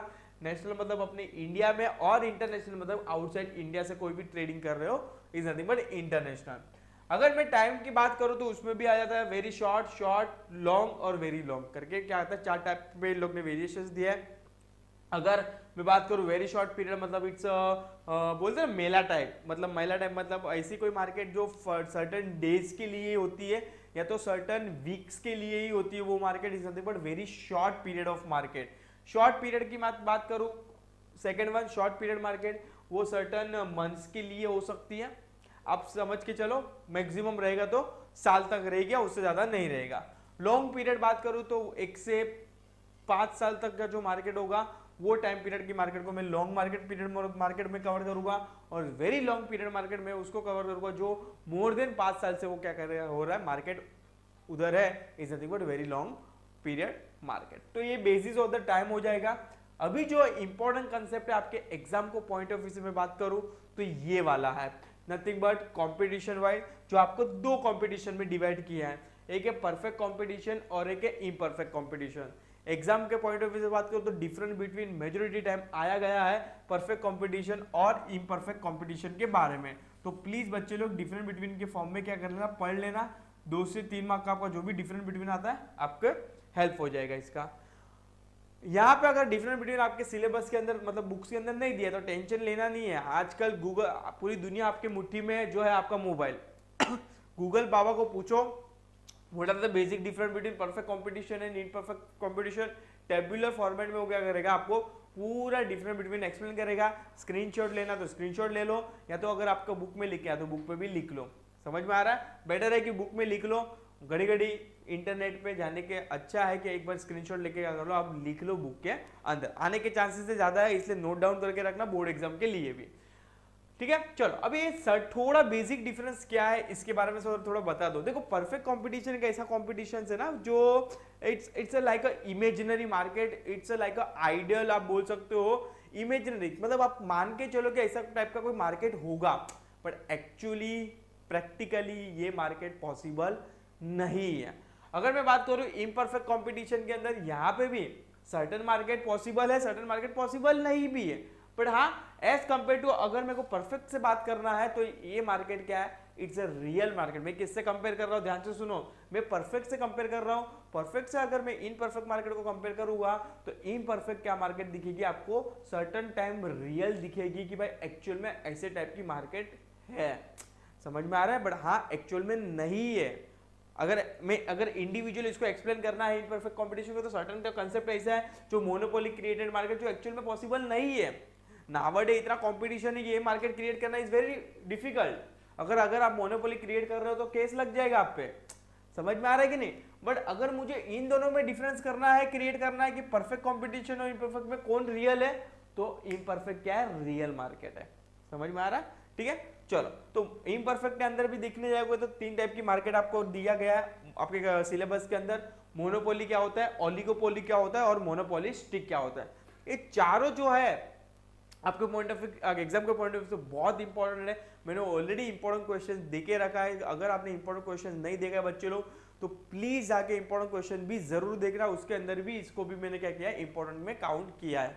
ठीक है? चलो let start with the perfect competition के साथ चालू करते हैं। परफेक्ट कॉम्पिटिशन का पहले डेफिनेशन मीनिंग देखते क्या है? Perfect competition is a ideal and imaginary concept of market rather than actual market जो मैंने तुम लोगों को जस्ट बोला सेम चीज़ें यहाँ पे रिपीट की है। According to the Mrs Joan Robinson perfect ये ये सब चीज़ें ध्यान में रखना, क्योंकि ऑब्जेक्टिव में मेनी टाइम्स आता है ये सब चीज़ें।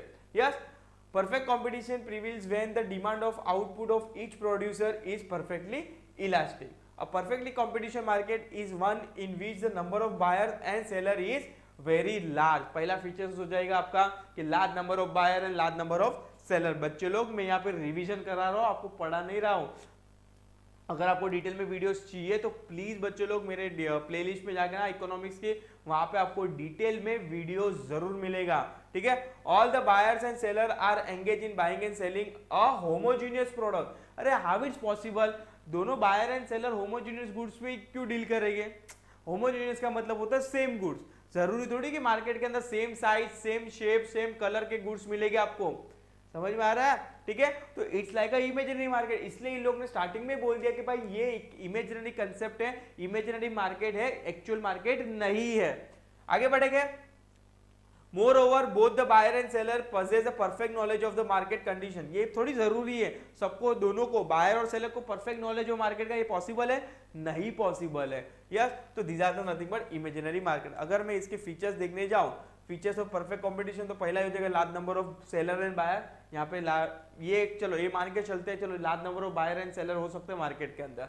सेकंड जैसे जैसे अपन आगे बढ़ेगा, आपको लगेगा कि ये पॉसिबल नहीं है। सेकंड देखो सेकंड क्या लिखा है? होमोजीनियस प्रोडक्ट होमोजीनियस प्रोडक्ट का मतलब होता है same size same design same colour भाई, सभी प्रोडक्ट का अपना अपना क्या है? शेप है, सब अपने अपने प्रोडक्ट का क्या है? कलर है साइज़ है। तो this is a not actually possible तो ये क्या हो जाएगा? एक फीचर हो जाएगा जो एक्चुअल में पॉसिबल नहीं है, इसलिए इसको इमेजिनरी मार्केट काउंट किया है। होमोजीनियस का मतलब होता है सेम हेट्रोजीनियस का मतलब होता है अलग अलग ठीक है? नेक्स्ट आ जाएगा free entry and exit of course market है भाई कंपटीशन से कोई भी आ जा सकता है किधर भी मार्केट के अंदर। नेक्स्ट है सिंगल प्राइस ये एक्चुअल में पॉसिबल नहीं है कि कोई भी गुड्स का, सब सॉरी सभी गुड्स का प्राइस एक ही तरह का हो। प्रैक्टिकली पॉसिबल नहीं है, इसलिए इसको इमेजिनरी मार्केट काउंट किया गया है। Next perfect knowledge of the market भाई पॉसिबल नहीं है कि बायर और सेलर को दोनों को परफेक्ट नॉलेज हो कोई पर्टिकुलर मार्केट का और कोई पर्टिकुलर प्रोडक्ट का। Next perfect mobility of factor of production ज़रूरी नहीं कि factor of production suppose for example land और labour is one of the example of the factor of production तो ज़रूरी नहीं कि जोग्राफिकली लैंड और लैंड और लेबर दोनों जोग्राफिकली साथ में चलेंगे। It's not actually possible that's why it's count as a imaginary market next absence of the transport cost अरे भाई, कोई भी चीज़ अगर आपको कुछ डिलीवरी करनी है अगर ट्रांसपोर्ट एक जगह से दूसरी जगह लेके जाना है तो ऑफकोर्स उसका ट्रांसपोर्ट कॉस्ट लगेगा। तो आप ऐसे कैसे बोल सकते हो कि no transport cost absence of transport cost imaginary market yes और नो गवर्नमेंट इंटरवेंशन भाई नावर डे भाई government intervention is very high आप कोई भी ऐसा प्रोडक्ट नहीं बेच सकते मतलब अगर आपको कोई मार्क छोटा सा स्टॉल भी ओपन करना है तो now you want to take permission from the government समझ में आ रहा है कि नहीं? तो आप ऐसे ही स्टॉल ओपन नहीं कर सकते, मैं बड़े लेवल की बिज़नेस की बात ही नहीं कर रहा हूँ, मैं एक छोटा सा स्टॉल की बात कर रहा हूँ, ठीक है? तो गवर्नमेंट इंटरफेशन है सभी बिज़नेस के अंदर, इसलिए इसको इमेजिनरी मार्केट काउंट किया है तो वन ऑफ़ द फीचर ये हो जाएगा। आगे बढ़ेंगे price determination under the perfect competition कैसे प्राइस कैसे डिटरमाइन होगा सर परफेक्ट कंपटीशन के अंदर? एग्ज़ाम में बहुत बार आया हुआ क्वेश्चन से। उन लोग डायरेक्ट पूछते हैं in term of equilibrium price in term of पूछते हैं please explain please explain perfect competition and please explain the equilibrium price equilibrium price is nothing but वो प्राइस ध्यान से सुनो मैं क्या बोलो बच्चे लोग? इक्विलिब्रियम प्राइस मतलब वो प्राइस जहाँ पे आपका प्राइस आपकी डिमांड आपकी quantity supply one second repeat my statement equilibrium price मतलब वो प्राइस जहाँ पे price quantity demand and quantity supply क्या होगी मैच करेगी। इनडायरेक्टली बोलने जाओ, वो प्राइस पे जहाँ पे मेरी quantity demand and quantity supply match हो जाएगी, वो प्राइस को मैं कौन सा प्राइस बोलूँगा? इक्विलिब्रियम प्राइस बोलूँगा। तो नथिंग बट यहाँ पे देखो क्या लिखा है। कहा गया अपन? यहाँ पे रहा।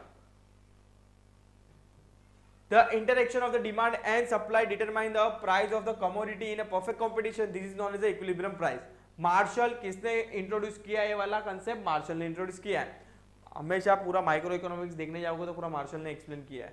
Marshall has compared the process of the price determination to cutting the cloth with the pair of scissors just as a both the blade of the scissor are required to cut the cloth both the force of demand and supply are essential to determine the equilibrium price in the market Marshall ने बहुत simple सा example दिया कि भाई कोई scissor को अरे कोई क्लोथ को कट करना है तो सीजर चाहिए और सीजर के दोनों पार्ट को साथ में आएँगे। मतलब साथ में आएँगे तब भी क्या होगी? सीजर आगे चलेगी और क्लोथ कटिंग होगा। सेम लाइक like, अगर प्राइस डिटरमाइन करना है मुझे परफेक्ट कंपटीशन के अंदर तो मुझे दोनों चीज़ कंसिडर करनी पड़ेगी नथिंग बट इक्विलिब्रियम के प्राइस के लिए quantity demand and quantity supply this explain with the help of the following table यहाँ पे देखो प्राइस दिया है एप्पल का 100 200 300 400 500 जहाँ पे आपको खुद को मालूम है बेसिक फंडामेंटल क्लियर है प्राइस ज़्यादा तो क्वांटिटी डिमांड कम। जैसे जैसे प्राइस बढ़ेगा, सौ रुपया था, पाँच हज़ार। दो सौ, चार हज़ार।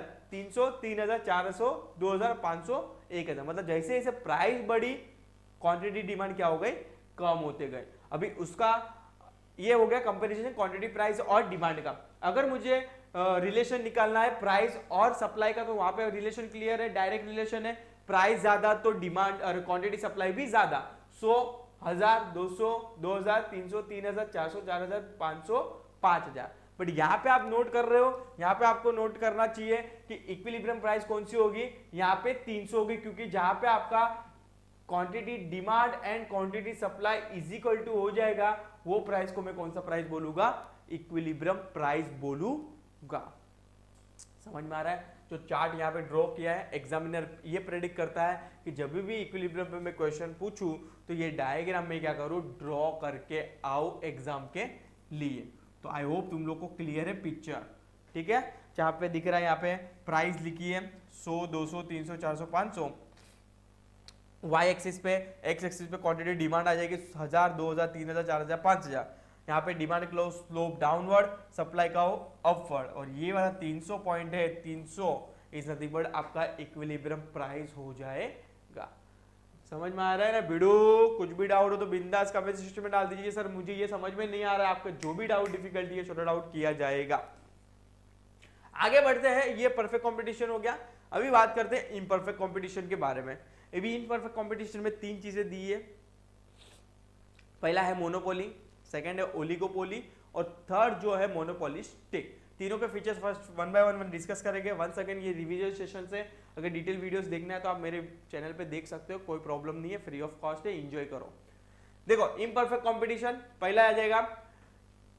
Imperfect competition is a type of market showing the sum but not all the features of competitive market following are the sum of the type of imperfect competition. Monopoly अभी मोनोपोली का मतलब क्या होता है? पहले तो दो टुकड़ों में डिवाइड करो। मोनो का मतलब होता है सिंगल पोली का मतलब होता है सेलर ठीक है? मतलब दोनों को अगर कंबाइन में पढ़ू तो अभी क्या होगा? मोनोपोली का सिंगल सेलर तो यहाँ पे सिंगल सेलर है मोनोपोली क्रिएट अपन बोलते हैं जनरल टर्म में कि भाई तूने मोनोपोली क्रिएट करके रखा है क्या? मतलब खुद का ही सब चार्ज कर रहा है क्या? मतलब तू ही जो बोलेगा वो थोड़ी चलेगा। तू बोलेगा कि भाई ये प्रोडक्ट का पाओ सौ रुपया सडनली दूसरे दिन बोलेगा ये प्रोडक्ट का पाओ पाँच सौ रुपया, ऐसा थोड़ी चलेगा। समझ में आ रहा है? पर अगर सपोज़ कि मार्केट में ऐसा क्रिएट होता है तो गवर्नमेंट इनिशिएट ज़रूर लेती है बिकॉज़ नावर डे इट्स ओपन मार्केट आप ओपन मार्केट में कंपटीशन क्रिएट नहीं कर सकते, उसके ऊपर पूरा लॉ बना दिया है गवर्नमेंट ने। यस चलो मोनोपोली का मतलब मीनिंग तो क्लियर है, यहाँ पे आ जाएगा उसके फीचर्स सिंगल सेलर जो एक्चुअल में पॉसिबल नहीं है। नो क्लोज सब्सिट्यूट इसलिए तो मोनोपोली है। अगर क्लोज सब्सिट्यूट होता तो मोनोपोली क्रिएट ही नहीं होती। समझ में आ रहा है कि नहीं? ठीक है? Next barriers to entry of course monopoly है, इसलिए तो दूसरे को घुसने नहीं दे रहा है मार्केट में। तो ये चलेगा नहीं। Complete control over the market supply of course monopoly है तो पूरा कंट्रोल किसका होगा? वो बंदे का होगा। मथिंग बट वो जो प्राइस चार्ज करेगा, वही सब चलेगा। मतलब इट्स अ प्राइस मेकर इसको क्या बोलेंगे? नेक्स्ट आपका फीचर जाएगा प्राइस मेकर मतलब सपोज़ कि फॉर एग्ज़ाम्पल मैं कोई बुक्स बेच रहा हूँ, और वो बुक्स किधर कोई बना ही नहीं रहा है। दूर दूर तक उसका कॉम्पिटिटर नहीं है। मैं वही बुक्स या तो पाँच सौ रुपए भी चार्ज कर सकता हूँ, चार सौ भी करूँ, मेरा मन हो तो हज़ार भी करूँ और मेरा कोई रिलेटिव है उसको फ्री में भी दू। मतलब मैंने सेमी बुक्स को सेमी बुक्स को, एक को चार सौ में दिया, एक को पाँच सौ में दिया, एक को फ्री में दिया। तो ये पॉसिबल तभी होगा जब भी मोनोपोली रहेगी तभी अदरवाइज़ पॉसिबल नहीं होगी। तो ये हो जाएगा प्राइस डिस्क्रिमिनेशन पर प्राइस अपनी मर्ज़ी से चार्ज करेगा, किससे ज़्यादा करेगा, किससे कम करेगा, किससे फ्री में दे देगा। यस और लास्ट दिया है no distinction between firm and industry as per the अगर मोनोपोली को मेरे को डिफाइन करना है तो मेरे हिसाब से फॉर्म मतलब छोटा छोटा शॉप बोल सकते हो छोटा छोटी इंडस्ट्री बोल सकते हो। और इंडस्ट्री बड़ी इंडस्ट्री की बात कर रहा हूँ यहाँ पे, दोनों क्या है सेम है, क्योंकि प्रोड्यूसर भी खुद ही है और सेलर भी खुद ही है। अब monopolist is the sole seller and producer of the product यहाँ पे बच्चे लोग कंफ्यूज मत हो जाना कि मोनोपोली पे और मोनोपोलिस्टिक पे दोनों बहुत डिफरेंट है। बहुत डिफरेंट है दोनों कंसेप्ट वाइज भी और आंसर वाइज भी। तो एग्ज़ाम में ध्यान से देखना कि मुझे किसके फीचर्स पूछे हैं। मोनोपोली के पूछे हैं कि मोनोपोली स्टिक के पूछे यस चलो, आगे आ जाते हैं। टाइप ऑफ़ मोनोपोली की अगर मैं बात करूँ प्राइवेट मोनोपोली मतलब खुद का ही सब चलाना। नथिंग बट अगर यहाँ पे ग्रुप एग्ज़ाम्पल दिया Tata group is nothing but खुद का ही है सब। ठीक है? नेक्स्ट आ जाएगा आपका public monopoly is nothing but government जिसके पास पूरा कंट्रोल किसके पास है? गवर्नमेंट के पास। वन ऑफ़ द एग्जांपल आपके आग के सामने ही है रेलवे पूरा कंट्रोल किसके पास है? रेलवे के पास. रेलवे के ऑप्शन में कोई कॉम्पिटिटर है? नहीं है. या लीगल मोनोपोली वो मोनोपोली मतलब खुद का ही सब ट्रेडमार्क एंड ऑल है. खुद की कुछ ब्रांड वैल्यू है. इतना नथिंग बट अमूल की बात करूँ Puma Nike next natural monopoly वैसा मोनोपोली है कि जो सबसे ज़्यादा डिपेंड करेगा नेचर कंडीशन पे बट सबसे ज़्यादा वही स्टेट में या तो वही कंट्री में सबसे ज़्यादा होगा। जैसे कि फॉर एग्जांपल एक एग्जांपल तो यहाँ पे भी दिया आई थिंक सो वीट का, जैसे कि पंजाब में सबसे ज़्यादा वीट होते हैं।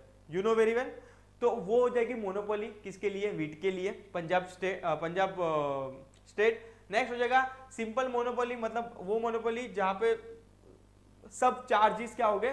सब इक्वल हो गए। देखो इन सिंपल मोनोपोली सेलर और firm charge the uniform price for the its product to all the buyer next है डिस्क्रिमिनेटिंग मोनोपोली मतलब यहाँ पे आ, अपनी मर्ज़ी से प्राइस लेना इन शॉर्ट डिस्क्रिमिनेशन जैसे कि डॉक्टर डॉक्टर देखता है बंदा कि भाई वो गाड़ी से उतरा है कि साइकिल से उतरा है कि बाइक से उतरा है। समझ में आ रहा है मैं क्या बोलना चाह रहा अगर वो साइकिल से उतरा तो प्राइस साइकिल के हिसाब से लेगा बाइक से उतरा तो बाइक से हिसाब देगा और मर्सरीज से उतरा तो मर्सरीज के हिसाब से चार्ज करेगा। समझ में आ रहा है कि नहीं? मैं क्या बोलना चाहता हूँ? ठीक है?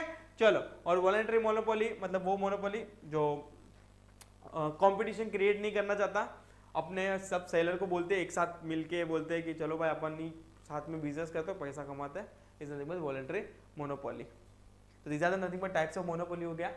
आगे बढ़ेगा बच्चे लोग आई होप तुम लोग को समझ में आ रहा है। अगर नहीं आ रहा है तो बिंदास कमेंट सेक्शन में क्या कर दीजिए? कमेंट डाल दीजिए कि सर मुझे ये समझ में नहीं आ रहा है। बाद में इट्स माई रिस्पॉन्सिबिलिटी कि आपको समझाना है। Yes yes? चलो, आगे बढ़ेंगे। ओलो, ओलिगोपोली ओलिगोपोली। अभी ना, इसको भी बाइफरकेट करना है दो वर्ड में। तो ओली का मतलब होता है फ्यू पोली का मतलब तो मालूम है सेलर यस yes? तो ओलिगोपोली मतलब फ्यू सेलर अब इसके फीचर्स देखेंगे few firms and few sellers interdependent of course suppose कि गिन के मार्केट के अंदर दस ही सेलर है। तो सभी एक दूसरे पे डिपेंड होगा। सर, कैसे? अगर सपोज़ कि एक भी सेलर ने प्राइस बढ़ा दिया या तो कम कर दिया तो बाकी सेलर भी क्या करेंगे? उसकी फॉलो करेंगे कि उससे प्राइस कम कर दिया, अपनों भी कम करना पड़ेगा, वरना सब बायर किसके पास चले जाएगी? उसके पास चले जाएँगे। समझ में आ रहा है? वीडियो में क्या बोल रहा हूँ? ठीक है? तो इंटरडिपेंडेंस है advertisement is very major factor मतलब इसमें बहुत डिपेंड करता है कि आप एडवर्टाइजमेंट कैसे दे रहे हो कस्टमर को, कैसे अट्रैक्ट कर रहे हो और कैसे एग्रेसिव एडवर्टाइजमेंट आप कर रहे हो कि आप पे ट्रस्ट करके बायर्स क्या हो? अट्रैक्ट हो आपके एडवर्टाइजमेंट को देख के और आपसे क्या करें? गुड्स बाय करें। तो एडवर्टाइजमेंट क्योंकि फ्यू सेलर है, आपको खुद को दस ही सेलर है कॉम्पिटिशन दस में ही है। तो आपको जितना हो सके मार्केट को क्या करना है? खींचना है बायर्स को खींचना होगा। ठीक है? तो advertisement is major role entry barriers of course few seller है तो नए को तो आने नहीं देंगे यहाँ पे मार्केट के अंदर. लेक ऑफ़ यूनिफॉर्मिलिटी मतलब सर्टेन टाइम में होता है कि यूनिफॉर्मिलिटी मतलब सिमिलरिटी पॉसिबल नहीं होती है, अपनी अपनी मर्ज़ी से सब क्या करते हैं चार्ज कर लेते. हैं there is a lack of uniformity among the firm in term of their size हाँ यहाँ पे अगर बात करूँ साइज़ की, ज़रूरी नहीं कि सब, जितने भी दस सेलर है, सब बिग सेलर ही हो. कोई छोटा भी हो सकता है, कोई मीडियम साइज़ भी हो सकता है लार्ज साइज़ साइज़ भी हो सकता है. और uncertainty there is a considerable element of uncertainty in this type of market due to the different behaviour pattern rival may joint hands and cooperate or may try to fight each other मतलब ऐसा लग रहा है कि पाँच, दस जन थे, उसमें सात जन ने हाथ मिला लिया और बाकी तीन अपने अपने इंडिविजुअल गेम खेल रहे हैं। ठीक है? तो हो जाएगा ओलिगोपोली और लास्ट हो जाएगा मोनोपोलिस्टिक कॉम्पिटिशन यहाँ पे ध्यान से सुना मोनोपोलिस्टिक कॉम्पिटिशन ये एक ऐसा बोलो मार्केट बोल सकते हो कंपटीशन बोल सकते हो, जो मुझे थोड़ा रियल लगता है। कैसे लगता है? रियल लगता है। देखो मीनिंग देखते हैं इसका। Monopolistic competition is a very realistic in nature sir, आप बोल रहे हो, वैसे छाप रहे हो बुक वाले। नहीं भाई, मैंने ये पढ़ाते आ रहा हूँ, इतने साल से तो सब चीज़ें मालूम है मेरे को। In this market, there are some features of the perfect competition and some features of the monopolistic acting together Professor E.H. Chamberlain coined this concept in his book Theory of Monopolistic Competition which was published in 1933. Exam के लिए ध्यान रखना objective में menu bar पूछा पूछा गया है कि ये कंसेप्ट किसने इंट्रोड्यूस किया किस कौन सी बुक में चैम्बरलिन भाई ने किया था उसकी book theory of monopolistic competition के अंदर according to Chamberlin monopolistic competition refers to the competition among a large number of seller producing close but not perfect substitute यहाँ पे बोला लार्ज नंबर ऑफ़ सेलर है बट सब्सिट्यूट भी goods बना रहे but not exactly perfect yes यहाँ पे देखते हैं वन बाय वन पहला तो है fairly large number of buyer fairly large number of seller product differentiate यहाँ पे प्रोडक्ट का होमोजिनिटी है ही नहीं। सब अपने अपनी मर्ज़ी से, सबका प्रोडक्ट जो भी प्रोडक्ट बनाएँगे, वो क्या होगा? डिफरेंट होगा, जो एक्चुअल में पॉसिबल है। अपन देखते हैं कि मार्केट में सेम गुड्स मिलते हैं? नहीं। सब अपने अपने हिसाब से साइज़ के हिसाब से शेप के हिसाब से, सब अलग अलग गुड्स है। नेक्स्ट हो जाएगा फ्री एंट्री एंड एग्जिट यहाँ पे आप कोई भी आ सकते हैं, कोई भी जा सकते हैं. No restriction selling cost of course यहाँ पे क्लियरली बोला है. जैसे कि परफेक्ट कंपटीशन बोला था नो ट्रांसपोर्ट कॉस्ट अरे भाई ट्रांसपोर्ट कॉस्ट भी लगेगा सेलिंग कॉस्ट भी लगेगा. तो ये देखो रियलिस्टिक है. सब एक्चुअल में पॉसिबल है. इसलिए इसको रियल मार्केट भी बोला गया है किसको? मोनोपोलिस्टिक को. इसलिए monopolistic is a combination of the perfect competition and monopoly next हो जाएगा क्लोज सब्सिट्यूट ऑफकोर्स यहाँ पे मार्केट में आपको क्लोज सब्सिट्यूट भी मिलेगा. Nothing but tea and coffee की बात कर रहा हूँ यहाँ पे. ठीक है? और concept of group under the monopolistic competition Chamberlin introduce the concept of group in place of industry industry means the number of firm producing the identical product मतलब बहुत सारे इंडस्ट्री रहेगी, वो आइडेंटिकल गुड्स बेचती रहेगी बट ग्रुप्स के अंदर एक ही इंडस्ट्री एक डिफरेंट डिफरेंट प्रकार के क्या करेंगे? गुड्स बेचेंगे। जैसे कि देखो यहाँ पे लिखा है group means the number of firm बहुत सारी firm producing the differential product which are closely related for example group firm are producing medicine अपन देखते हैं मेडिसिन डायबिटीज़ की मेडिसिन की बात करूँ तो बहुत सारी इंडस्ट्री है। मतलब बहुत सारी फॉर्म बोल सकते हो, बहुत सारी कंपनी बोल सकते हो सिंपल लाइन में। भले उसका अपन बहुत सारे लेने जाते हैं तो बोलते हैं कि नहीं, ये गोली नहीं है बट वो दूसरी कंपनी की गोली अवेलेबल है बट वो डायबिटीज़ की है। समझ में आ रहा है? तो ये हो जाएगा आपके features of the monopolistic I hope तुम लोग को समझ में आया। अगर आपको अगर कुछ भी डाउट हो कि सर मुझे ये समझ में नहीं आया, ये कंसेप्ट समझ में नहीं आया तो प्लीज़ बच्चे लोग आप कमेंट में ज़रूर लिखिए। आपके कमेंट्स को मैं कभी भी इग्नोर नहीं करता। तो मिलते हैं जल्दी और अभी भी जाते जाते एक रिक्वेस्ट है अगर चैनल को सब्सक्राइब नहीं किया तो प्लीज़ बच्चे लोग चैनल को ज़रूर सब्सक्राइब कीजिए और लाइक कर लीजिए और शेयर कर दीजिए। बहुत इंपॉर्टेंट चीज़ों का जो है शेयर करना है अपने सभी फ्रेंड सर्कल के अंदर, जो भी ट्वेल्थ स्टैंडर्ड में, जो भी ग्रुप्स में आप हो, सभी को क्या कीजिए शेयर कर दीजिए क्योंकि आने वाले जो वीडियोज़ मिलेगा आपको फ्री ऑफ़ कॉस्ट मिलेंगे और बहुत इंपॉर्टेंट वीडियोज़ मिलेगा। तो सबको बेनिफिट होना चाहिए। मेरा मेन मोटो यही है, जब भी भी मेरे चैनल को चालू किया था, तब से मेरा मेन मोटो यही रहा है कि सबको बेनिफिट मिलना चाहिए। फ्री एजुकेशन का। ठीक है? तो मिलता है टिल टाइम प्लीज़ चैनल के लिए अपडेट रहिए. Thank you so much